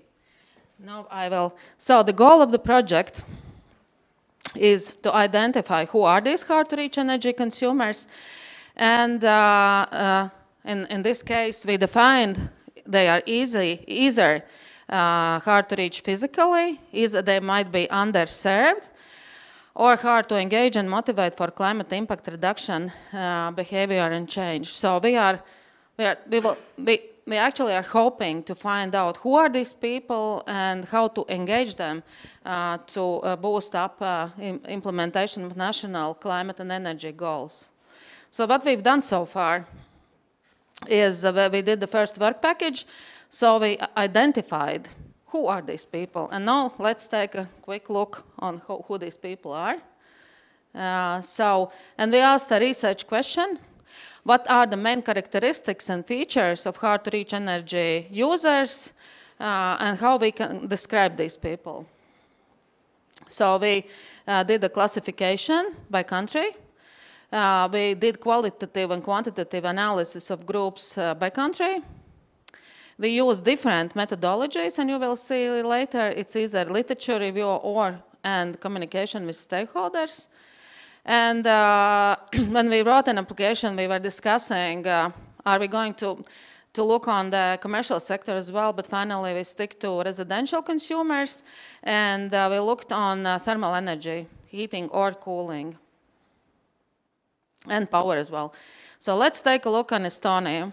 Uh, you, you, Estonians might consider now who are these people in Estonia. What do you think who these people will be? At least what uh, Anna's team has found is that, so they uh, basically did literature review, they do, did stakeholders interviews and uh, questionnaires. And uh, the target uh, sector are multifamily buildings uh, and thermal energy consumption is the main interest. So Anna's team did uh, uh, communication with number of stakeholders. So they interviewed uh, energy companies. And energy companies uh, thought that it is hard to reach energy consumers are located geographically far. Uh, uh, there are weak apartment associations. They thought that uh, share of these hard to reach consumers is less than 10%. And motivation can be coming, could be coming from obligations and legislation. Uh, financial institutions just mentioned that uh, the interest in energy efficiency financing is high.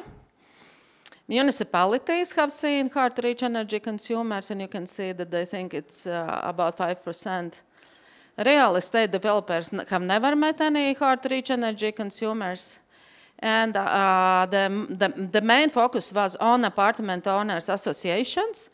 And uh, these associations uh, um, mentioned uh, elderly people, low-income families, uh, families with lang uh, language barrier and low education level. So there are three groups identified in Estonia, elderly, low income, and low education level households. Now let's go to Sweden. Our Swedish colleagues now can think, what are the hard-to-reach energy consumers in Sweden? Uh, uh, uh, Swedish partners did literature review, and the target audience is different. And it's because of the house, uh, residential sector, how the structure, how the resi residential sector uh, is, uh, is made up in Sweden. So it's electricity consumption in the households. I don't have much time to, to, to, give details on this, but there is a description by our Swedish partners that they basically look on the households that consume more than 10,000 kilowatt hours per year uh, for uh, heating needs.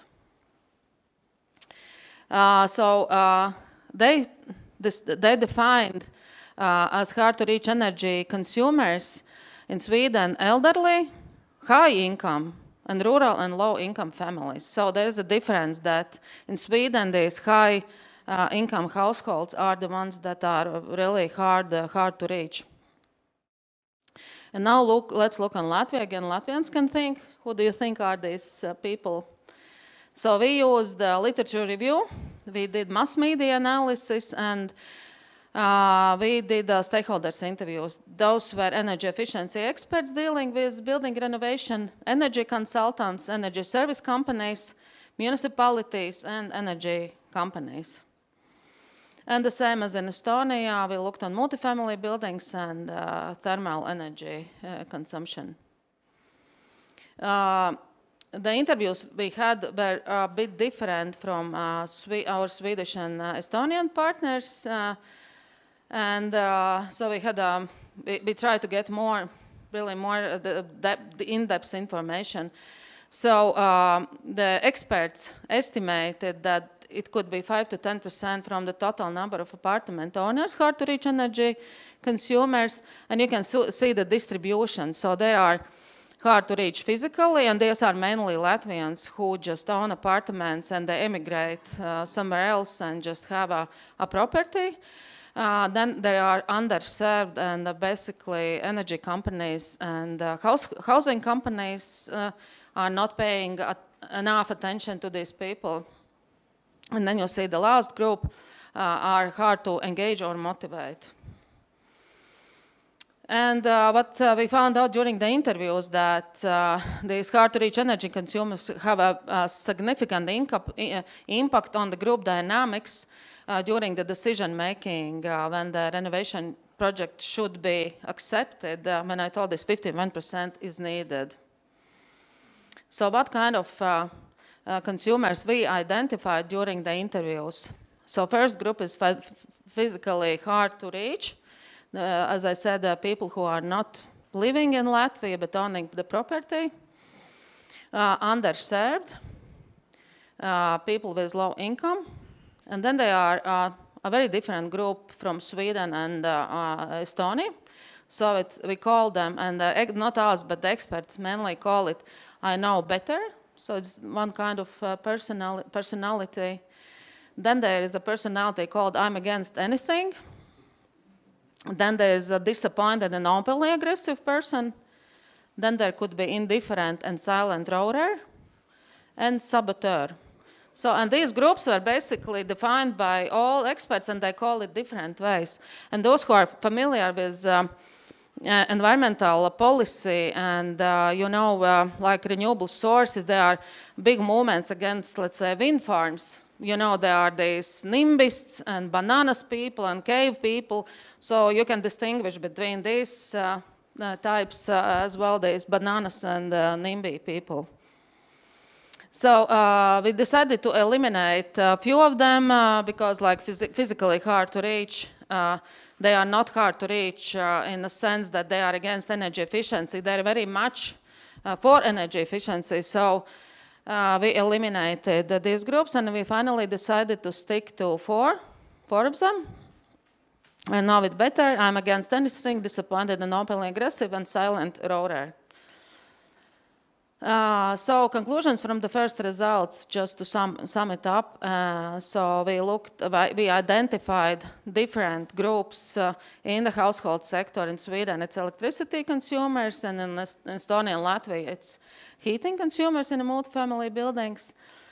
And just to sum it up, uh, you see the, the different groups that I just uh, mentioned.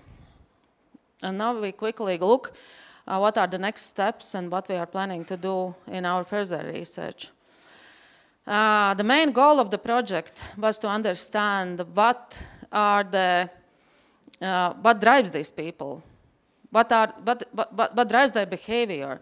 So we have a cognitive psychologist in our team, and he's currently developing a final version of the questionnaire and the interviews. And uh, we are uh, aiming to develop, it's called mental model. So this is what you have in your head. And these are the questions that uh, will be asked, the main questions about uh, how the energy bill is made up. We interview, and after the interview, we make uh, separate mental models for uh, each person interviewed. And this is an example from Sweden. They already have done some homework ahead of time. And this is a mental model of energy expert. And this is a mental model of, uh, I think it was the wealthy, wealthy home, household.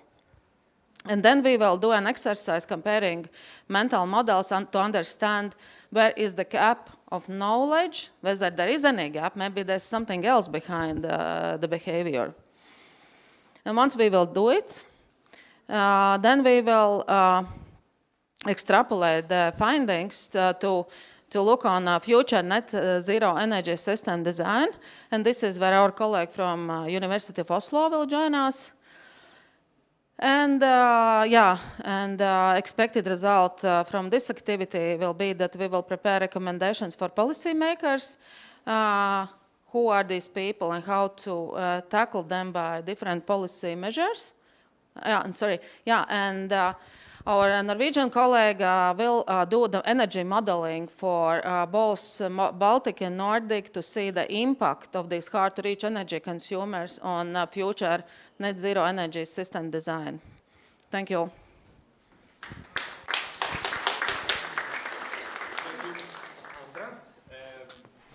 Any immediate questions to this very interesting study, I would say? Yes, please, one question. Yeah, it's coming. It's coming soon. Yeah. Thank you, Edith. Thank you, Dr. Andre.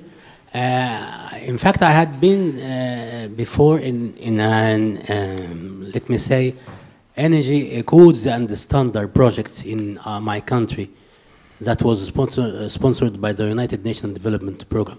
In fact, I, I am I'm, I'm wondering, you are speaking about a project in the year 2022, uh, like you are looking for the hard-rich groups, and uh, I'm quite sure that you already have in the Baltic region or even in the Nordic, you have lots of codes and standards regarding the building sector.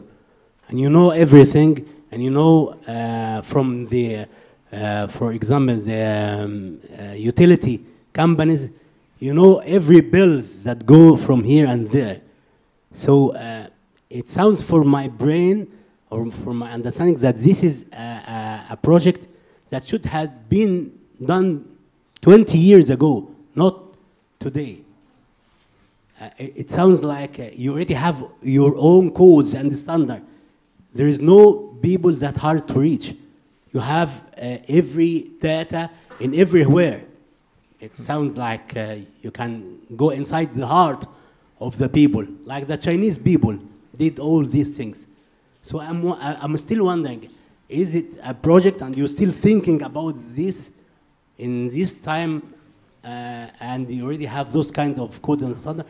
In fact, I'm not contradicting, I'm just trying to configure the situation. Thank you. Okay, thank you.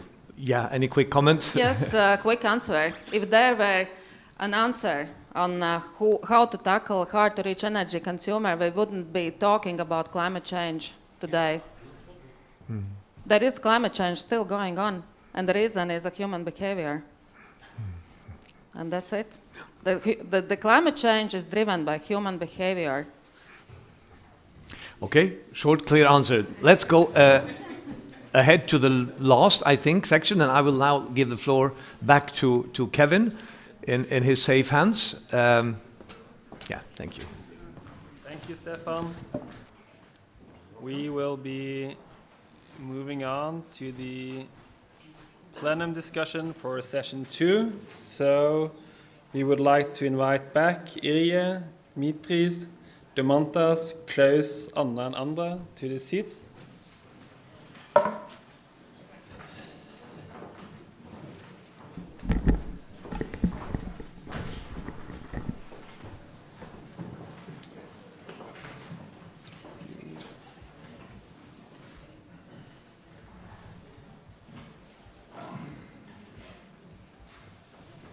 And we are uh,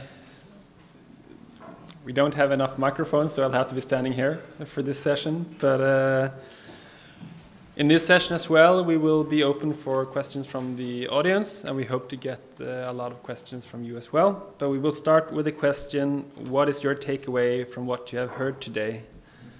Uh, and since you started this tradition, Dimitris, maybe you could start again in this session you, Kevin. Uh, some traditions are easily made and uh, seldom broken, so let's keep it that way. Uh, on a more uh, concise note, I do believe that today's event was quite multifactorial in terms of the trigger points actually activated in terms of the thinking process. To put it in a, another wording, uh, we all have our individual ways of thinking and our individual uh, let's say paradigms of reaching conclusions. So uh, each and every one of, today's participants would of course walk away uh, with his or her own takeaway. Yet uh, on a personal level, I would say that the main acknowledgement from today's event uh, in so holisticity and a marvelous event it was to be honest. I would like to say that uh, this particular day would, in my personal, again, memory, uh, go down as a cooperative effort uh, which is aimed at reducing the barriers between policymakers, researchers, and the general populace. So uh, on a broader scale, the main discussion which took place today was how do we reach the right conclusions and how do we establish a framework which would enable us to progress towards the destination, which is not only deemed to be the bright and shiny decarbonized future, but actually gets us there in an inclusive, robust, and efficient pattern, in a fashion which 20 years down the line would, would enable all of us to look back and say, that was the breaking point. That was the right time for a right decision, which was actually made. There are not many events or not many time periods in history which are as turbulent as the last three years. I do believe that uh, we are still in for quite some time of disparity and, in a sense, uh, unclarity. Yet each and every calamity passes. So today's takeaway is that there is hope, but there must be work conducted, and that work must be science-based. Thank you. Anna? It is always not so easy to continue after Dmitry, just great speech. But uh, for me, it was, as in the beginning, I have told that it is, it was, it is real pleasure to participate here and to meet, as I, as I answered in my interview, to meet uh, representatives of different projects and really uh, this conference can be considered as dissemination activities. So we already I have seen especially not maybe during sessions but during coffee breaks when different uh, already consortiums start new consortiums start uh, to be organized and uh, many discussion between researchers and national ministries already starting started during during coffee breaks too. But uh, uh, actually uh, during today conference we we try find these common points of interest and I hope already there are some some directions where we have to make more efforts. And I think it is really useful and uh, I agree that uh, maybe annual conference would be a good solution and we'll have we'll meet after one year maybe in Tallinn this. Yeah yeah. In the short uh, term tomorrow we have board meeting so for for the board meeting, I think we had the best uh, best preparation from today than ever. So we have a lot of input for that. Uh, there was also these keywords what the, what were asked by you.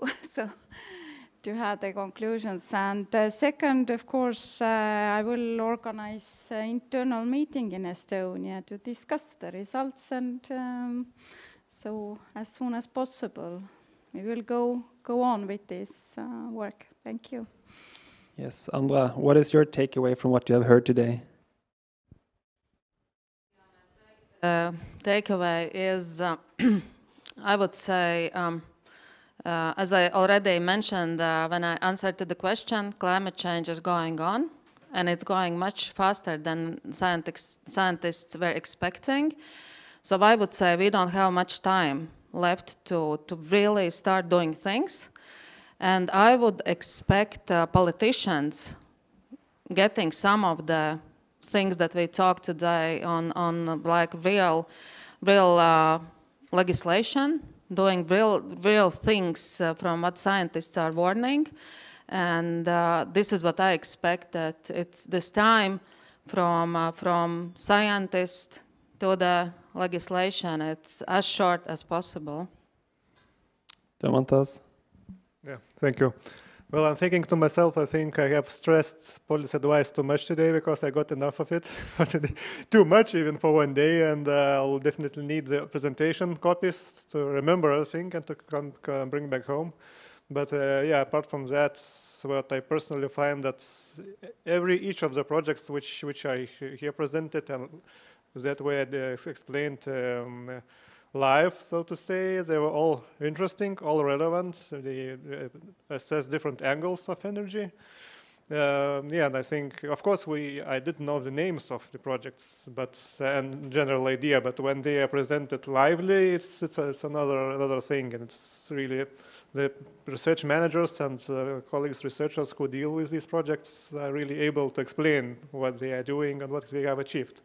So I think we should should uh, continue such an activity in some in, in, in some some period of time. So yeah, thank you. And Klaus.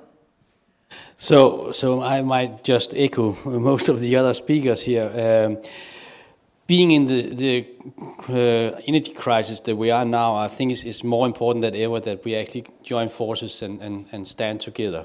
And I think this uh, conference actually showed that this is what we, we have uh, obtained. And, and it's really nice to see the energy level between all of you being involved, even Anna asking if we're using the resource. So this way of, of uh, opening up for further collaboration is, is really great. Uh, and, and, I think that what, what really matters that we can see that, that, that you are engaged, that, that you actually want this, and we want it. So, so we have some common interest, and I, I really hope that we will continue this. As I also said in my uh, beginning uh, in the welcome speech, this is also about creating uh, collaborations, uh, creating friendships that have a long-lasting effect. And I think when I see you at the coffee breaks or the discussion here with your uh, enthusiasm, I'm sure that we have created that. And I'm very proud of it. And I think you should be proud of, of being part of it. So thank you for that. Anyone in the audience that would like to ask some questions?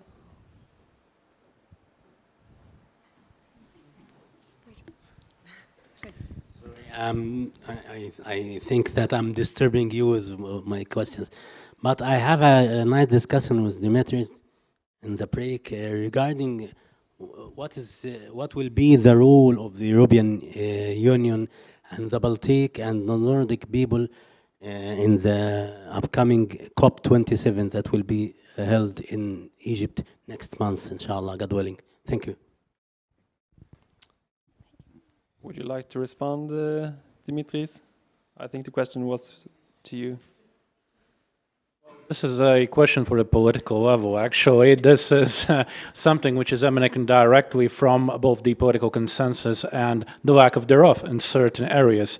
So, uh, being a humble civil servant uh, and a modest one, I would not be in a position to actually fill you in on the details. But uh, I think that deductively we may conclude that uh, energy reconfiguration, climate change, and, uh, well, uh, elephant in the room, the absence of Russian deliveries of fossil fuels to the global market would uh, pave the day. This is my assessment. This is not the official part of the program or the agenda or any other type of documentally recorded, uh, let's say, information. This is my personal take on the matter, but again, this is purely a uh, let's say, uh, intellectual exercise and nothing else.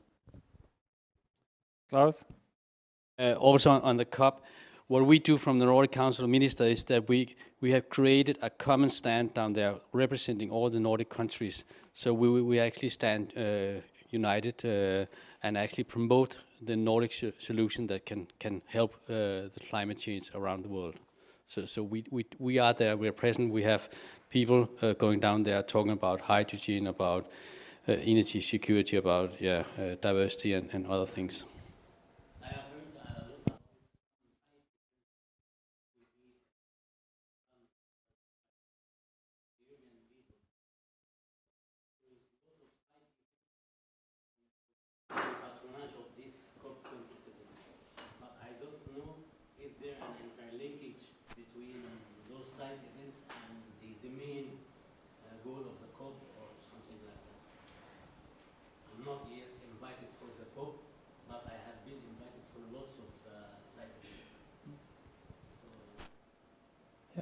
I'm not sure anyone in the audience or in the panel would be able to, to respond to that.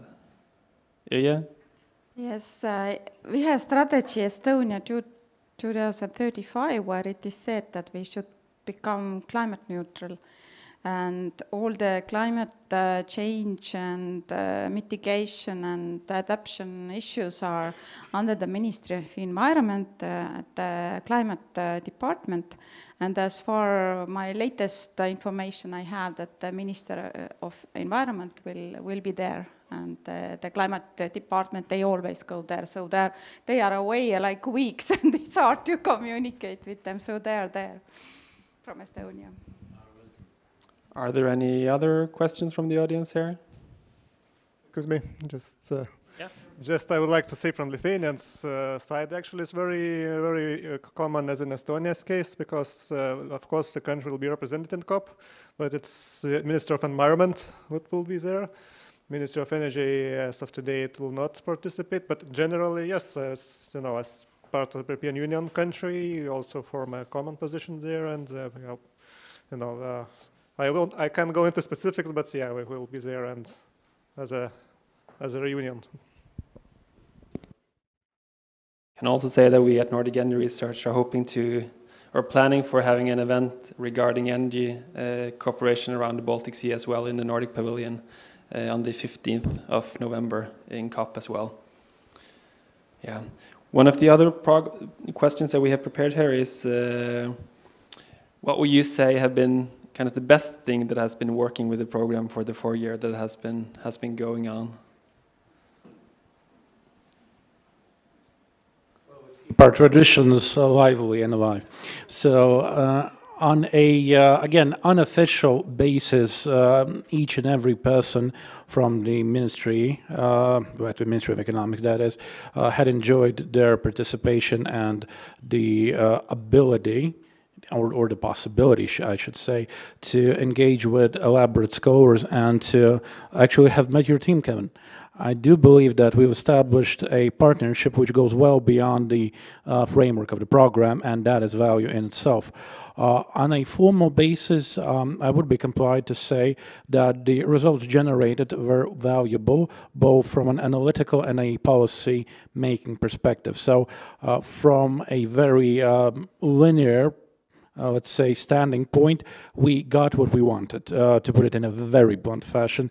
But of course, things are more complex than that. As I said, our partnership uh, had blossomed and grown, and the fruits have been born. But that doesn't mean that the tree must now be left somewhere uh, on the sideways uh, of history. I do believe that this is only the beginning. I do hope there will be a continuation of our cooperation, and I'm very much looking forward to it. I will speak from the side of researchers, and one of the main tasks was cooperation among researchers. And uh, Baltic states traditionally we have really good cooperation experience, but this uh, this program gave real platform, some on regular basis, to to make it stronger, to develop it, and uh, to add uh, Nordic countries in our family this time uh, representatives, and uh, it was it was really successful. And for sure, maybe. Uh, the budget of project was rather rather limited, but uh, rather clear conditions and maybe not so long term. So it uh, allowed us to to to develop maybe not so in, in so detailed way as in large, huge horizon project, but as prelim preliminary research, but in really variable topics can could be covered by this program.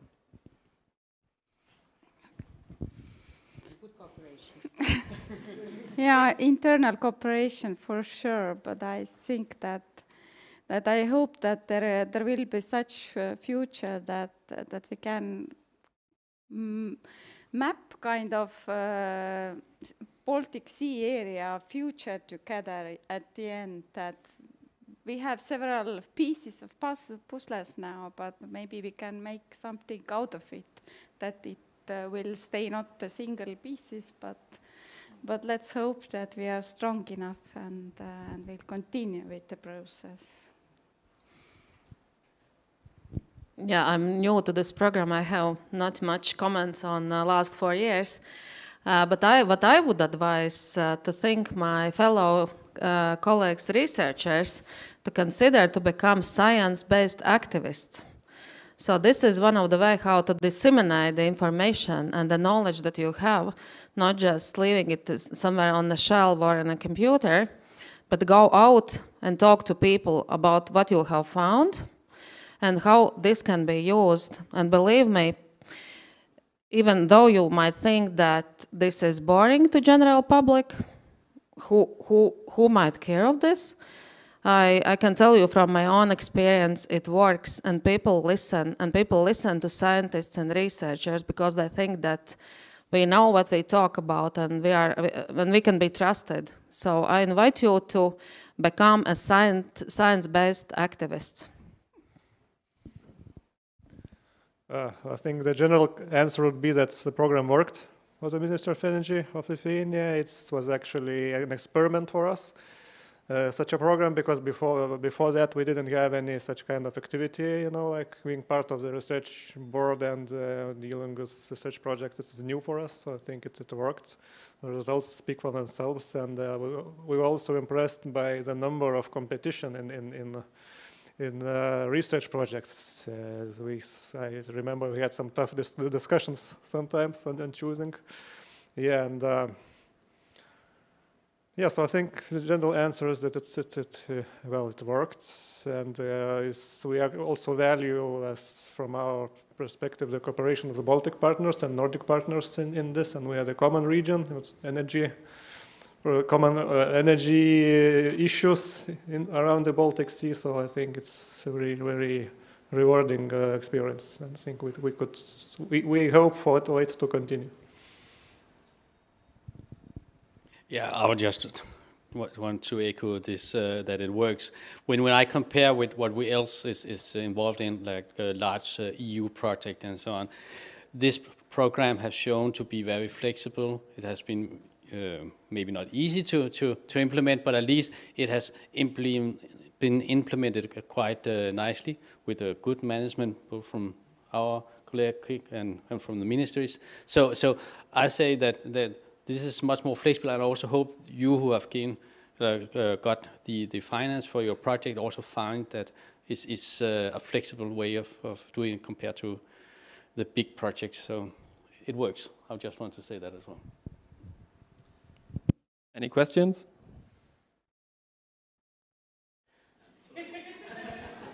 question in the back there as well.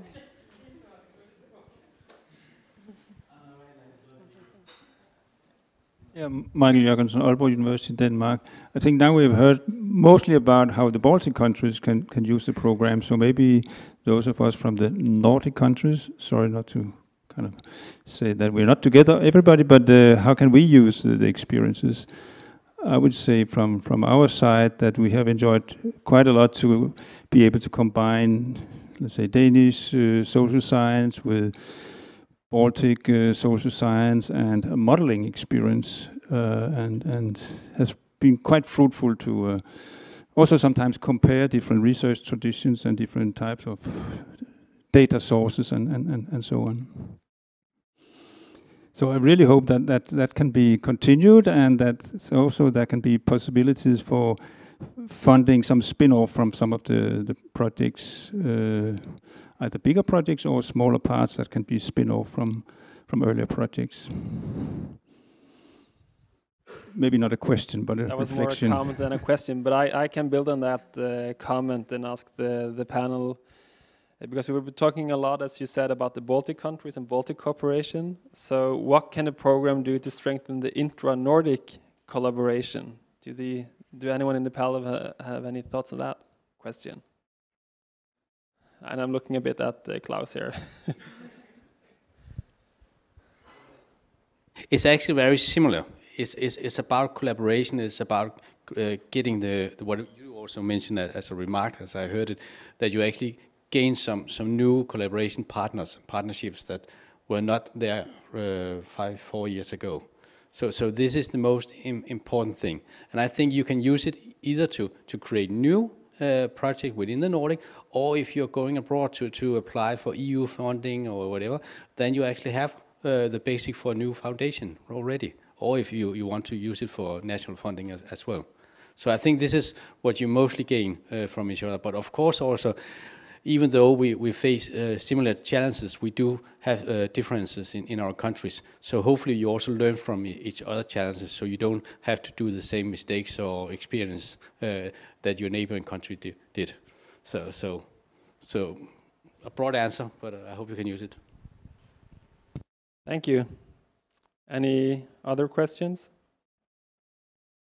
And I think we, one last question, go. Thank you. Uh, from, for, uh, this time, I'm, I, I would like to speak about the nexus, food, water, and energy. What, uh, what are you uh, planning for this uh, nexus, especially you have lots of challenges in terms of food and water scarcity, like in terms of drought, like the at London or, or, or at uh, England, and also we have some challenges in terms of energy. So, what are your thoughts, planning, insights in this term? Thank you.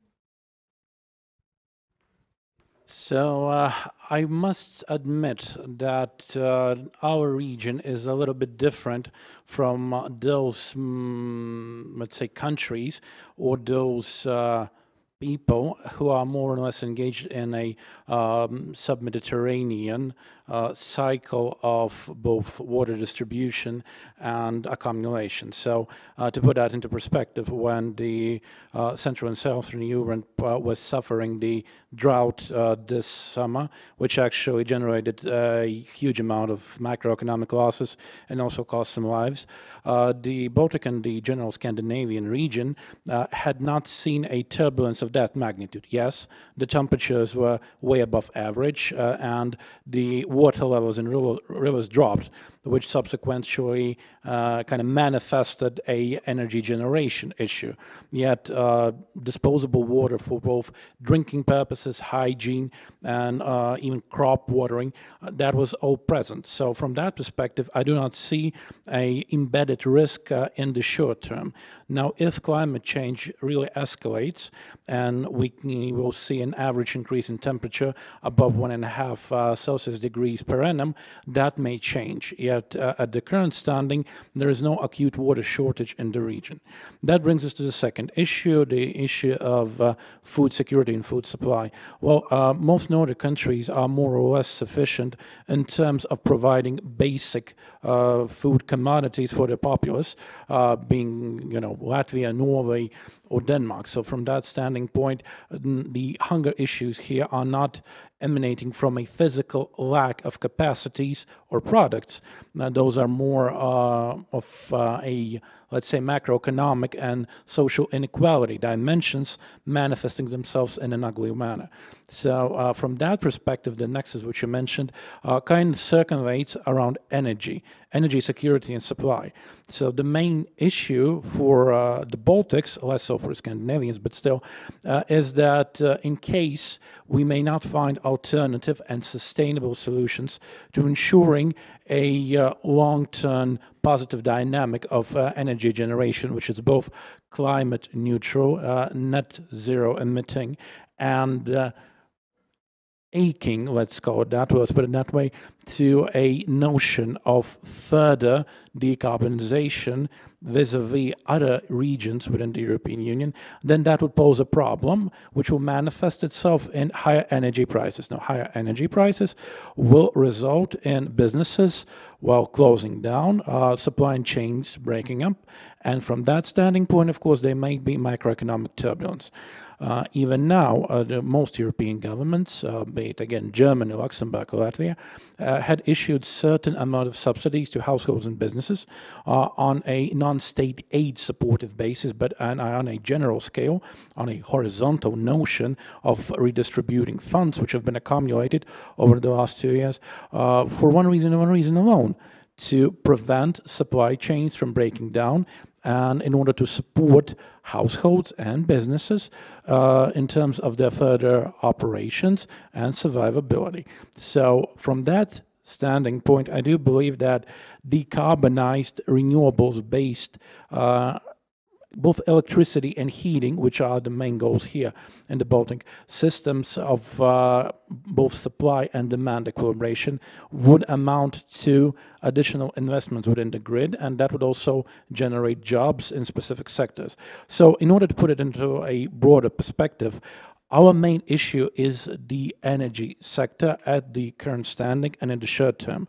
We need to transit to another paradigm of development, which should be sustainable and net zero emitting. And that is the main underlying goal of all public policy here within the region, uh, which is being conducted over the last 12 months. And if we solve that, if we solve that, we will both contribute to battling or combating climate change on a global basis, and that will generate positive externalities and spillover effects into other regions where droughts are acute and uh, food is in short physical supply, and that would be our contribution to global peace and security. So thank you. Would anyone of you like to add to that? Yeah. Yeah, we we um, have this climate adaptation. We solve this at the moment is in this way that thanks to finan financial support by Norway, uh, Luxembourg, and Iceland, we we have uh, half of our local governments. They have in the pro uh, process of preparing energy and climate plans where they also solve these issues and show show actions how how to be pre prepared for the, for the uh, crisis and risks. So we hope that this is for the beginning enough. And in this year we had a workshop. Uh, workshops for local governments on, on climate uh, change and climate adaptation and uh, energy management issues where local governments were pretty active.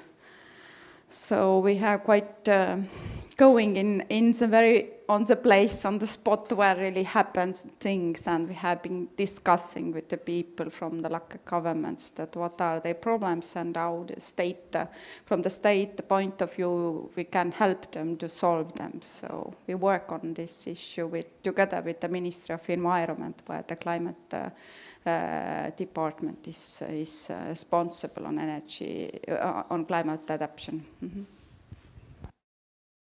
And you, Domantas? Yes, just a short intervention from me. I would like to support colleagues and Dimitris. I think it's very well explained while um, about this uh, food, uh, water, energy uh, nexus, because yeah, energy was really the most uh, pressing issue now here. But I think it's all is well explained, so I will not go into details. And I think we might uh, conclude the panel discussion. So give them all an applause. And then you will each get a chocolate from, from Ditte.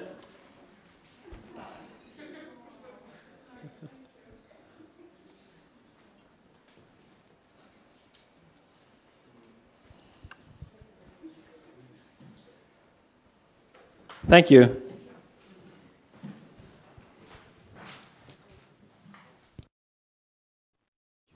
Eh, Ditte, du kan ta den där. Vi har den. Tack.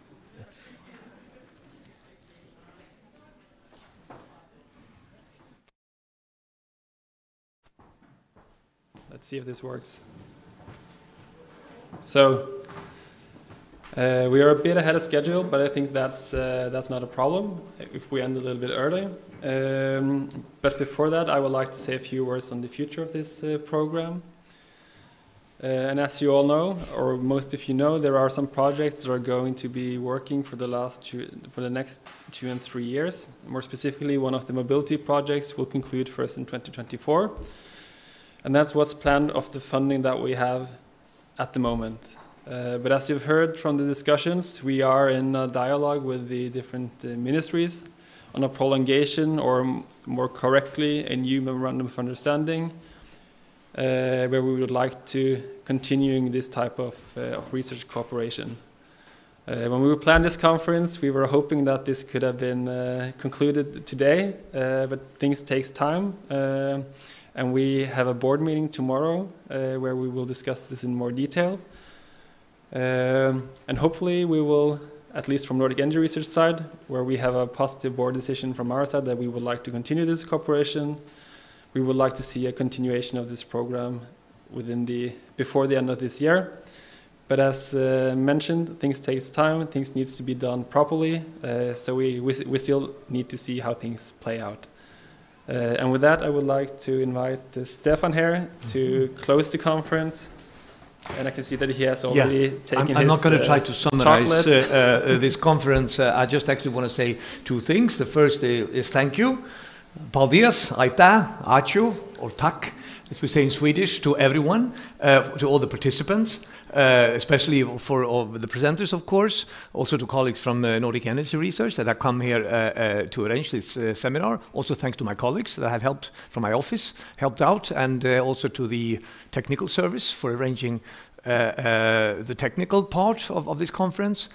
Uh, it's been really worthwhile, I think, to and rewarding to uh, to be here for me at least. I hope you you feel the same. I've learned a lot listening to your experience about uh, uh, cooperation, Nordic Baltic or Baltic Nordic, whatever we say. I think we mean the same thing. Uh, the second thing I want to say is there is still a dinner waiting for you. Um, it will take place at seven o'clock in a restaurant called the White House. I don't know if it has a, a Latvian name. Uh, um, Probably not, but it's, it's situated in the park, Vērmanes Parks, just stone throw from here. You can see one corner of the park. So uh, you are all welcome there at 7 o'clock for the dinner. Okay? That's all. So thank you once again. yeah, okay, yeah.